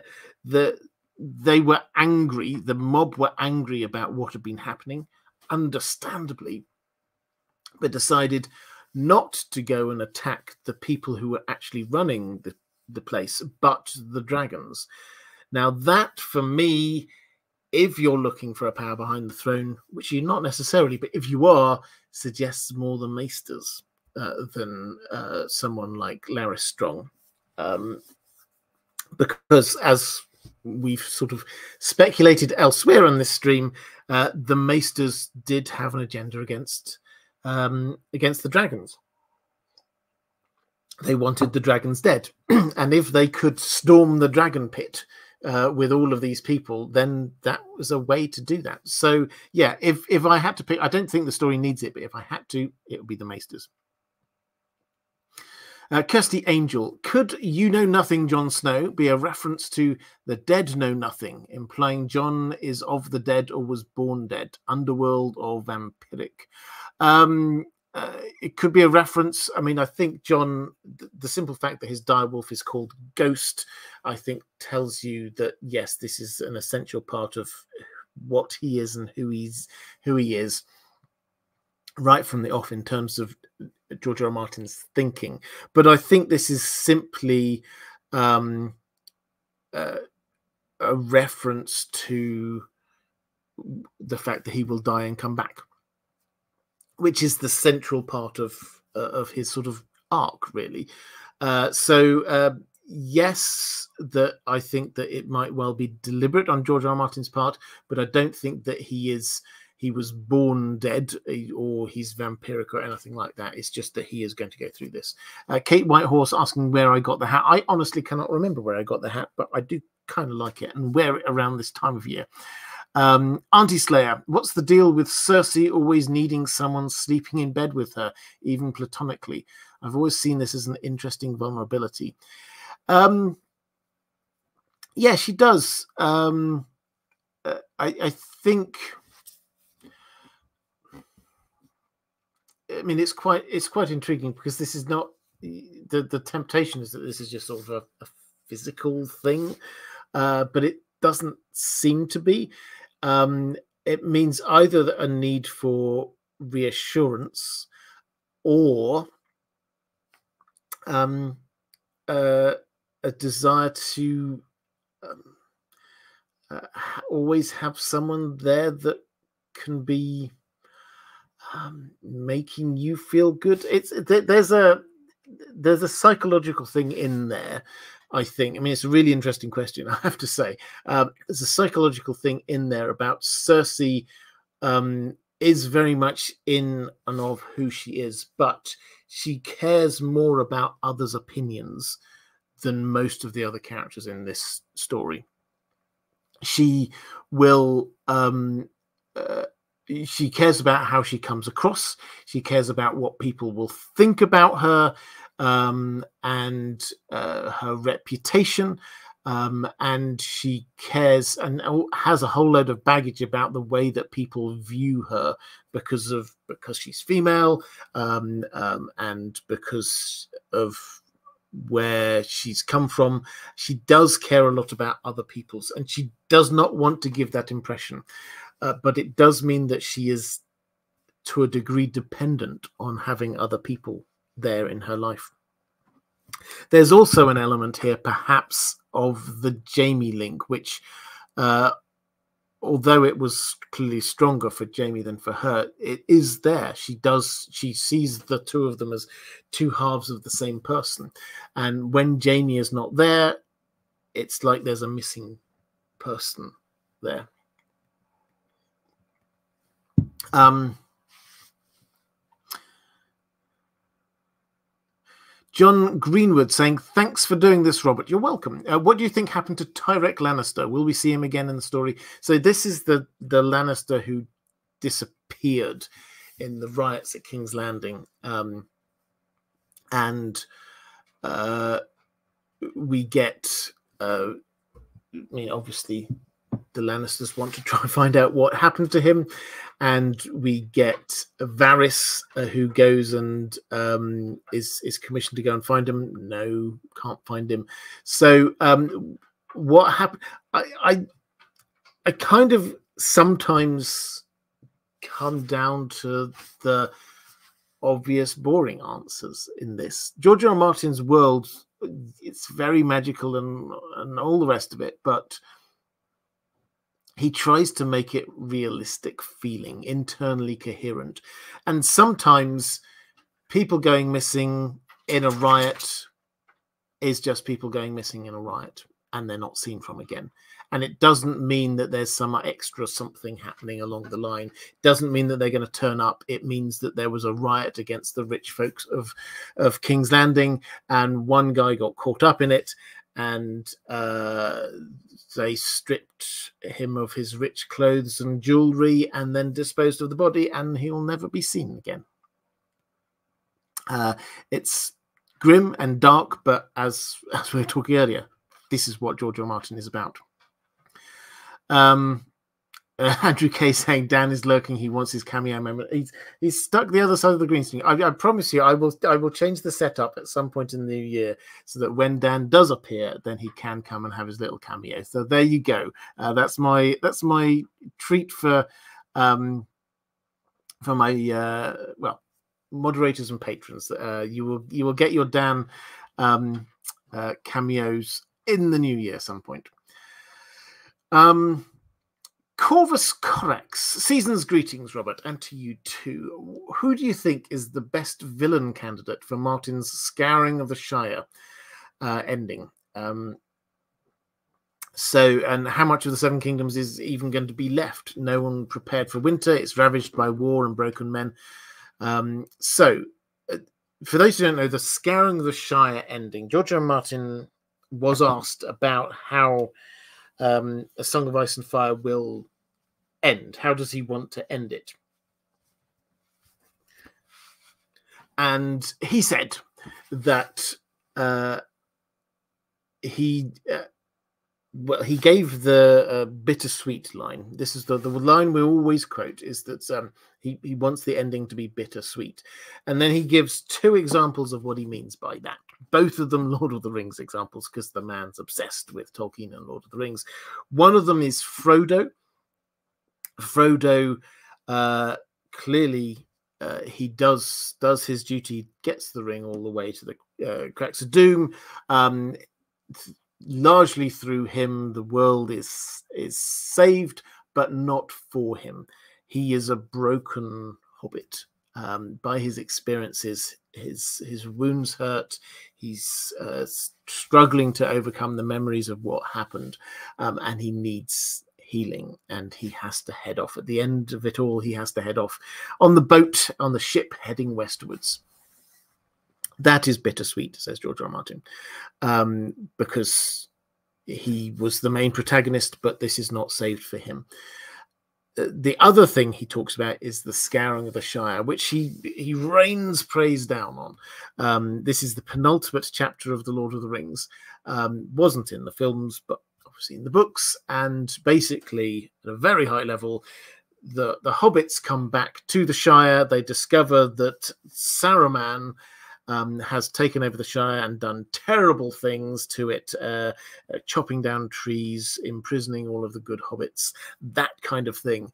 Our four heroes return, um, uh, muster the uh, the hobbits of the Shire, uh, manage to turf out the bad guys. Saruman dies. After which they set to making the Shire right again. George R. R. Martin loves that chapter. Uh, he thinks it's brilliant. Uh, and he wants that feel for the end of A Song of Ice and Fire. So, uh, what does that mean? Well, feel free to interpret it in your own way. The way I take it is that this is at the end of this story, once the big baddie's gone, there's another baddie left behind. Um, and this baddie is affecting our home, the things we actually care about, the war, the bad, the big things have been happening in places away from our home. But here we have somebody who is impacting on and preventing us returning back to how we want to be. Um, but our heroes, having grown uh, figuratively and literally in some cases uh, through the story, are now equipped to deal with this other last threat, this secondary villain of the story. So that's the kind of feel. Who, therefore, is the secondary villain? And I think the best or the most likely candidate here is Euron.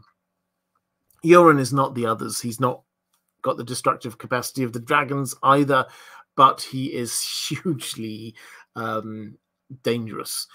So I think once the the dragon threat, and this is how George R. Martin does present it to start with, whether he's shifting in that, I don't know.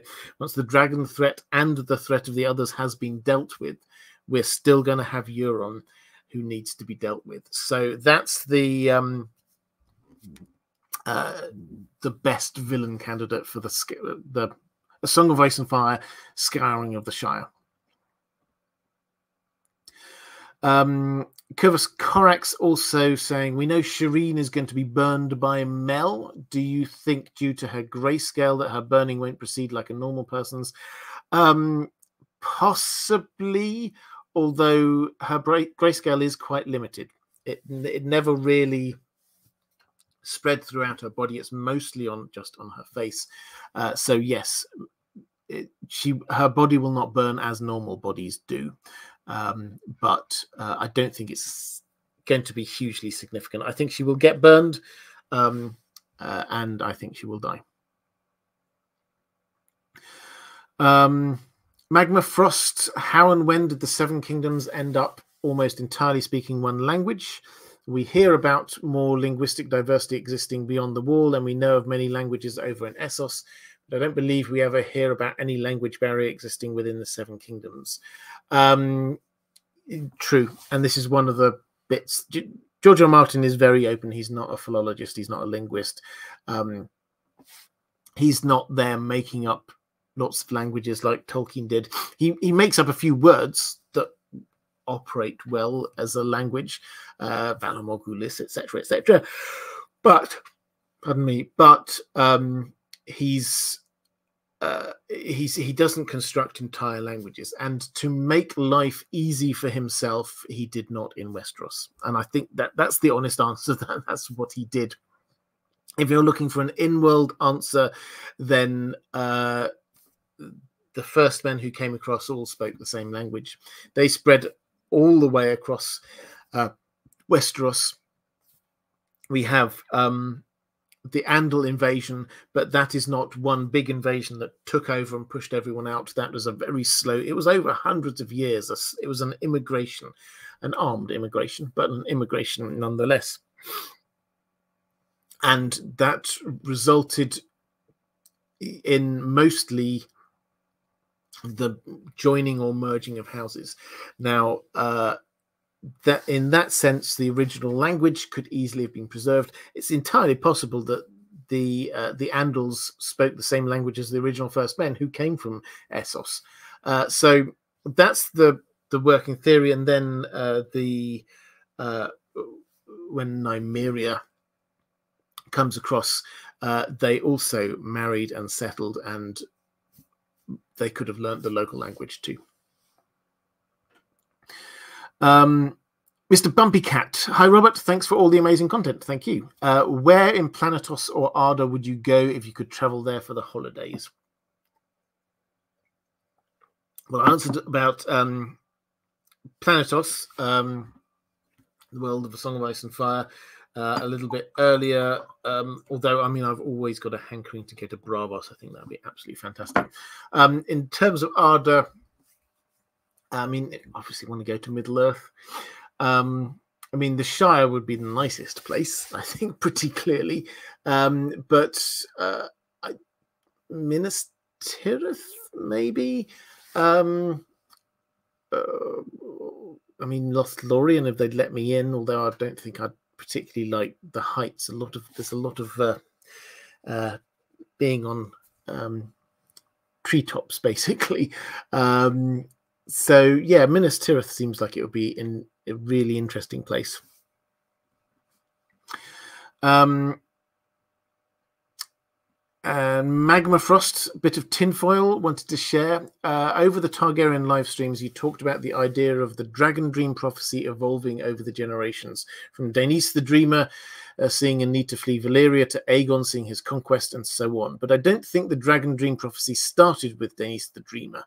Given her dreams were taken seriously, prophetic dreams were clearly a known phenomenon amongst the Dragon Lords. So why should the evolving prophecy have started with her? What else might be a candidate to have been influenced by these dreams? The creation of the Valyrian state, the creation of dragons.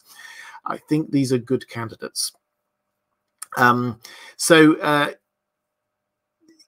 I, I, like this idea a lot. Actually, I, I do. I, th I, think it's a very valid point that um, why on earth would they trust Daenys the Dreamer, um, who has a dream that you know, if, if a member of your family says, I just had a dream that all of this is going to blow up, you don't immediately pack up everything, leave all your friends, your culture, your civilization, and move hundreds of miles away. Um, unless you know that this person gets dreams or dragon dreams are a thing which is recognized within your family or you've got experience that this is these things are true does seem to imply that there was more uh, beforehand. Um, and bloodraven even kind of hints at it um, that there were dragon dreamer many dragon dreamers before me before the invasion therefore going back uh, in time to when the targaryens were in valyria. So yeah this kind of makes sense. Um, we're told the Targaryens weren't one of the the main houses. There, there are 40 houses, but they weren't one of the top houses in Valyria, which seems to imply that perhaps uh, the establishment of Valyria probably wasn't them. But yeah, I completely believe that there was uh, there were dragon dreams within the Targaryens, and perhaps also for other people beforehand. Um, Auntie Slayer, we often hear that Jon won't want Winterfell because he already turned it down. I feel like he didn't really get to answer, voted Lord Commander before deciding. Is there a chance he will be tempted given the choice again? Um, yeah, so I was reading or listening to this again relatively recently. And you're you're right that he didn't really get the chance. Um, but we do get a really good look at his thinking. And his thinking is absolutely fascinating because um, what eh, his thought process isn't so much you know, it's not a, oh well i shouldn't leave the night's watch because i made my promise or anything like that. No his, thinking is yeah i could go back um, i could go be lord of winterfell uh, but melisandre says if you do this you have to burn down the weirwood tree and he didn't feel he that was his right. He felt that Winterfell, first of all, he, he says the Winterfell belongs to the old gods. Um, he didn't feel it was right to be um, uh, doing that to what he considers his father's gods. Um, so th- he was pretty much, he decided he wasn't going to go and do it. But the reason he wasn't going to accept it was not because he didn't want to be Lord. He he'd thought about it a lot. He dreamt about it as a child, um, but it was because the terms and conditions he didn't think he could agree. Uh, so uh, that therefore means that if he gets the chance to take it again, if he's offered it again, and that rider isn't there, he doesn't have to burn down the Weirwood tree, then yeah, why not?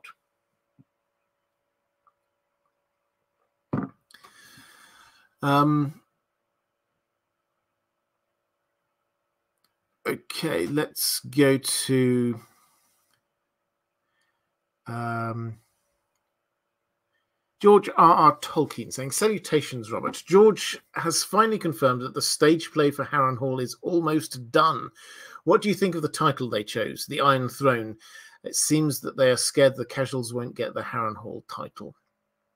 Yes, so uh, in his latest blog post, he has, for those who uh, don't obsess over these things to the extent that I do, he George R. Martin has a blog. He calls it not a blog because he's like that um, and he updates it irregularly.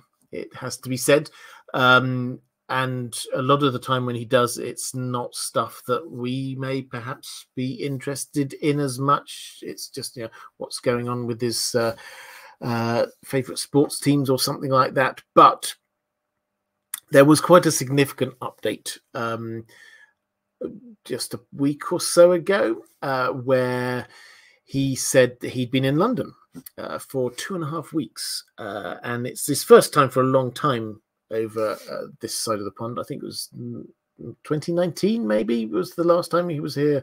Uh, he was he was in Ireland for Worldcon, um, and took the time to sort of look at a few Game of Thrones things. Lot, the filming for a lot of Game of Thrones stuff in Northern Ireland. Um, anyway, he was in he was in London for two and a half weeks.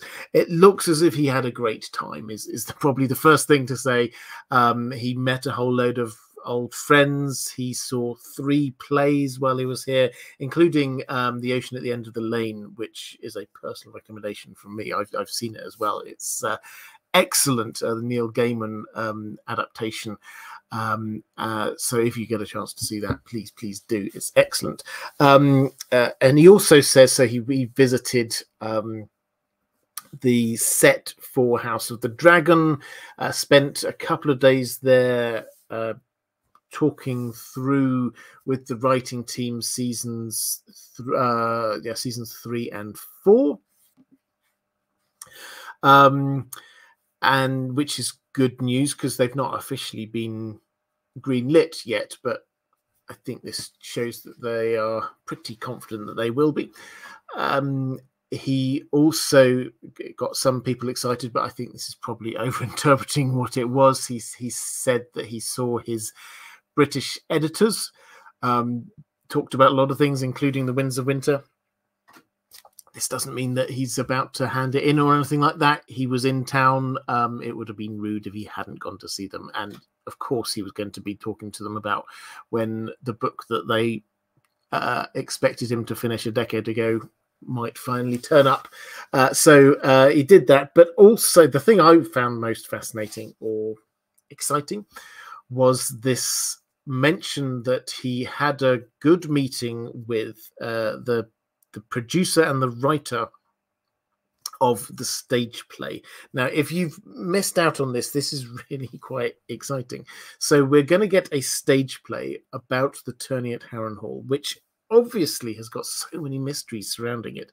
Um, now, we haven't been told much information really, uh, but he's he has said at one point he thinks that it might debut in London in the West End, uh, which is excellent for me. I'd be very happy with that. Um, uh, and in this uh, update, he said that he was hopeful that it might be ready by the end of next year, uh, which would be brilliant.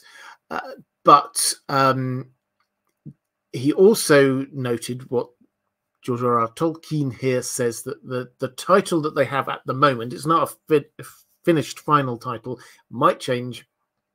They'd originally thought they would call it Harrenhal. Now uh, they've decided to, to call it the Iron Throne. Now, th- there's a couple of obvious things we can read into this. The first one, I think, is what you've said here. The Iron Throne is more accessible. Um, people know what the Iron Throne is. Uh, Harrenhal they probably don't remember. So you're you're more likely to get a wider set of people engaging with it, or at least understanding the concept straight away. The second thing to sort of, if you wish to read into it, uh, say is that if you call it the Iron Throne, you're framing the which elements of the tourney at Harrenhal you're focusing on. So George R. Martin has said previously about the tourney at Harrenhal is that you could write an entire book about what happened at the tourney at Harrenhal, and a George R. R. Martin book at that. So a big, thick tome. Not all of that is going to be covered in this play, sadly. Uh, a lot will, I'm sure, but not absolutely everything.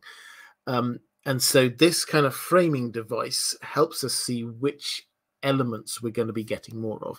And as you're talking about it being the Iron Throne, this is about succession. It's about who's sitting on the Iron Throne. I think the clear implication is that we're going to see uh, Rhaegar with probably what we expect is him with this sort of outline plan or plot to oust his father in some way. We never really have had the details of this, but the hints are very strongly there. We're going to see Varys advising um, Aerys II about what's happening, getting him to come out to the tourney at Harrenhal. Um, that's the angle. The, the Targaryens, the um, succession politics. That's the that's the framing device that we've got with this title. Um, which doesn't mean we're not going to get, but it does seem to imply that we, we're going to get less of a focus on magicy stuff, uh, the Knight of the Laughing Tree, the Starks, Howland Reed. I'm sure they will all be there, but that doesn't seem to be the focus, based purely on what this title that we've been given.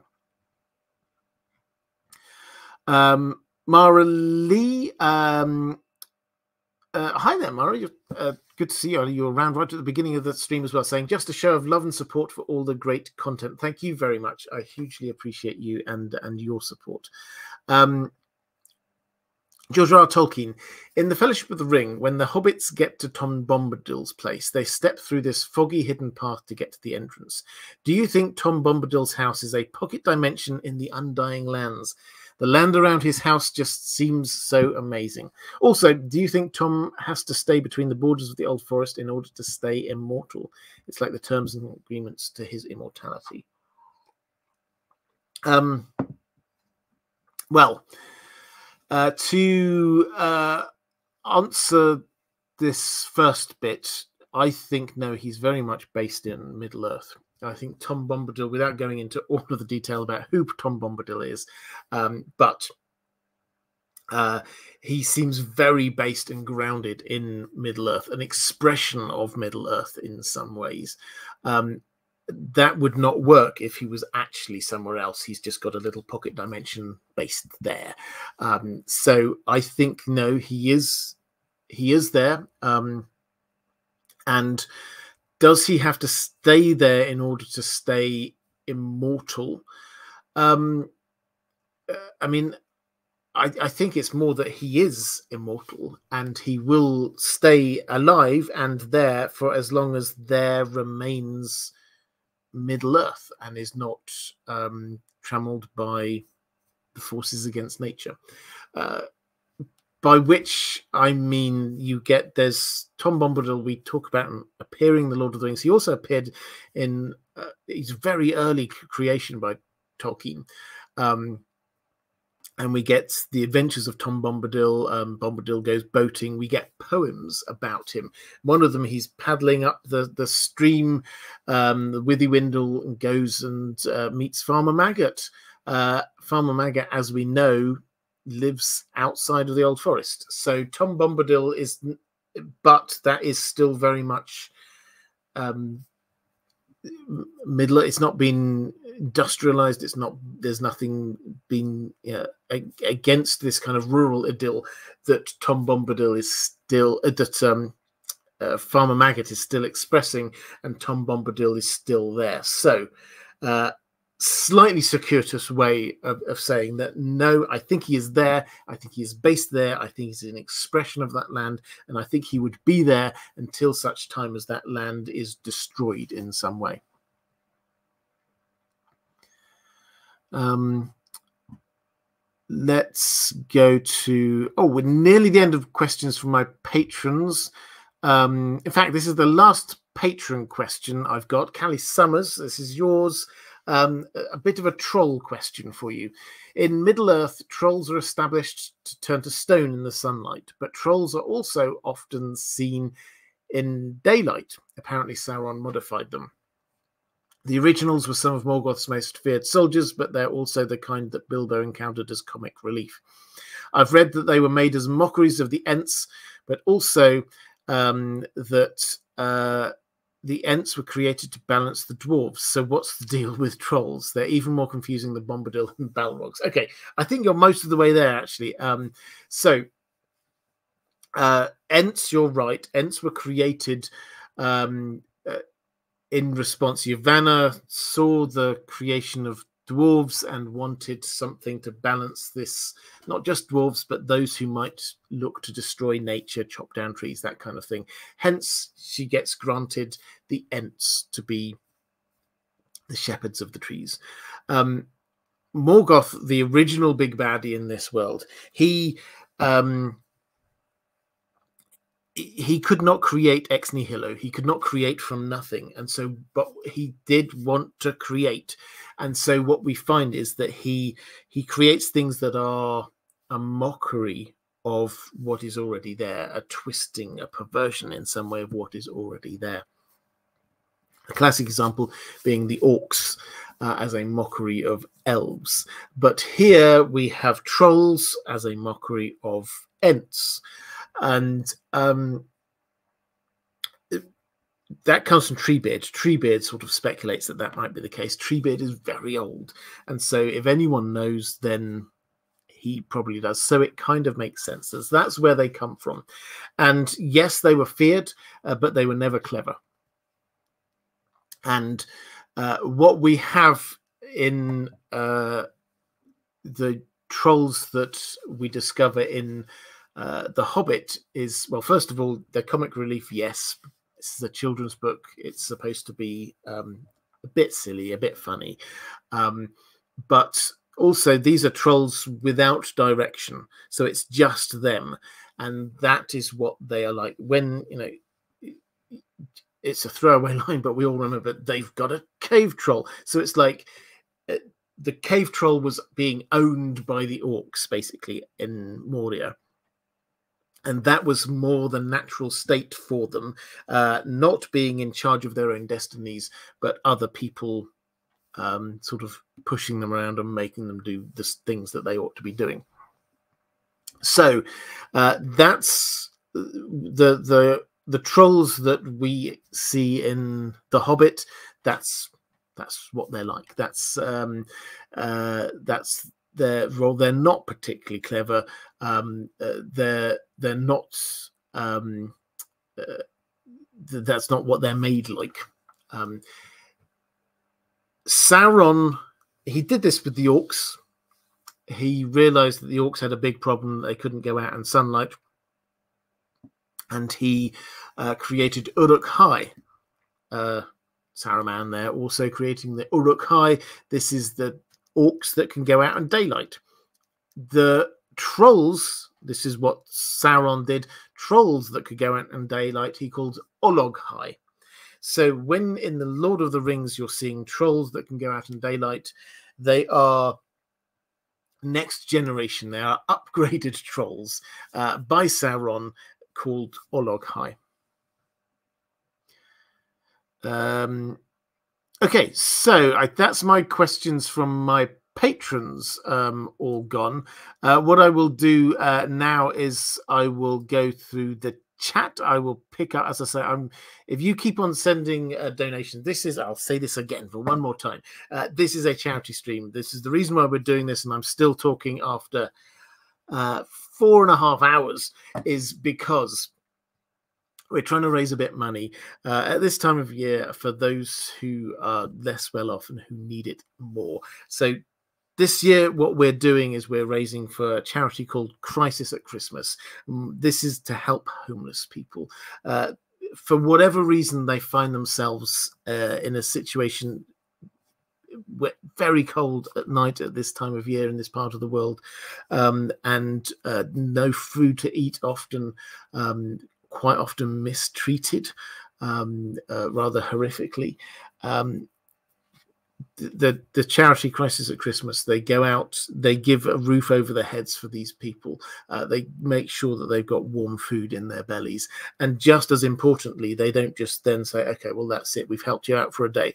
They then actually get alongside them and they they try and work out what is it what what can happen to help get you permanently back in accommodation, back get you permanently uh, moving back in the right track. And that will be different for every single individual. And it's hard work and it can sometimes be quite costly in terms of you have to get professionals involved and, and experts. But that is what we're doing here is that we're helping people who have lost everything uh, and they're out on the streets. Um, so that's uh, what we're raising money for. If you are watching this live, you can do that by a super chat or a, a super sticker. I will add up all of this um, uh, and send it off direct. I'll put the receipts up on uh, on Twitter so you can see that. Um, if you're watching this a bit later, I'm going to keep this open right up until Christmas Day. You can put super thanks in there um, uh, afterwards, and this, I'll do the, exactly the same thing. So that's what's going on. But question from Casey uh, Paletia. Do we know the in-world story regarding Arthur Dayne's demise? As the greatest knight in living memory, I imagine that that would be a story that gets around. No, is the short answer. Um, the the implication is that Ned must have told a version of this story to Robert Baratheon. Uh, which is that um, he tracked down Lyanna to uh, somewhere. He didn't say where this was, uh, but there were three members of the King's Guard there. Ned had gone with his guys. There was a fight. All the King's Guard uh, died, and uh, he came back with Lyanna's body that's the story he told. And uh, the bit that Robert Baratheon will have focused on was what happened to Lyanna. Uh, everybody else was focusing on the fact that they literally, the entire uh, continent had been turned upside down in war, and it was now just a matter of uh, instead, we've got a completely new king. He's got to create a new small council. Everything's got to be, everybody's got to be judged. Um, people have got to be appointed. And House Dayne were just trying to stay quiet. Uh, they were just, they were not pushing this out. They were not saying, our brave hero died and such and such, but they were just, we're not saying anything. Um, and they basically retired from public life. House Dayne largely retired from public life for the next decade and a half. Uh, so, uh, yes, a story, but the story is that Ned Stark and a, a group of people with him outnumbered the King's Guard. There was a, an epic fight, and uh, the King's Guard died, including Arthur Dayne. Uh, Dragon Seed, my first time catching a live from Seattle, USA. Thank you very much. Uh, great to see you. Uh, Beres Aurelius saying House Dayne was way too quiet on this. Yeah, absolutely, they were. They just. um, uh, uh, Andrew Kay saying, to me, Jon is much more ambitious in the books than super dutiful Game of Thrones version. Even his vision of decapitating Robb could be suppressed subconscious higher aims for himself. Uh, yeah, absolutely. So he's um uh, uh I, I, don't know whether ambitious is the right. He he certainly struggles with uh with his his thoughts um, about I mean, he admits to himself that he did dream about being Lord, uh, but um, he definitely struggles with this as a concept because he does because he he loved Robb as a brother, um, uh, so that's not um, that's not a comfortable thought for him. But yes, ambitious might be the wrong word, but he definitely uh, had hopes uh, that did not really come across. Uh, yeah, the whole "I don't want it." Um, it doesn't sum up all of his rather complex thoughts on this. Uh, Sin saying, Hi, Robert. Many thanks for all your fantastic content. Happy holidays to all. Thank you very much. Uh, that's your first super chat uh, ever. So thank you. Um, uh, George R. Tolkien, almost three in the morning. Robert, you're a champion. I'm still going strong. Got half a glass of water to go. Um, uh, keep me up for another few minutes uh, by donating a little bit more, guys. Uh, that would be good. Amara Lee, did I see the latest super chat you sent? Um, oh, for, oh, uh, for Robert's cap. Uh, oh, here. Well, thank you very much. Yes, there, there it is. I got a nice little bobble on the end. Uh, thank you. Um, Sarah Awesome Sauce saying happy holidays. I hope you have a great holiday season and thanks for all you do, especially for your charity live streams. It's always nice to see people supporting people. Well, uh, thank you. I try to do my best here. Um, it's been a little so I mean, pull back the curtain a touch. It's been a little bit frustrating for me the fact that I um, haven't managed to get the the, the standard um, uh, uh, charity stream uh, setup going on this channel yet, uh, but uh, I will do soon, and that means that we'll be able to do even more of these charity live streams. Um, uh, Zach K saying, "Hey everyone, not going to be able to make it to the end. Phone is dying, so am I. Oh, um, I hope everyone has an amazing holiday and enjoys time with friends and fam. Thanks, mods, guests, and Robert. Thank you very much." Bearus Aurelius saying Robert isn't even tired. I am a bit tired, but I'm just keeping on going. Um, uh,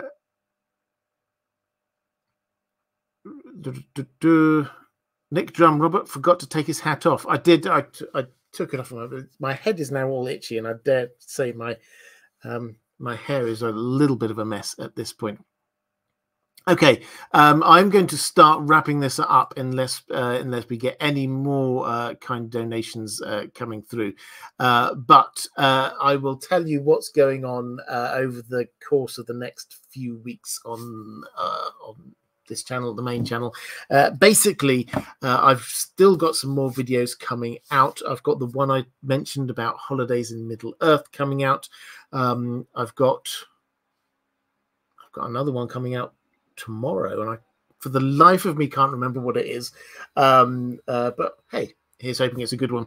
Um, uh, then uh, hopefully over the course of the next two or three weeks i've got another uh, maybe maybe a video week for a little while just over the christmas period i will be taking some time off i normally do i highly encourage if you are able to do the same just take time off from your work um, doesn't have to be this time of the year but uh, it's really good for the, the, the mind and the soul. I find just to switch off from everything and just enjoy family and friends um, and the good things in life, which is what I intend to do for a good couple of weeks over Christmas and the New Year, um, and then return reinvigorated. So we're going to have, I think it's two weeks of of uh, no live stream here.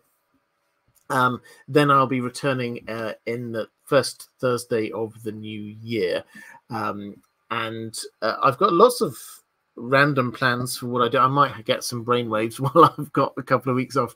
Uh, but yeah, one thing, if you missed it slightly early in the stream, I'm looking at doing some lore playthroughs of video games, by which I mean not just like a standard playthrough of a video game, but something like there was. Uh, there's some Lord of the Rings games out there. There's obviously Witcher games, um, uh, and there's some sort of Game of Thrones games out there as well. Uh, playing through them, but describing the world as we go through it, explaining the background, the lore, the history of what's going on um, uh, as well. We're going through the game. So just just another thing I'm doing um, that I thought might be a slightly different angle on uh, how to address all of this. Um, wonderful content and world that we've got to be looking at. So uh, that's coming up in the new year. Um, I'm I'm now on, if you've missed it, almost all of the different social media you can find. So X, Twitter, um, also Instagram, Facebook, and TikTok. I'm on now. I'm trying my best to put as many videos up onto there as I can, the short form ones, but also a few of my uh, my older, longer ones. Um, Mara Lee, Mara Lee, again, thank very generous, Mara. Thank you very much. Saying happy holidays to all. Uh, thank you, Robert. Uh, thank you very much. Emma S saying, happy to catch this live after exams. Oh, I hope they went well. Um, silly question. What do you think the Stark kids have on their Christmas wish list? Um, uh, well, Jon wants to know who his mum is. Um, uh, depends which point in their life, really, because it will vary a lot. But uh, younger versions, um, I mean, Sansa, Sansa will just want I mean, pretty things, won't she? She want a nice dress or something like that. Um, Arya, if it's before she got needled, then she will want a sword. Um, uh, or uh, I don't know if she has a horse, but um, uh, yeah, she, she loves riding as well. Arya, so maybe like a new saddle or something like that. Um, Bran. Mm, I don't know. Uh, what would he like? I don't know. This is a good question.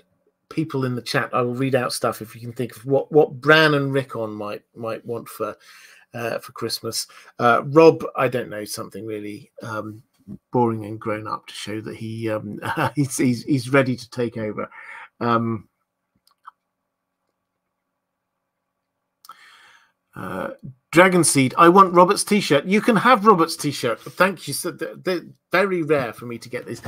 Let's see. Hopefully, there it says in Deep Geek. It's my uh, holidays t-shirt. It's available as merch. I always forget to mention merch. I've mentioned it twice in this live stream. I'm very proud of myself. There should be a link somewhere down there um, to uh, my merch. Um, if it's if there's not like pictures and stuff like that, then there will be a link in the description to it. So yes, you can get it. It's available as a t-shirt or a hoodie or sweater or tote bag or whatever you want, really. Uh, right, right now, so she'd want Loras. Yes, uh, Sansa would want Loras. Um, uh, Beres Aurelia saying Jon has being alive on his wish list. I think, well, maybe. Uh, sometimes I think he's um, he's a bit more doom and gloom than that. Reezy Squeezebox lemon cakes. Yeah, she'd love some of them. Uh. Weirwood Aria will want everyone left on her list on a silver platter. Uh, yep. Um, toys for Rickon. yet. don't forget he's still still a child. Um, Kalua, any speculation on what is to the west of the Lonely Light? Do you think we will ever find out? So, what what is west of Westeros? Um, will we ever find out? No.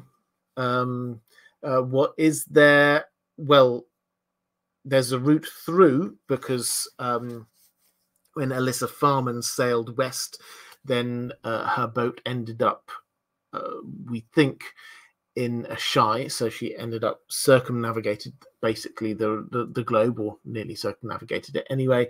Um, perhaps there's another continent, or perhaps Essos just keeps on going for a long, long way.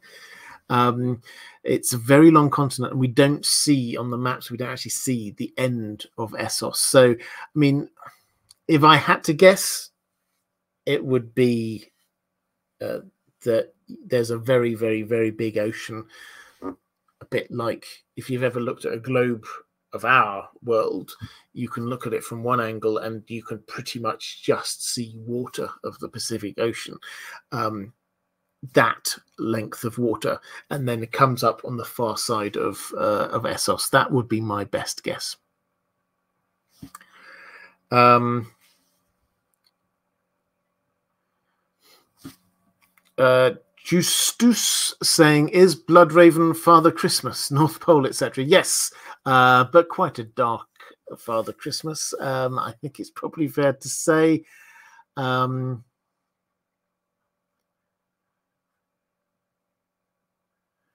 uh, Okay, and with that, I think I'm going to start drawing this one to a close. Mammoth session. Thank you to all of the the um, moderators in particular who've been uh, sticking at this for that's now nearly five hours. So uh, thank you, a huge thanks to you. And uh, for this year, a few thank yous just before I sign off. Uh, everyone who's donated on this stream, thank you hugely. I appreciate that. Um, I don't know, I haven't got a running tally of how much that is, but it's certainly going to be hundreds of pounds, hundreds of dollars. Um, so uh, that will be hugely um, uh, valuable and important. Thank you, and it will mean a lot. Um, in moderators, patrons, your support through this year for me personally has been amazing. Thank you so much. And anyone who's just um, uh, watched my videos or supported me in any way that I do not know, thank you. Um, uh, oh, here's another. I said I was going to keep staying here if you keep on sending money in. Uh, and uh, Raven's Oath, thank you very much. Merry Christmas and a Happy New Year, Robert. Thank you for another great year of vids and streams. God bless you and everyone in the chat. Happy holidays, everyone. Yes. So, um, uh, I think that's where I should probably end. Um, uh, every blessing to all of you. I hope you, if 2023 has been hard for you, I hope that you get a restful end of it, uh, and I hope that 2024 is is all kinds of wonderful. Um, if you celebrate Christmas and New Year, then I hope you have a fantastic time with your family and friends. Uh, if not, um, then I hope you have a, a really relaxing couple of weeks, and I will be back in the new year. Take care, everyone, and I will see you again soon.